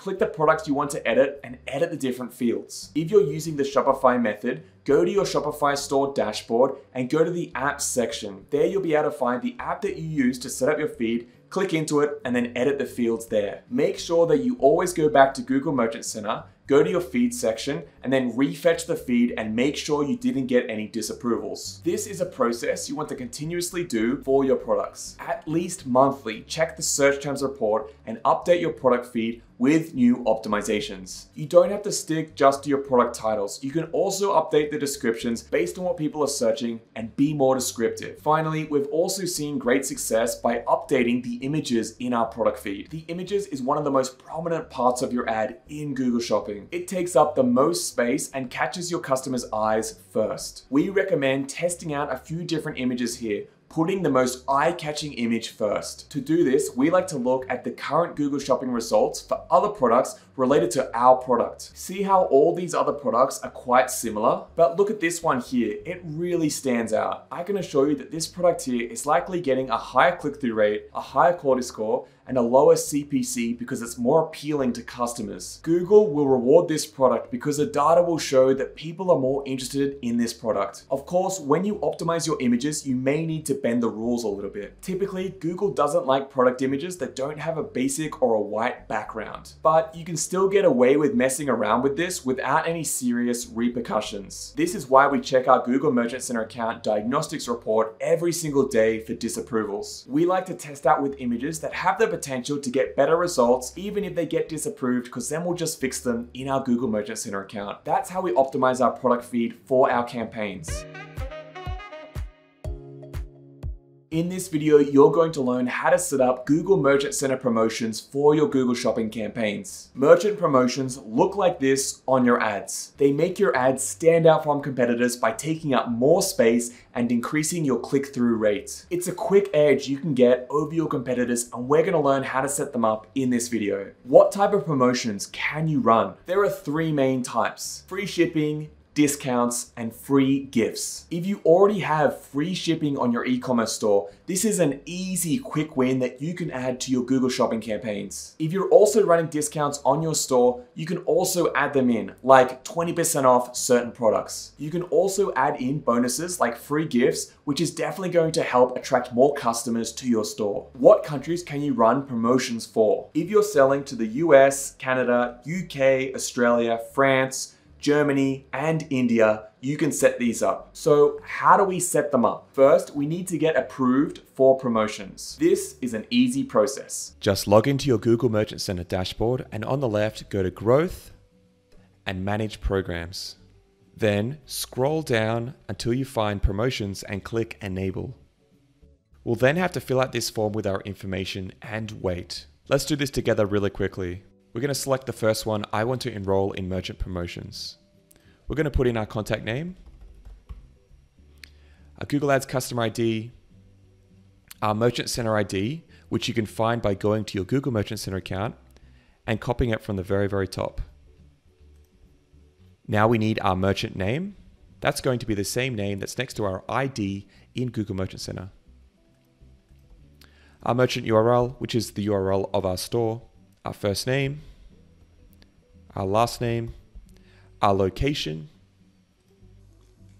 and if you have a Google account manager, like a representative from Google, you can put them in here with their email, as well as if you have an agency managing your feed, you can add them here too. Click submit. We've now applied for the promotions. Usually it takes about 12 to 24 hours to get approved. Once we're approved, we'll then see the promotions menu item on the left of our Merchant Center menu underneath marketing. Click this menu item and you'll then be able to go to this page here for promotions. Click the plus sign to create a new promotion. It's going to ask you your country, then your language. Make sure this is the same language as where you're selling to. Then you have the destination. This is going to be shopping ads, potentially free listings as well. Here is where we select the promotion type, the category. We have the discount options here one for an amount off, like $30 off, and one for percentage off, like a 30% discount. We then have the free gift option here and the free shipping option here. To start, let's select free shipping. It will then ask us what type of free shipping promotion we'll be offering. We have free standard shipping, free overnight shipping, and free two day shipping. Make sure you add what matches your store. Keep in mind that our promotions are used to stand out from competitors and get more clicks. If you offer free overnight shipping, this is going to attract more traffic and be better for your ads. Of course, it has to match your store. Let's just stick with free standard shipping in this example. The next section asks us if there's a minimum customers need to spend in order to activate the free shipping. The first box is the minimum order value, like $50 to activate free shipping. The second box is the minimum quantity of products to activate free shipping. For example, for us, we're applying free shipping across the entire store with no other requirements. So let's just click continue. It then asks us for the promotion title and promotion ID. The title is what customers see on your ads. I recommend something like free shipping. The ID, I usually add the same. It's just for us to identify it in the list of promotions on our promotions page of Merchant Center. If you added any requirements, then you can add those notes here too, so you can differentiate this promotion from any other free shipping promotions you've added in Merchant Center. We then choose which products this promotion applies to. You can apply it to promotions with a promotions ID. This is something that you set up in your product feed by adding the promotions ID above into the field in your product feed called promotion ID. You can also apply it to all products, or you can set a filter to apply it to specific products. I'm going to select all products in this situation. We then add the promo code for the promotion. If you add the promo code here, you need to make sure you remember to add this in your Shopify or e-commerce store settings. If people can't use the discount code on your store, then the promotion will be rejected and you raise the risk meter to potentially being flagged for a Google Merchant Center suspension. Don't risk it, set it up and test it. Now, if the free shipping applies to all products across your entire store, don't add anything here and it tells Google that the promotion applies automatically. We can then set our start and end dates here. Click create promotion and Google will start the review process. Pretty easy, huh? I'm now going to run through creating a promotion for running a discount code on your store. Going back to promotions, click add promotion, choose our country and then scroll down to the categories section. Choose either amount off or percentage off. Let's choose percentage off for this discount because it will be 10% off. It will then show us more options for our promotion, such as whether they get a percentage off right away or if they need to buy other products to activate this discount. I'm going to select buy quantity of products, get a percentage off. This means buy one, get 10% off. Continue.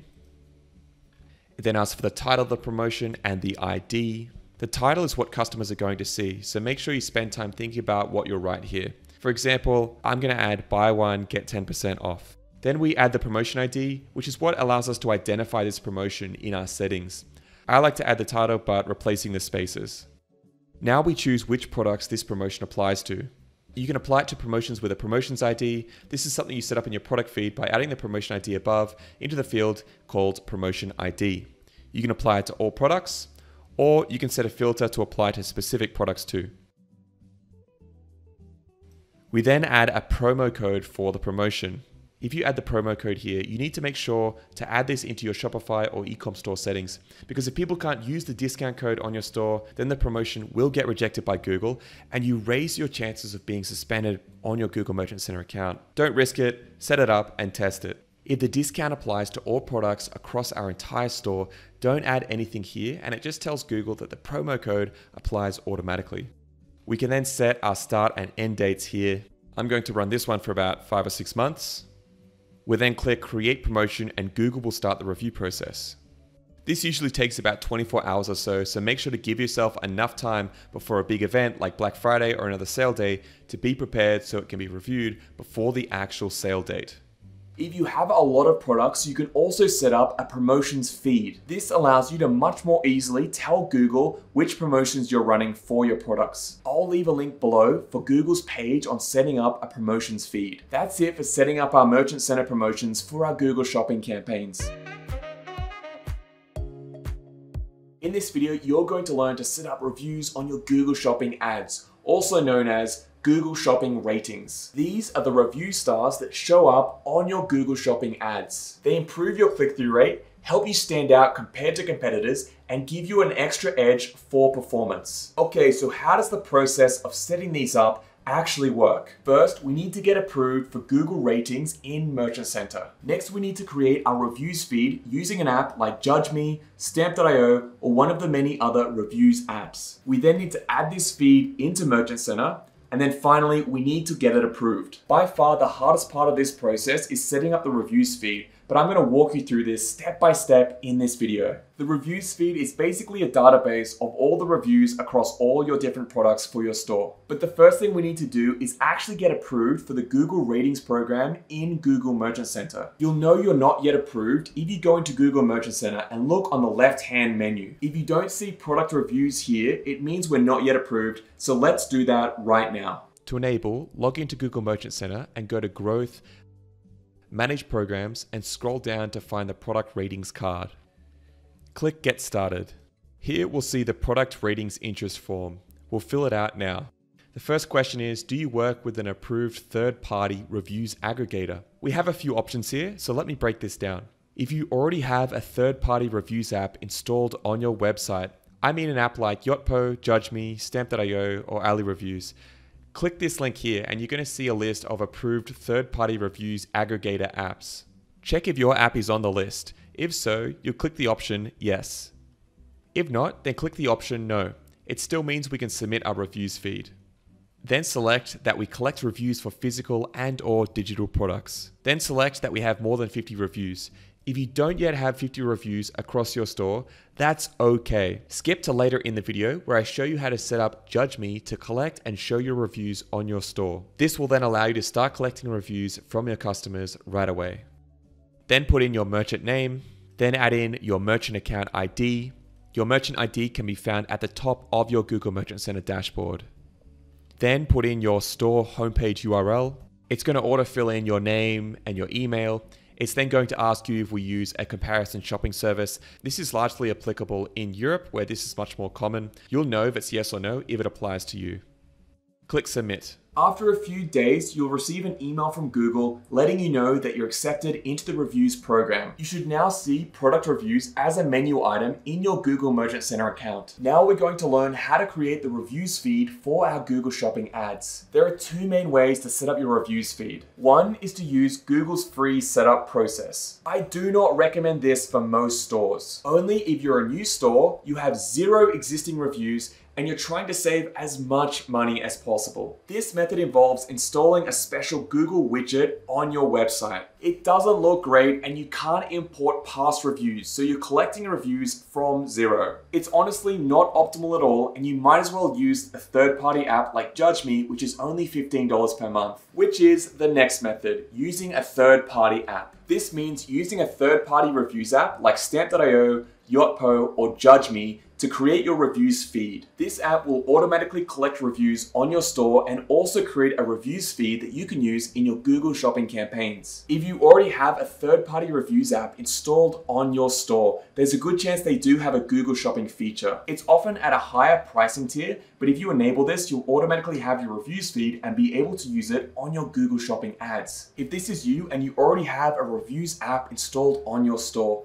I recommend checking out their support documents to see if they have this Google Shopping Reviews feature. I'll also add links below to all the guides for the popular reviews apps so you can see how to do it for your store. If this is you, go through that guide, set it up for your store, and then come back when we want to add the reviews feed into our Google Merchant Center account. If you don't already have a good reviews widget set up on your store, I recommend using JudgeMe. It's the cheapest, highest quality reviews app that I recommend. It's only $15 per month and it also includes the shopping reviews feed. I'm going to show you how to set up JudgeMe on your store right now and then how to set up the shopping reviews feed with that app. After that, we'll connect our reviews feed into Google Merchant Center so we can get our reviews app approved and then showing on our Google Shopping ads. Okay, now we're going to set up our reviews feed with the Judge Me app. Remember, this is for you guys out there that don't have an existing reviews app installed on your website with reviews that has a Google Shopping Reviews feature. First, let's install Judge Me on our store. To do this, just log into your Shopify dashboard,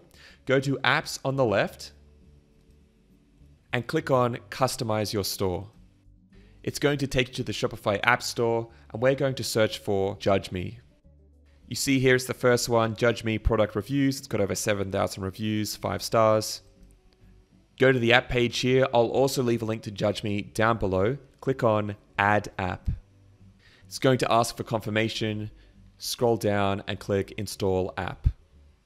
Here it's going to ask us to set up our store with Judge Me. Go through the recommended installation here, click Start Installation.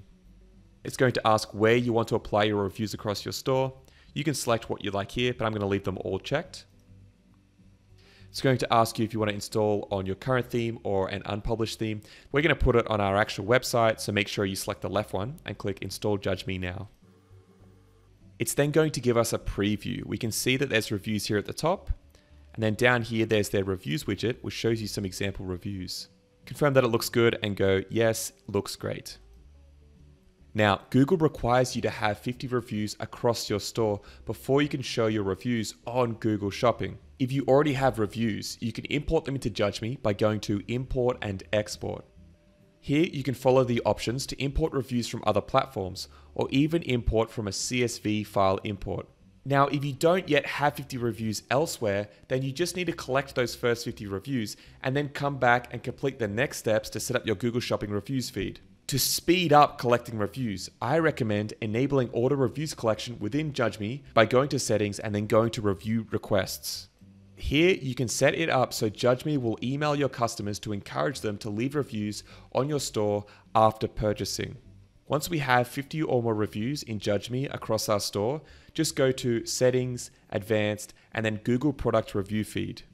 Set the bar to on to enable your review feed. You should then make sure to enable the MPN identifier bar and the GTIN identifier bar. These are used so that JudgeMe can match the reviews of your products to the GTINs that are shown for the products on the feed. This means you do need to make sure that you add the MPN and the GTIN to the products on their product page information pages within Shopify. Now that we've created our Google Shopping Reviews feed, let's now add it into Google Merchant Center. Sign into your Google Merchant Center account. Click Marketing on the left hand menu and go to Product Reviews. Click the Product Reviews feeds to open up the feeds page. Click the plus sign to create a new feed. Give your feed a name. I recommend something like Reviews App Name plus Reviews Feed. For example, Judge Me Reviews Feed XML. Make sure you choose Scheduled Fetch below. Click Continue. Then jump over to the settings in your third party review app where they provided you with your reviews feed name and URL. For Judge Me, it looks like this and it's located in the Google Shopping Review section of the settings. Select the fetch frequency to be daily. For fetch time and time zone, you can just leave that as default. Then over in your third party review app, grab the feed URL that looks like this and paste it into the box here. If the URL is password protected, then provide the login information here. Then click create feed. You'll then need to wait until Google manually approves your shopping reviews feed. This can sometimes happen quickly, but can sometimes take up to two to four weeks. Once this review process is complete, you'll then receive an email from Google and your shopping reviews will then start showing on your shopping ads. So that's how we set up reviews on our Google shopping ads, also called Google shopping ratings. In this video, you're going to learn what, when, and how to optimize regularly in your Google shopping campaigns. If we want to scale our shopping campaign, we need to work on it daily, weekly, and monthly. This is how we get results like this. See how the growth is consistent over all these months? That's because we regularly worked on and optimized this shopping campaign. In this video, I'm gonna show you what you need to do daily, weekly, and monthly to see this continuous growth and optimizations towards profits for your Google Shopping campaign. All the optimizations that you're going to learn in this video are taught in our free Google Shopping course on our website. I'll be linking to a lot of videos down below, so make sure to go and check them out, including a link to the actual course. I'll also leave a link to the actual checklist that we're going to use in this video, so check that out too so you can use it for your own account. Keep in mind that all the time periods that I'm going to go through in this video are just a guide. You should be optimizing your account when it needs it. These time periods work for a newer account that's not spending a lot of money. But when you're spending $10,000 a day, you'll be spending a lot more time in your account every single day. So the optimizations get sped up a lot more because you have a lot more data to work with. Okay, let's get into it. Here's what we do on a daily basis in our account. First, we check our Google Merchant Center account. Here we're looking for suspensions and disapprovals. We then check our Google Ads account for any billing issues. We then check our campaign to make sure it's getting impressions and clicks. And lastly, we check for any anomalies in the account. Things like big changes in performance that tell us we need to look deeper. Okay, let's go through each one in more detail. First, we check our Google Merchant Center account. Here we want to check if it's been suspended. You'll know you've been suspended because you'll see this big red bar at the top of your dashboard. Plus, you'll also receive receive an email from Google telling you you've been suspended. We want to fix our Google Merchant Center suspension as soon as possible because as long as we're suspended, our shopping campaigns will stop running. This means no more clicks, no more sales, which is terrible, especially if you've built up your campaign to be a sales generating machine for your ecom store. Fixing your Google Merchant Center suspension is a tough process and I'll leave some links to some guides below. The next thing we want to check is the diagnostics report for any product errors or disapprovals. Just head to products, diagnostics in your Google Merchant Center account and see if there are any errors, disapprovals, or issues here. Disapprovals look like this, and warnings look like this. We fix these as soon as possible because leaving them as they are is going to give us a higher chance of getting a suspension. I'll leave some more resources down below for fixing disapprovals. The next thing we want to check is our Google Ads account for any issues. We'll especially be looking for any billing issues, like if Google tries to charge our credit card and it fails. This will stop our ads. It will look like this at the top. Just go into settings and billing and pay your bill so that you can get your ads running again. We also want to double check that our shopping campaign is getting impressions and clicks. There could be a multitude of things causing no impressions and no clicks for our shopping campaign. So we want to make sure there are no anomalies here. Here's how to do this. In your Google Ads dashboard, go here to Google Shopping in the menu on the left. Now set your data graph at the top here to the past seven days and change the data view to daily. We'll also change the metrics we're looking at to impressions and clicks by doing this. We can now hover our cursor over the graph to make sure that we're getting both on a daily basis. I also like to look at the cost and conversion value on a daily basis to see if there are any anomalies.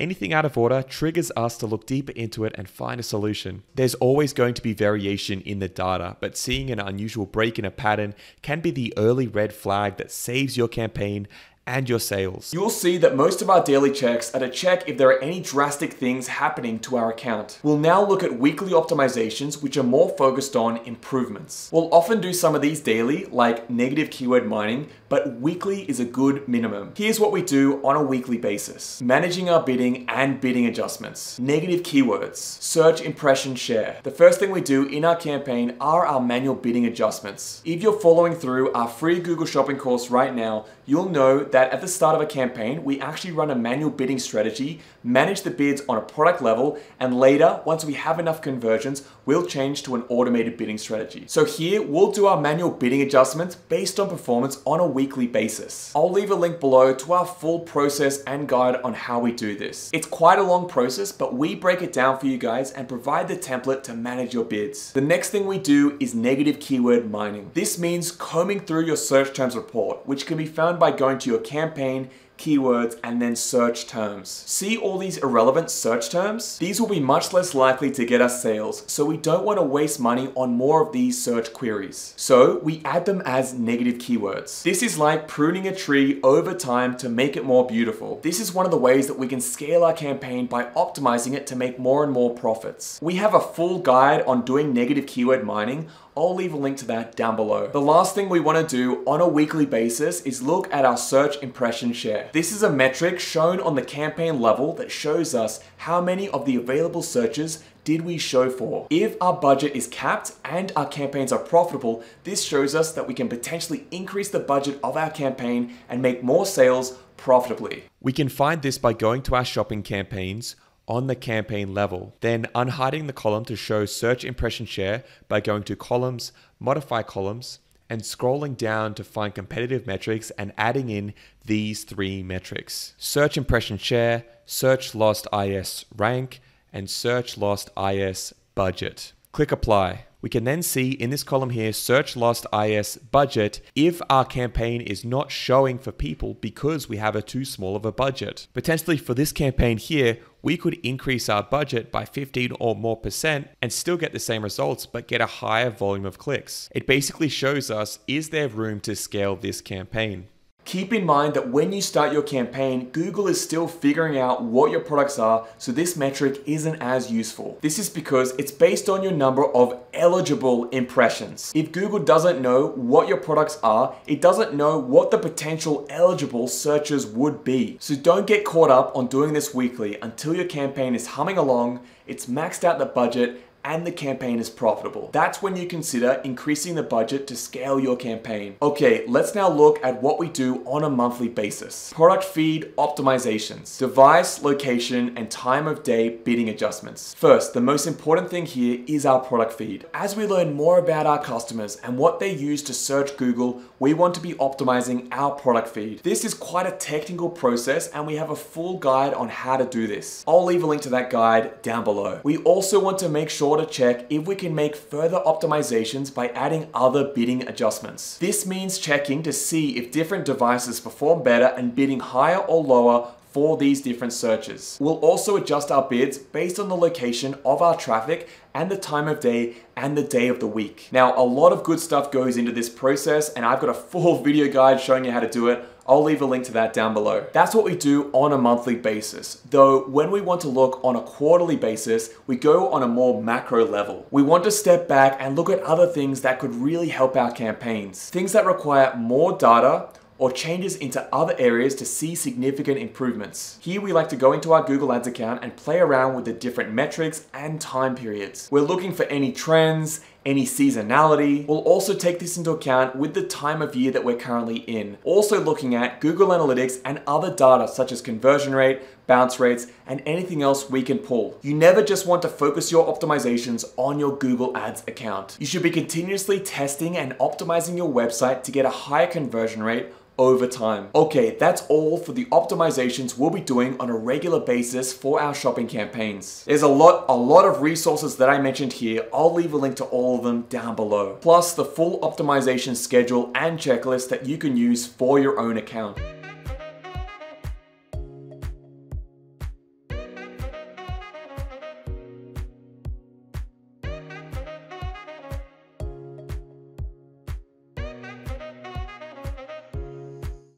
In this video, you're going to learn what to do if your Google Shopping campaign isn't getting any impressions and or not getting any clicks either. Maybe your Google Shopping campaign looks like this or this. There's a variety of reasons why this could happen and we're going to go through each of them in this video. I'm going to be talking about certain metrics like impressions, clicks, and others. If you don't know what these are or you don't know how to view them in your Google Ads account, watch my video on metrics for Google Shopping and my video on showing the recommended columns in your Google Ads account. I'll leave a link to both of those videos down below. First, we're going to talk talk about what happens when you're getting no impressions. Then we'll talk about what happens when you do get impressions, but no clicks. Okay, so your campaign looks like this. No impressions and no clicks. Here's how we fix that in order. Firstly, time. How long has it been since you created this campaign? Make sure it's at least three days. It takes time once you launch your campaign for Google to index your feed and start showing it to people. Impressions. If you want to speed things up, you can try increasing your bids to $1.50 to $3. You will spend more money doing this, but it will speed things up. After three to four days, go back and check if you're still not getting impressions. If you're still not getting impressions after three days of starting the campaign, proceed to the next fixes. The next thing you need to do is make sure that your campaign is live.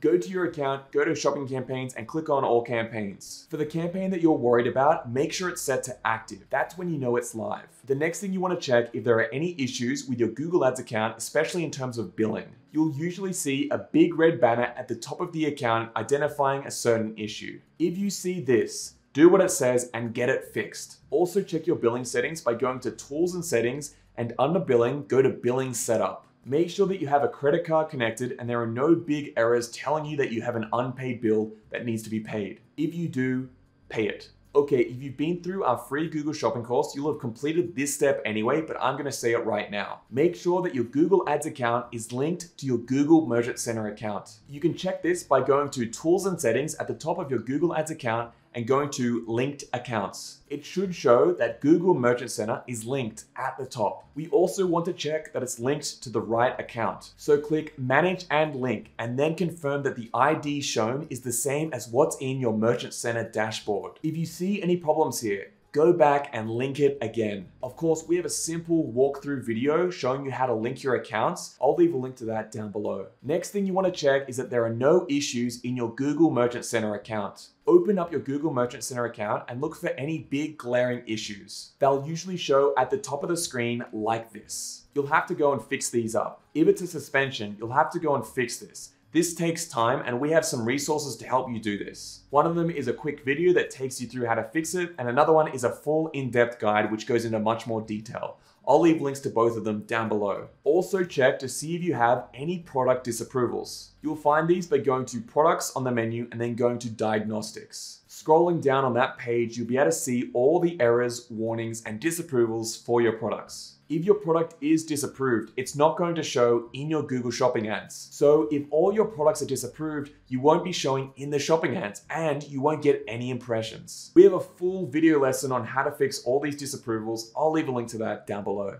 The next thing we want to check are our Google Shopping campaign settings. You'll have set these up when you created your Google Shopping campaign. But if you didn't do it properly, you'll have issues with your campaign showing. A common example is location targeting. If you set up your location targeting wrong and you're targeting a tiny town in the middle of nowhere, there's no wonder you're not getting impressions because no one is there searching. To fix this, I just recommend going through our full campaign setup video that takes you through every single setting so you can make sure you've got yours set up properly. I'll leave a link to that down below. The next thing to check is your bidding. If you set your bids far too low, then you won't get any impressions because your ad is going to be far too low in the search results to even show. Usually I set the bids for my new campaigns to about $1. I'll then let it run for a few days and watch how many impressions I get. Increasing your bids will tell Google to be more aggressive with showing your products. You'll show for a higher position in the results. That means showing here instead of here.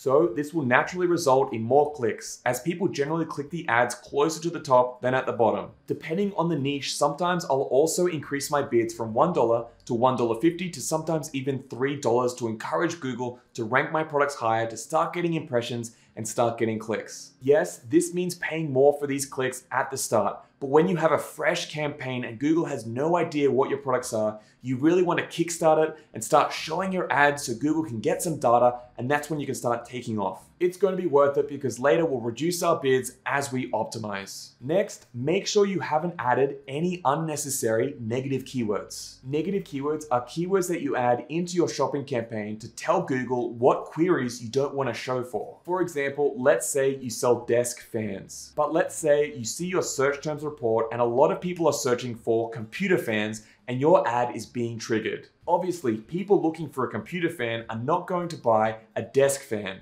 So we want to tell Google that this is a bad search query for our products. So we add a negative keyword for computer fans. Now, this is where some people can make a mistake of adding keywords that are actually going to block all the traffic or all the good traffic for their campaign. At the start, when it's a fresh campaign, don't add too many negative keywords. Let Google start out, show for some searches, and then you can start adding negative keywords over time. This is, of course, after you've optimized your product feed, which is something you definitely need to do. And if you haven't, go and check out our videos down below on how to create an optimized product feed. So to fix this problem, go into your campaign, go to keywords and go to negative keywords and see if there are any keywords blocking your traffic. Next, we want to remove any bidding adjustments. Bidding adjustments are edits that you can make to your bids based on variables like the user's device, their time of day, location, or day of the week. Even though we have a full video in our free course showing you how to use these to optimize your campaign, you really shouldn't be using these at the very start until you get some conversion data.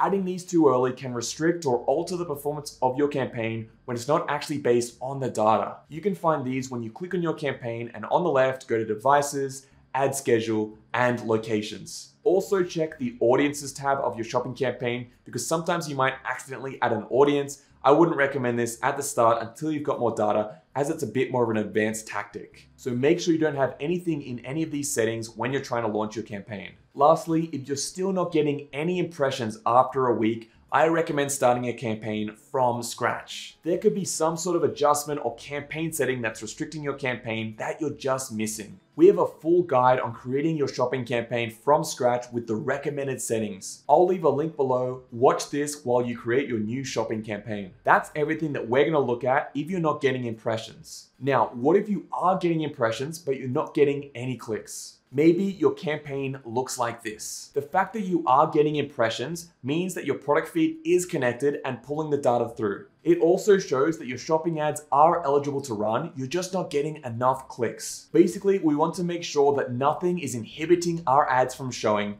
and then we increase our bids to try and increase our ad rank. Just like with impressions, it does take some time for the algorithm to start showing your products to the right people and watching how they interact with your ads. At the same time, we can encourage this algorithm by increasing our bids, which increases our ad rank and our average position in the results, resulting in a higher average amount of clicks. For now, just keep in mind that if you are getting impressions, that's a really good thing. We just need to increase that amount to start getting clicks. For example, if you only have 100 impressions, you can't expect to have 500 clicks. This is because impressions come before clicks. People need to view your ad before they even click it. Next, make sure that your product feed is optimized. Optimizing your product feed is one of the most important foundational things you need to do for a successful Google Shopping campaign.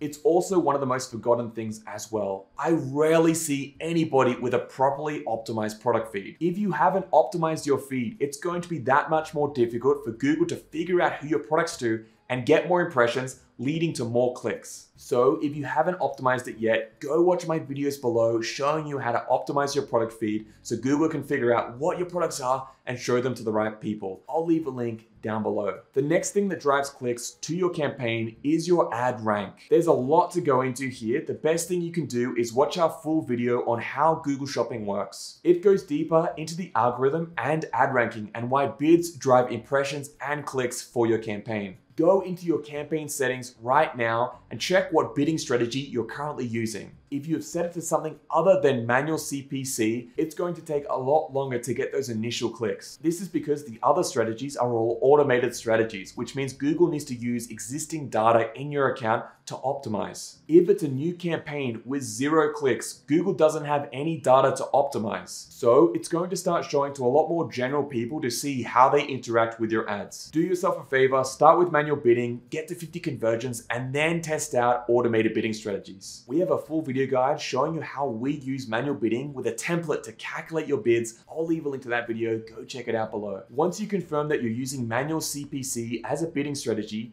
the next thing you need to do is make sure you're bidding enough. Just like if I don't have enough impressions, I'll set my initial bid to about $1. I'll then let it run for a few days and watch how many impressions I get. If I'm still not getting clicks after about three to seven days, I'll then increase my bids to $1.50 to sometimes $3. You'll be giving Google a kick to start showing your products to more people, leading to more impressions and more clicks. Of course, you can always reduce your bids later once we start optimizing. Next, double check your negative keywords. Negative keywords are a tool that allow you to tell Google what not to show your ad for. Just like when you're not getting impressions, adding negative keywords can really restrict your reach. This means you won't get that crucial data that you need when you start running your campaign. At the start, I don't recommend adding any of your own negative keywords. Just let Google try out your products on its network and get some initial data. This is, of course, only once you've optimized your feed so Google does know what you're selling and who to show it to. So to fix this, just remove the negative keywords from your campaign and let it run without them. Next, I want to talk about audience targeting. This is a rare mistake, but it can happen. Within your Google Shopping campaign, you'll find the audience tab. Here, you can add two types of audiences to your campaign. One is an observation audience. This means that Google will track from this audience that you select who's actually interacting with your campaign. It's basically a way of collecting data. Now, the other option, which can really hurt our shopping campaigns, is called the targeting option. This is where you tell Google to only show for the audience that you select. This might be useful if you're running an RLSA campaign and targeting a specific audience with that campaign. For new campaigns, you certainly don't want to do this. You want to make sure that your campaign is showing for as many people as possible and not being restricted to one demographic. So make sure there's nothing in this section here as this will severely limit your campaign and the amount of clicks that you can get. Lastly, there can be some issues with your campaign setup. This could be your location setting or any time of the day, day of the week, scheduling restrictions. If you're still having issues with getting enough clicks on your shopping campaign after one to two weeks of running it, I recommend starting a new campaign from scratch. Follow our full guide on creating a Google Shopping campaign. I'll leave a link to that down below. That's it guys. That's our full guide on what to do if you're not getting impressions and or clicks. All the resources and videos I mentioned will be linked below this video. In this video, you're going to learn what to do if you're not getting sales for your e-commerce store. There are three areas we're going to be looking at. One, when the quality of traffic that you're sending to your store is low quality and it's not converting. Two, when you're not even getting people adding to cart from your product pages. And three, when you're getting customers adding to cart but they're not completing their checkout i.e., abandoning their cart. Let's start with the low quality traffic. Low quality traffic is when you're getting visitors to your store, but they're just not interested in what you're selling. First, check how many visitors you're getting. If you still have less than 500 visitors to your store, then you need to focus on getting more traffic before you go through the rest of this video. Go and watch our video on what to do if you're not getting impressions and clicks, and then keep optimizing your campaign. I'll leave a link to that video down below. If you are getting a lot of clicks but no conversions, the next thing we need to do is check the quality of our traffic. For example, if you're selling basketballs, you want to be targeting people that are searching for something like buy basketballs online. You run your Google shopping campaign for the first time and you get 1,000 clicks, but not a single person buys. So you check the search terms report of your campaign and you see that most of these clicks are for searches that are not relevant towards your products. For example, basketball bobblehead. No wonder you didn't get any sales. All the people visiting your site wanted a bobblehead, they didn't want a basketball. So how and why did this happen? Sometimes, especially for new campaigns, Google gets it wrong. You see, you don't get to choose what keywords you target with your Google shopping campaign. Google looks at your product feed to try and figure out what you're actually selling. They then show it to a lot of different people and watch how those people interact with your ads. Do they click and do do they convert? Sometimes it takes time for Google to figure out what your products are and who to show them to. Our job is to guide that algorithm to try and get as much relevant traffic as quickly as possible. So how do you know if you're getting quality traffic or not? Check the search terms report of your Google shopping campaign. Go to your Google Ads dashboard, click on your shopping campaign, on the left hand side, go to keywords and click on search terms. Make sure you set the date range to a significant amount of time. Then go through your search terms report and notice if there are any search queries that are not particularly relevant. Here, in this case, we're selling basketballs and other sports equipment, but we're getting some searches for bobbleheads and fishing equipment. These people will probably not purchase from us, so we need to add negative keywords as well as improve our product feed to target more search queries about basketballs and sports equipment. This requires optimizing our campaigns and in our free Google shopping course we have a full section on how to optimize your campaigns. I'll leave a link to those videos down below. The next problem you might have that's causing no sales is that people are just not adding your products to their cart. You know this is the case by looking at your add to cart ratio. It differs depending on the store but usually we see a ratio of anywhere from 3 to 10%. So how do you view your own add to cart ratio? If you're using the old Google Analytics, go to Google Analytics and open up conversions, e-commerce, and shopping behavior. Set the date range to at least 30 days. You'll see the product page views here as sessions with product views. You'll see the number of add to carts here as sessions with add to basket. Just divide the second by the first to get the ratio if you're using the new Google Analytics GA4, then you can just get the same metrics by clicking engagement and then events to see this report. View item is the number of product page views. Add to cart is the number of add to carts. So we can get our add to cart ratio right here. If you are getting anything less than 3 to 5%, then you have a lot to improve on your product page. Here are the common reasons you're not getting people add to cart. Number one, an easy one. Make sure your add to cart button is working. Make sure that your product isn't actually sold out and people can actually click and add to their cart. Maybe there's some sort of design issue with your site or some sort of geographical restriction set up for your store. Make sure that the people that you're targeting in their location with their device and browser can actually open your product page and add to cart. Next, we need to make sure our product page is optimized. You should be constantly testing and improving your product page and store to convert more and more customers. This means having a store that looks fantastic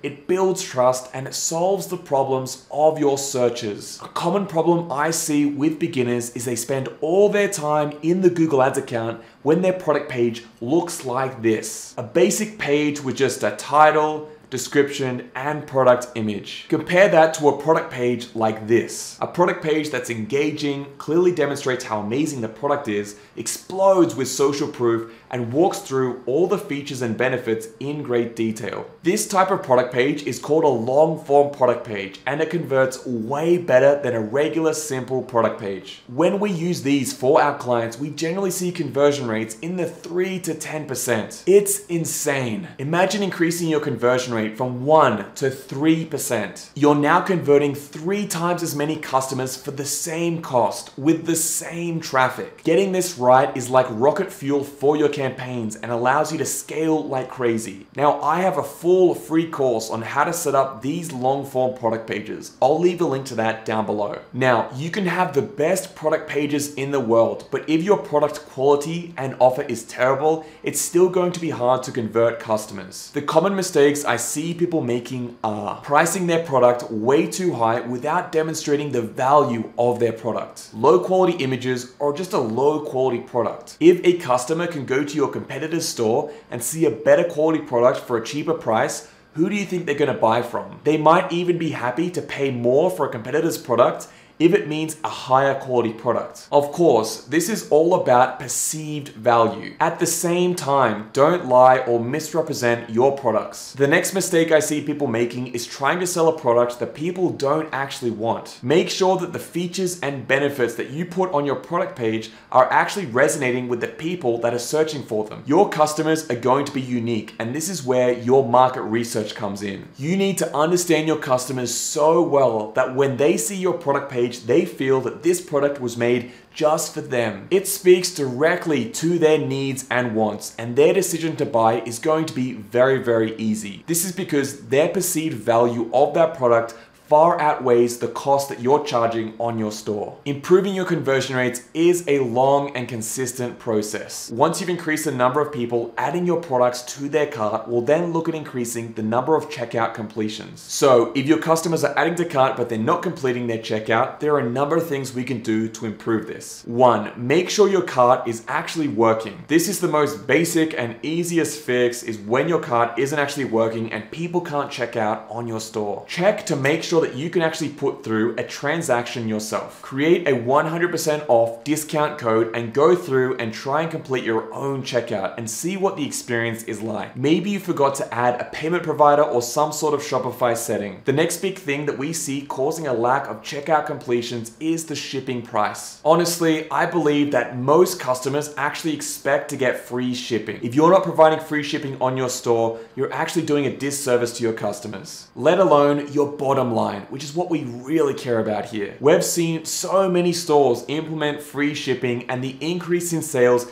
definitely covers the cost of the extra shipping. At the same time, you can also increase your prices to cover or share the cost of the shipping. At the end of the day, the truth is most customers prefer to know that the shipping is included in the purchase price than be hit with a shipping price later on when they're about to finish the checkout. Try free shipping and see how that goes for your conversion rates. Another cause of abandoned carts are unexpected costs like taxes or currency conversion fees. Of course, we already talked about shipping, but check to see if there are any other unexpected costs that a customer is hit with when they try and complete their checkout. This could be affecting your cart completion rates and stopping you from capturing all those customers that you should. Of course, some things can't be changed like taxes, but just take stock and look so you're aware of what's causing the drop off. The next thing is prices being too high. While a customer may have made a decision to purchase from you when they add to cart, it's not locked in until they pay. For some customers, once they actually have to pull out their credit card and enter their details, they suddenly re-question their decision to buy from you. Maybe the perceived value of your product is teetering on the edge of being worth it. And once you ask them to add in their credit card details, it's just not worth it for them. Consider your pricing and value proposition, especially in light of competitors, to make sure that when people add to cart, they've got a real heck yes attitude and they want to put in their credit card details and pay. Next, maybe your checkout isn't very trustworthy. If you're using a different platform, some of these don't look very trustworthy. A customer might feel that it's going to steal their credit card details, take it off to who knows where, and sell it on the black market. You need to make sure that your checkout makes customers feel comfortable with giving their credit card details and personal information. I personally recommend that all our students use Shopify just because it's so easy to use it's economical and it takes part of a trustworthy checkout for you. If you're using another platform like WooCommerce, get a second opinion about the trustworthiness of your checkout. Here are some things to especially check. Spelling and grammatical mistakes. You shouldn't have this anywhere on your store, especially not in the checkout. Design inconsistencies like images not loading, unprofessional or inconsistent fonts, and unprofessional color design palettes should all be avoided. If you're not particularly aesthetically minded, get a second opinion on your checkout to make sure it's trustworthy and professional. Next, make sure you check different device and page size differences. Your cart should look great on all devices and page sizes. If you change the page size and the design breaks, it doesn't really inspire much confidence in your customers. Next is your traffic source being majority priority mobile. Keep in mind that the traffic that you're sending to your product page and checkout is going to have an effect on your conversion rates. Say that your ads are just targeting people in the research phase of their buying process. For example, maybe one of your customers sees your ad while they're on the treadmill at the gym. They love the product, they add to cart, and they go to enter their credit card details but realize they left their wallet in the locker of the gym. So, of course, they're not able to buy it right now, so they abandon cart and try and remind themselves to buy later. Of course, people forget, and this is why cart abandonment notifications really come in handy. If someone doesn't complete their cart, you can still capture their email address and send them a notification later to remind them to complete their cart. Klaviyo integrates really well with Shopify and allows you to send these email notifications when someone abandons their cart. You can also add these abandoned cart users to a remarketing campaign on Google and Facebook ads. In this way, you can serve these potential customers ads for the product that they were trying to check out with and remind them to complete their checkout process. A lot of stores successfully use SMS messaging to also buzz these customers to remind them to finish their checkout. That's it guys, there's a whole bag of strategies there for you to use if your store isn't getting sales. In this video, you're going to learn what to do if your Google Shopping campaigns aren't profitable. We'll cover three main areas that can cause this issue. Your Google Ads account, your product page conversion rate, and your business model. First, let's start with your Google Ads account. Basically, you're likely paying too much for your traffic and we need to reduce your cost. In our free Google Shopping course, we show you how to optimize your Google Shopping campaigns. I'll basically be summarizing this right right now in this video. But if you haven't joined the course yet, go and check it out. It's 100% free with no sign up required. So here's what we do for the stores that we work with. One, we cap the budgets of our campaigns until they're profitable. We like to keep the budgets of our campaigns to 50 to $100 maximum until they're profitable. Then once we're confident in their profits, we'll start unleashing that budget to scale. If you don't yet know if your campaign is profitable, go watch our video on calculating the profitability for your store. I'll put a link to that video down below. I'll also put a link to a video showing you how to unhide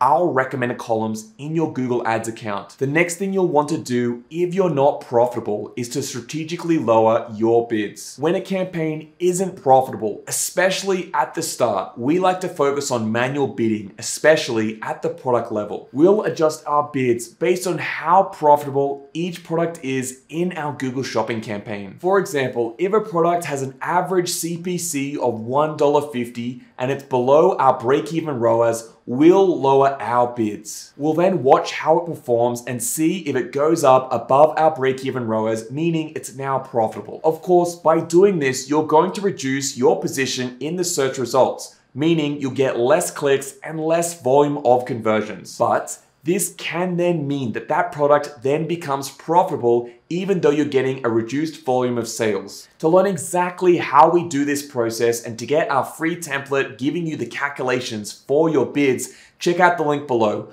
We have a full video guide taking you through everything we do there. The next thing we want to do is make sure that we're adding negative keywords into our campaign. Adding negative keywords helps us tell Google which search queries we don't want to show for. This helps us avoid paying for clicks for people that aren't going to convert on our store. Over time, as we add more targeted negative keywords, our campaign performance is going to improve. This means we'll spend less money on wasted clicks that are irrelevant and aren't going to lead to a sale. We have a full guide on adding negative keywords. I'll leave a link to that down below. You also want to improve your product feed. This is huge. Google doesn't use keywords to figure out who to show your products to. Google looks at your product feed, looks at the product information, and tries to guess what your products are and who to show them to. If you haven't yet optimized your feed, this is going to really hurt you. Google is going to start your campaign by showing to more general people. This means you'll waste more money as Google tries to figure out what your products are. Do yourself a favor and go through our videos on optimizing your product feed. I'll leave links to that down below. Lastly, for Google Ads, we want to add bidding adjustments. This is one of the last things you should be doing to optimize your shopping campaign, but it's still very helpful. Bidding adjustments means telling Google you want to bid differently depending on what device the person is using,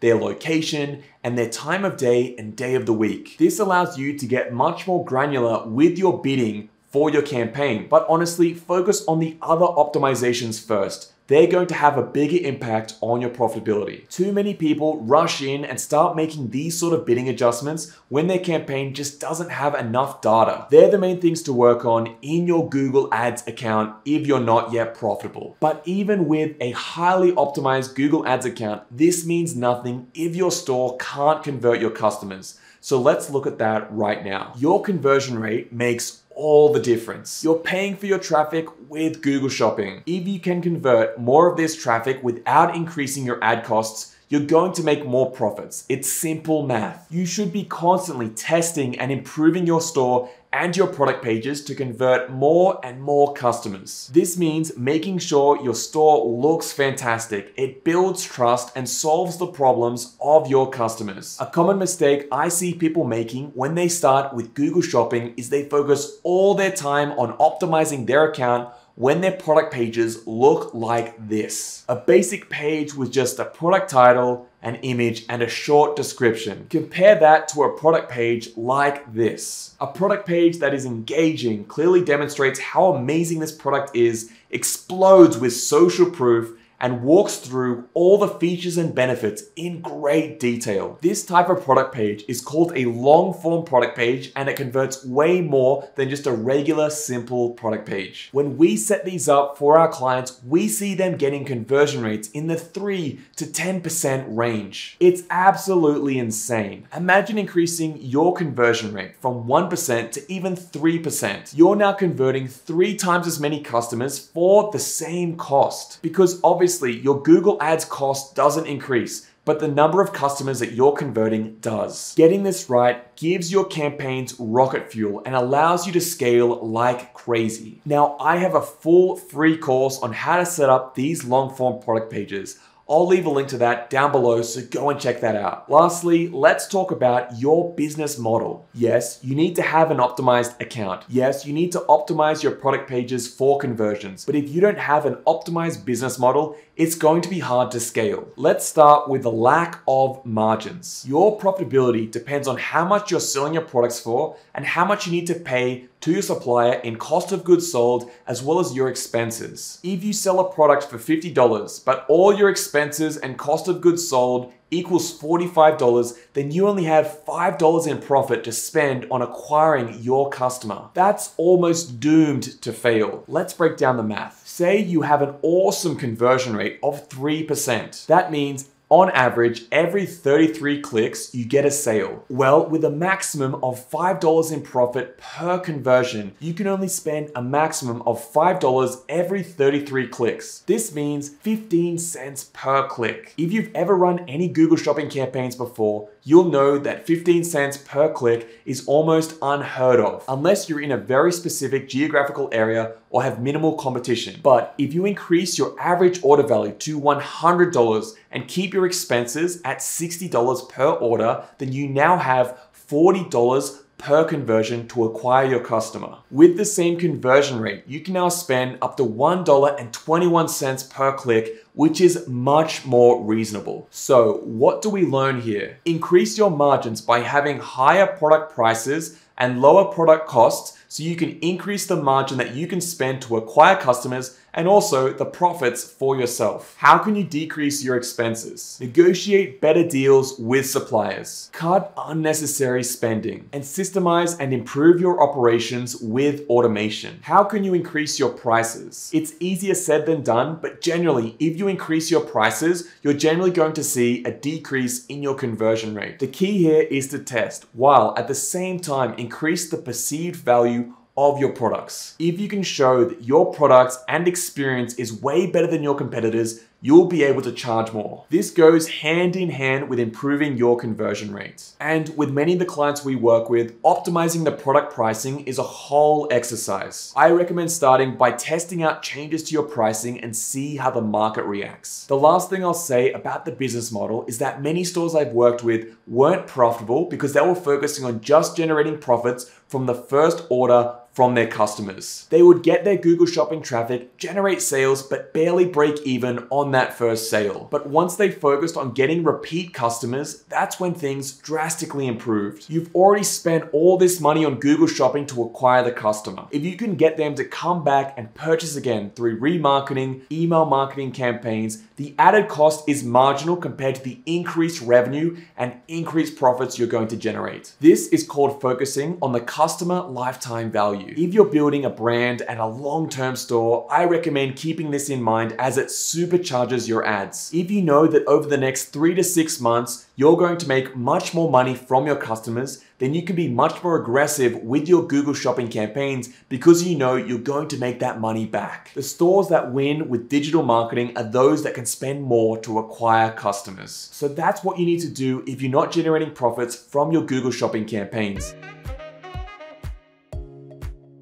In this video, you're going to learn how we fix Google Merchant Center suspensions. This suspension means that Google doesn't think that your store is trustworthy for one reason or another. When you set up your Google Merchant Center account and you try to run Google Shopping ads, Google gives every single advertiser what's called a risk meter. If you have been suspended for misrepresentation of self or product, then Google has seen you as too risky. It's likely that a multitude of things resulted in your suspension. Often I'll look at stores and I'll tell someone the reason for their suspension and they'll say something like, but Sam, I saw that my competitor does this too and they're not suspended. Yes, it's because Google uses a risk meter and many things are going to add up to cause your suspension. For example, if you have a fresh domain name, a fresh non-branded email address, a new store, a new Google Ads account, account, a new Google Merchant Center account, and you make some mistakes, that's going to increase your risk meter and push you over the edge to become suspended. Most of the stores that we audit have a bunch of things causing their suspension, not one single thing. So why does Google suspend stores? Google doesn't want you running Google shopping ads if they think that you're not going to provide a good user experience to the people searching. This is something that we talk about in the compliance video of our free Google Shopping course. I recommend you check out that website and learning how to make your website fully compliant to avoid Google Merchant Center suspensions.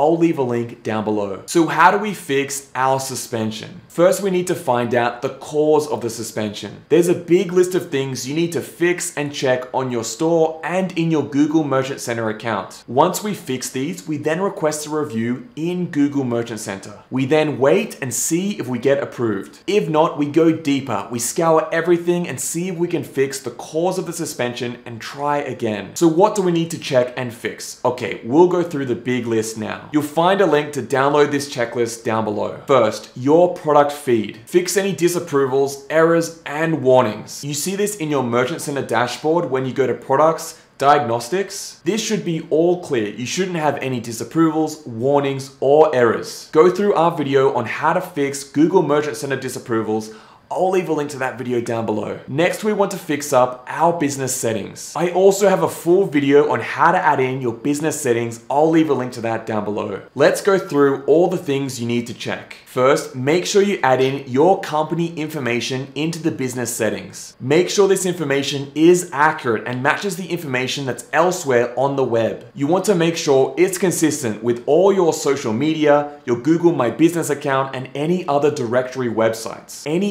inconsistencies here flag with Google as they think you're lying and misrepresenting your business. Make sure you use a real physical address and make sure your phone number is real and when someone calls, they don't get your mum. Make sure you use a company branded domain email address. This means if your store is coolcandles.com, make sure your email is hello at coolcandles.com and not some sort of Gmail address. Also make sure you have an actual branded domain name like coolcandles.com. Don't use a Shopify subdomain like coolcandles.myshopify.com. Also make sure that you claim and verify your domain in Google Merchant Center I have a full video showing you exactly how to do this really easily I'll leave a link to that down below. Make sure you set the branding colors for your website and brand. And make sure you add both logo sizes in there too. Next, we have our tax settings in Google Merchant Center. Make sure your tax settings are properly set up for your selling location. This is especially true if you're selling to the US, as the tax settings do get a bit complicated. I do have a full video on setting up your tax settings in Google Merchant Center. Go and watch that. I'll leave a link down below. Next, we have our shipping settings in Google Merchant Center. Same as your business information settings, make sure this matches what's actually on your store and how you actually ship your products. If Google spots any inconsistencies here, they're going to suspend you. So go through meticulously what's on your shipping page and how you actually charge for shipping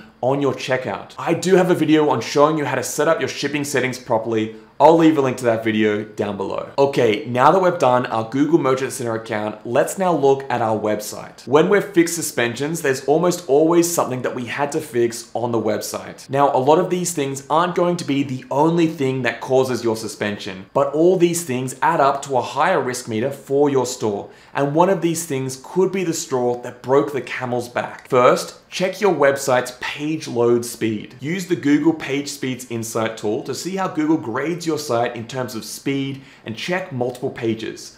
I'll leave a link to this tool down below. Also make sure there are no broken links across your site. Make sure there are no English mistakes or grammatical issues across your store as well. Also make sure that you don't have any of this placeholder text or placeholder images. Copying the images that other stores are using can also attribute to your suspension. Google also isn't the biggest fan of dropshippers. If you're selling the same AliExpress product that 10 other dropshippers are also selling with the same title, description, and product images, you are going to have an increased risk of suspension. Google also likes reviews, so if you can get them on your store, that'll be better too. Plus, check the apps and plugins on your store. Only use the apps you actually need. We also like to check the reviews of all the apps we use to see if there are any people talking about getting suspended for using this app. We did have a case where we fixed a suspension where Google didn't like an app the store was using. Google had flagged this app with code as malicious software. We've also seen some apps like upsell apps cause suspensions too as they're not functioning correctly and the pricing is off at the checkout. So make sure that your website functions exactly as it should, including all the apps and plugins and checkout functionality. Next is a big one, your store's contact information. Google really cares about this because it's a huge marker of trust. Here's what I recommend you implement if you are serious about getting your suspension fixed. First, add your store's physical address listed on your website. Then also add in your customer service telephone number, a number that people like Google could call and get a representative for your business. Make sure that you have a branded email address on your store and not a Gmail address. Then make sure to add the physical address, the phone number, and the email address on your footer and on your contact us page. You can also add them to the header of your store, but this is optional. On your contact us page, add a contact form. Also add in your business contact hours and an estimated wait time to get a reply from you. Then make sure the contact information on your footer,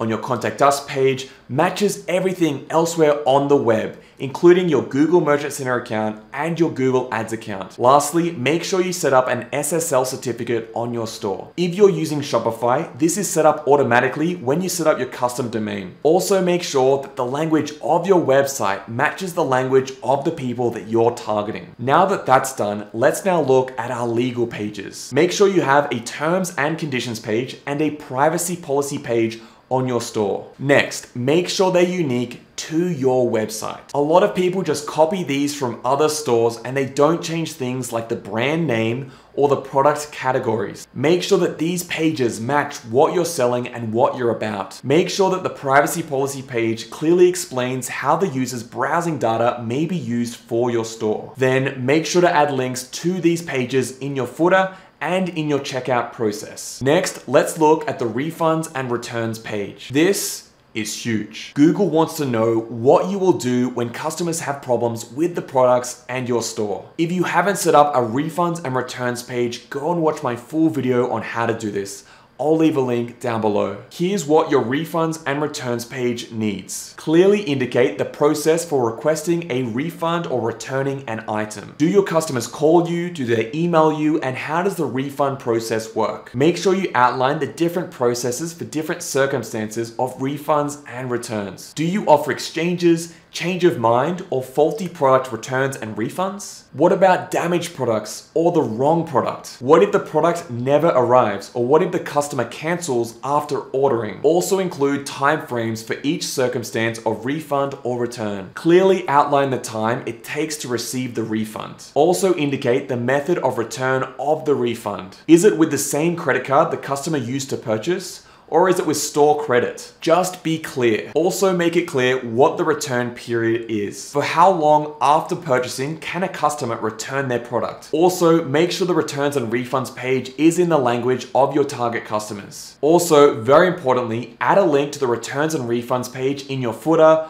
on your product pages and in your checkout. Next, we have our shipping page. This page tells our customers all about our shipping policies. Make sure it matches what's in your shipping settings in Google Merchant Center. Make sure it matches what the actual shipping process is. Outline the cost of shipping for each geographical location that you ship to. This can even be something like US shipping versus international shipping that's okay. Also outline the time to ship to each location and the courier service used, like UPS, FedEx, or DHL. Make sure it's also clear how a customer can check the status of their order. Do they receive tracking information or do they have to contact customer service to find out? I also recommend adding a section for missing items. What if a customer receives their order but it's missing some products? What happens then? Once that's done, make sure to add a link in your footer on your product page and in your checkout process too. Next, we have our branding and homepage structure. This is important. Google wants to see that you're a trustworthy brand. Make sure you have an About Us page that describes the mission and history of your store. This is something that gives transparency to your website. Make sure to add your About Us page and your Contact Us page links to your header navigation. Also add them to your footer. Make sure to add links to your shipping policy page,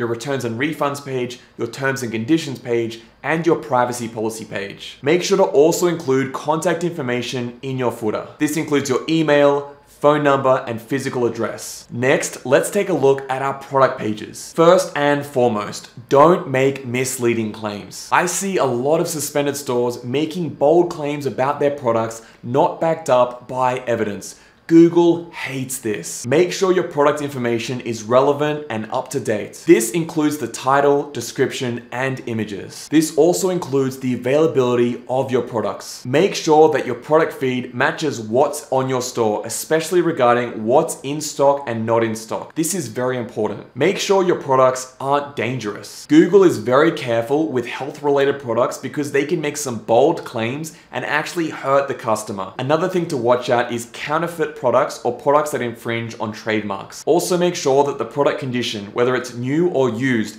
is accurate and matches what's in your product feed. Also make sure that your pricing is accurate and matches what's in your feed and what will reflect on your checkout. Next, let's look at the checkout process. Throughout the checkout, you want to make sure that your legal pages are visible. I'm talking about linking your refunds and returns page, your shipping policy page, your terms and conditions page, and your privacy policy page. Make sure that the links to these pages are the same pages that we just set up before. Don't create double pages. Make sure that your contact information is visible throughout the checkout process. We recommend adding the big three, your physical address, a contact phone number, and a branded email address. Make sure that you also have multiple payment methods available and they're also shown in the footer of your store. Make sure the final pricing in the checkout matches what's in your product feed, what's on your product pages, and there are no hidden charges showing up here on the checkout. Also make sure that the shipping costs shown here on checkout match what's in your Google Merchant Center account and what's on your shipping policy page on your store. Next, we want to make sure that any Merchant Center promotions that you've set up in Google Merchant Center are accurate and reflected on your checkout. Finally, just double check that your SSL certificate is working on your checkout. Okay, let's now look at misleading information. Don't claim to be a certified reseller when you're not. Don't use trust stamps on your website without the proper affiliation. Don't make false statements or claims about who you are, your qualifications, or your products. Once you've fixed up these issues, we then do some final checks before requesting our review. Check that your Google Merchant Center account has a product feed submitted. Google requires that all accounts have a product feed with at least one product in order to review. Without the feed, the request a review button won't be available. So if you do get suspended, don't just delete the feed. Now, once you've fixed all the issues, it's now time to request a review. This is pretty easy. Just log into your Google Merchant Center account, look for the bar that shows the suspension and click request a review. It takes a few days, sometimes up to a week to be reviewed. If you request a review and you get denied, you're going to be put in a waiting period. Use this time to find the cause of your suspension and fix it. Keep trying. Don't give up. You want to be sure that you fixed every potential cause of your suspension before requesting a review again. Too many denied requests can result in a permanent suspension, which you really don't want. Here are my final tips with dealing with a Google Merchant Center suspension. Don't try to outsmart Google, game the system, or get around Google's policies. You will lose. They'll catch you eventually and you'll just get a permanent suspension and you'll never be able to run ads ever again. Never try to create a second Google Merchant Center account. You will get suspended immediately as soon as you try to claim and verify the URL. This isn't Facebook. You can only have one Google Merchant Center account per domain. Don't give up. A lot of people try to fix their suspension and give up after their first attempt. A lot of suspensions that we've fixed Take multiple tries. Keep scouring Google's policies, scouring your store, trying to find the cause, fixing it, and then requesting a review.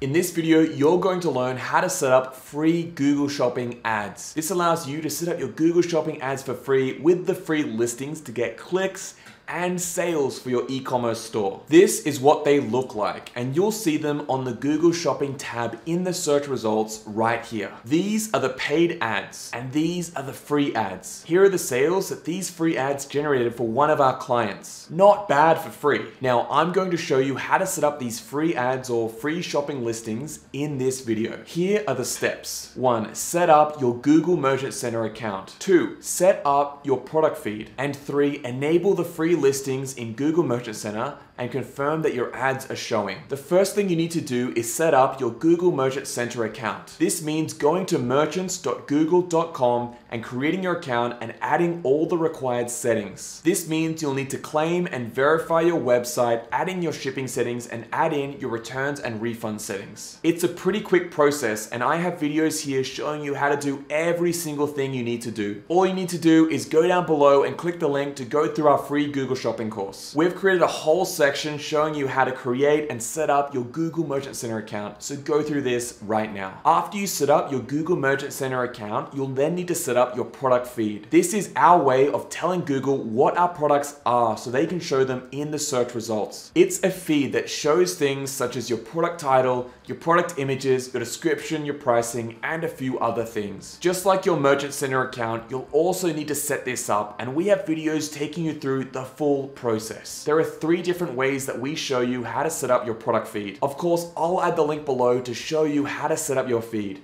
Go through that right now. Okay, finally, now that you've set up your Google Merchant Center account and your product feed, we're now ready to enable our free Google Shopping ads. This part is easy. Just go into Google Merchant Center, Go to growth on the left and go to manage programs. We can then see this card here that says free product listings. Click get started. It's then going to give you a checklist of the things you need to complete before we enable our free shopping ads. If you've gone through my other videos, most of these will be checked off and approved. If not, go through the videos, set everything up, and come back and enable them. We'll then need to check this box showing that we've reviewed Google's policies, and I do recommend that you read them. Then we click Start Final Review. Once complete, you can then go to the overview and click Activate.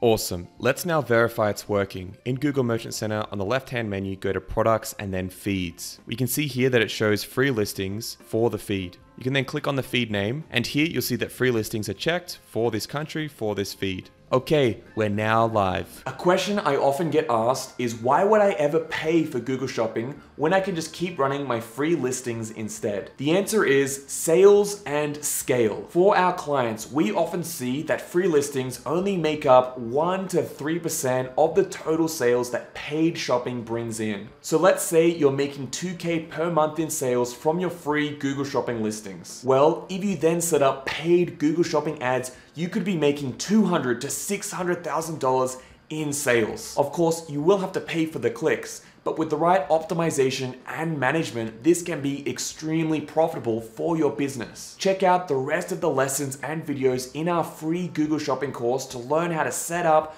paid Google Shopping campaigns, and how to optimize them for maximum profits. The next question I get is how do I get better results out of my free Google Shopping listings? There are two ways we can improve our results. Firstly, optimize your product feed. When running free listings, bidding is not a factor in the results. This means how relevant your products are has the biggest impact on the volume of clicks you're going to get. Optimize your product feed so Google better knows what your products are and who to show them to. Next, improve the conversion rate of your website. If you're getting all this free traffic, improving the conversion rate of your store is going to convert more of this same traffic. You'll get more sales, but it will also impact all the other traffic you're getting outside of free listings. We have a full free course on how to improve the conversion rate of your product pages I'll leave a link to that course down below. That's how you set up free Google Shopping or Google Shopping listings for your e-commerce store. Hey guys, Sam here. Thanks so much for making it this far through the free Google Shopping course. The KeyCommerce team and I really hope you're finding it valuable and you're already getting results from your Google Shopping campaigns. We're constantly trying to improve the content we make for you guys and we welcome any feedback. We're constantly on the lookout for new ideas for courses, videos, and guides so we can help you the best we can. So we want your feedback. Please leave a comment below. How was the course? If it was awesome and helpful, let us know below. And if you'd like us to teach any other content about e-commerce and digital marketing, let us know below as well. The better that we can understand what you're struggling with and what you really want to learn, the faster we can make amazing guides and tutorials. Also, if you found our course particularly helpful, please leave us a review. I'll leave some links below to a few platforms like Trustpilot and Facebook. It will take less than 10 seconds of your time. This helps us get our content in front of more more and more people, which allows us to make better and better content for you guys. And if you have 60 seconds to spare, there's also a link to submit a video testimonial sharing your experience about the course. Finally, I want to thank each and every one of you for all the support you've given us. On our YouTube channel, in our emails, and some of you have even come up to me in public to say hi. We thrive on creating the most helpful content and we love how positive and awesome you guys are. Again, thanks for watching and I'll see you in the next video. Bye for now.